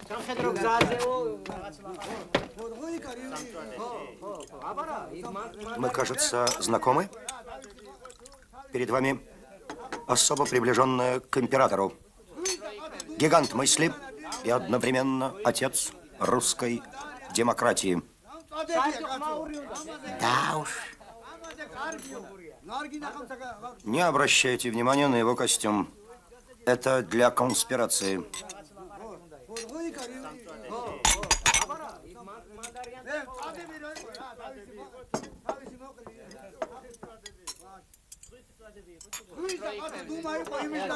Прикажите подать что-нибудь. Да. Уж.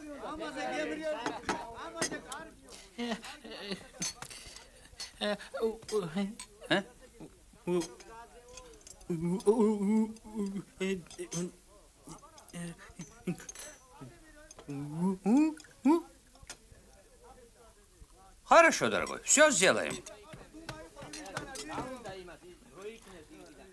Так вот, за нами следят. Уже два месяца. Особенно вон тот с усами, видите? Следит. Вот он. Следит. И завтра на конспиративной квартире нас ждет засада. Придется отстреливаться. Мы рады в этой тревожной обстановке встретить именно вас. Да. Уж. Кажется, он близок к обмороку. Только бы не свалился раньше времени. Этого человека не бойтесь. Мы уберем его сегодня вечером. Он слишком много знает. Да уж.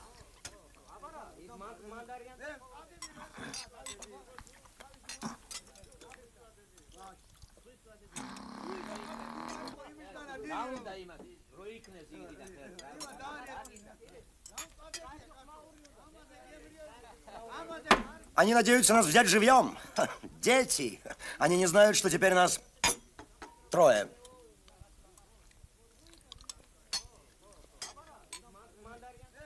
Я дам вам парабеллум.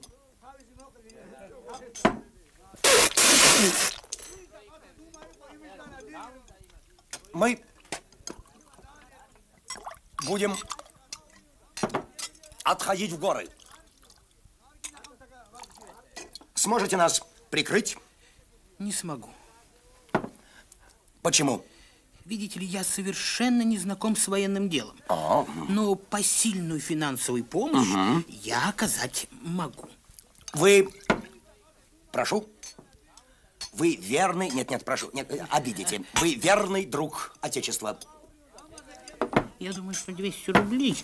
500 рублей могут спасти гиганта мысли. Скажите, а 200 рублей не могут спасти гиганта мысли? Я полагаю, что торг здесь неуместен.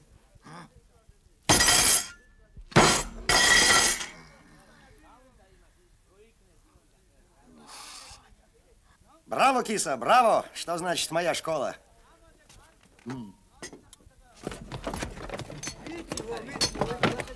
М.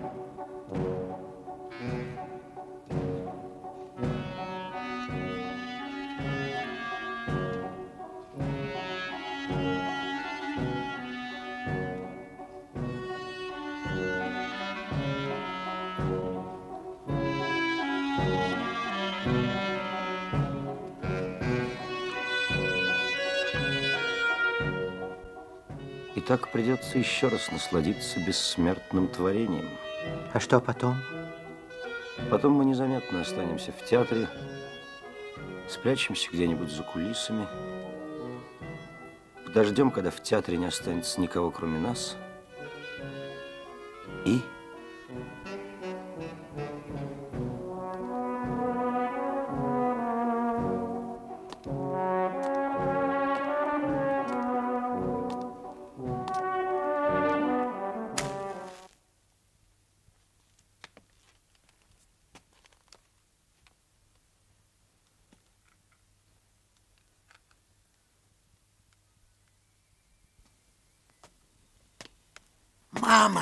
Давайте его сюда.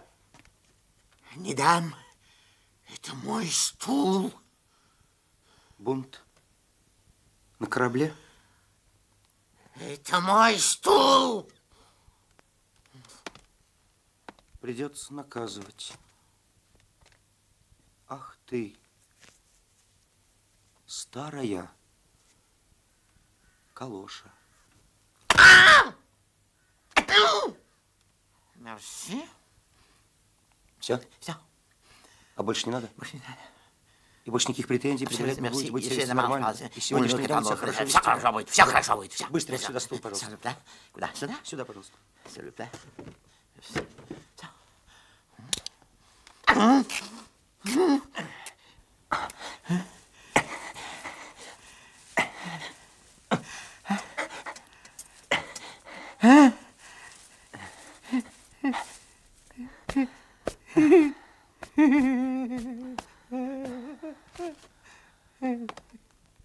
Ничего, ничего, киса.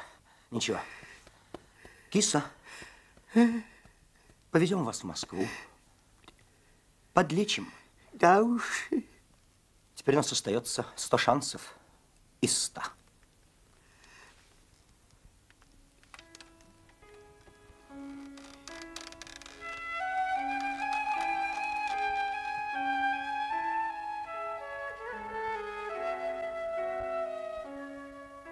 В дождливые дни конца октября Ипполит Матвеевич пребывал в скверном душевном расположении. За полгода бриллиантовой скачки он потерял все свои прежние привычки. И походка у Ипполита Матвеевича была уже не та, и выражение глаз сделалось дикое. По ночам его мучили кошмары. Перед глазами летала умирающая теща Клавдия Ивановна. Ипполит Матвеевич был одержим сильнейшим подозрением. Он боялся, что Остап вскроет стул сам и, забрав сокровище, уедет, бросив его на произвол судьбы. Каждый день он опасался, что Остап больше не придет. Но однажды дверь распахнула с легкостью перевернутой ветром страницы, и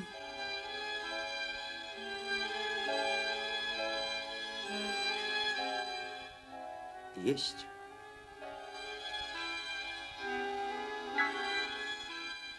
Есть. Он в клубе железнодорожников. Я видел собственными глазами. Как я нашел? Гениальная комбинация, античное приключение. Одним словом, высший класс. Готовьте карманы, кис. В клуб мы пойдем перед рассветом. Лучшее время. Сторожа спят и видят сны. А сейчас советую вам немного отдохнуть. Кис, я давно хотел вас спросить. А зачем вам столько денег? Как зачем? Ну что вы на них купите? У вас же нет никакой фантазии. Ей-богу, кисуля. Вам 15 тысяч за глаза хватит. И потом вам деньги вообще не нужны. Вы уже старенький. Знаете, кис, я вам ничего не дам. Возьму к себе в секретари. Испугались? Не бойтесь, я пошутил. Пошутил.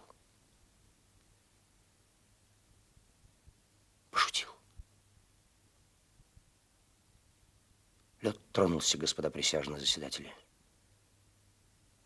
Лед тронулся. Заседание продолжается.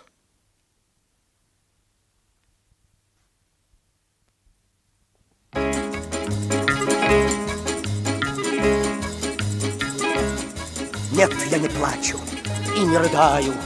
На все вопросы я открыто отвечаю, что наша жизнь — игра, и кто ж тому виной, что я увлекся этой игрой. И перед кем же мне извиняться? Мне уступают, я не смею отказаться. И разве мой талант и мой душевный жар не заслужили скромный гонорар?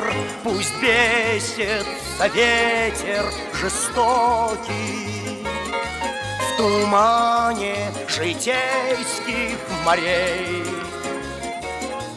Белеет мой парус такой одинокий на фоне стальных кораблей. И согласитесь, какая прелесть Мгновенно в яблочко попасть почти не целясь Орлиный взор напор, изящный поворот И прямо в руки запретный плод О наслаждение, скользить по краю Замрите, ангелы, смотрите, я играю. Моих грехов разбор оставьте до поры. Вы оцените красоту игры. Пусть бесится ветер жестокий. В тумане житейских морей Белеет мой парус такой одинокий На фоне стальных кораблей. Белеет мой парус такой одинокий На фоне стальных кораблей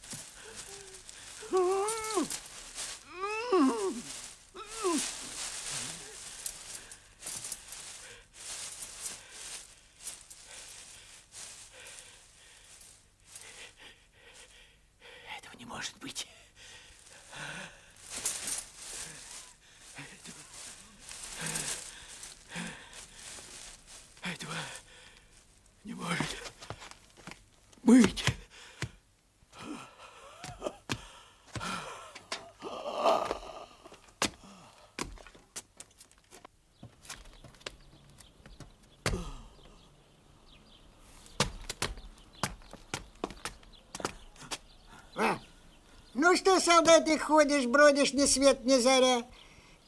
Клубом нашим интересуешься. Это понятно. Теперь все интересуются. Точно, солдаты, клуб у нас необыкновенный. Другого такого нет. Во, недавно отстроили. А по какой такой причине нет, знаешь? Не знаешь. Вот она причина-то, перед тобой стоит. Еще в старом клубе дело было. Записался к нам стул. Самый обыкновенный стул. Только раз стал я с него электричество включать. Лампочку, значит, винчивать. Да как крутанулся, а обшивка стерва и треснула. А из-под нее бусинки посыпались. М. Осыпались. Ну, я товарища Красильникова, мы с ним обшивку распороли А там буржуйского добра на великие тысячи упрятано. Где же они теперь? Тысячи-то? А вон они где. Разуй глаза, солдаты. Клуб для них новый построили. Со всеми удобствами. Со зрительным залом, с раздевалкой, паровым отоплением. Ну, совсем что положено.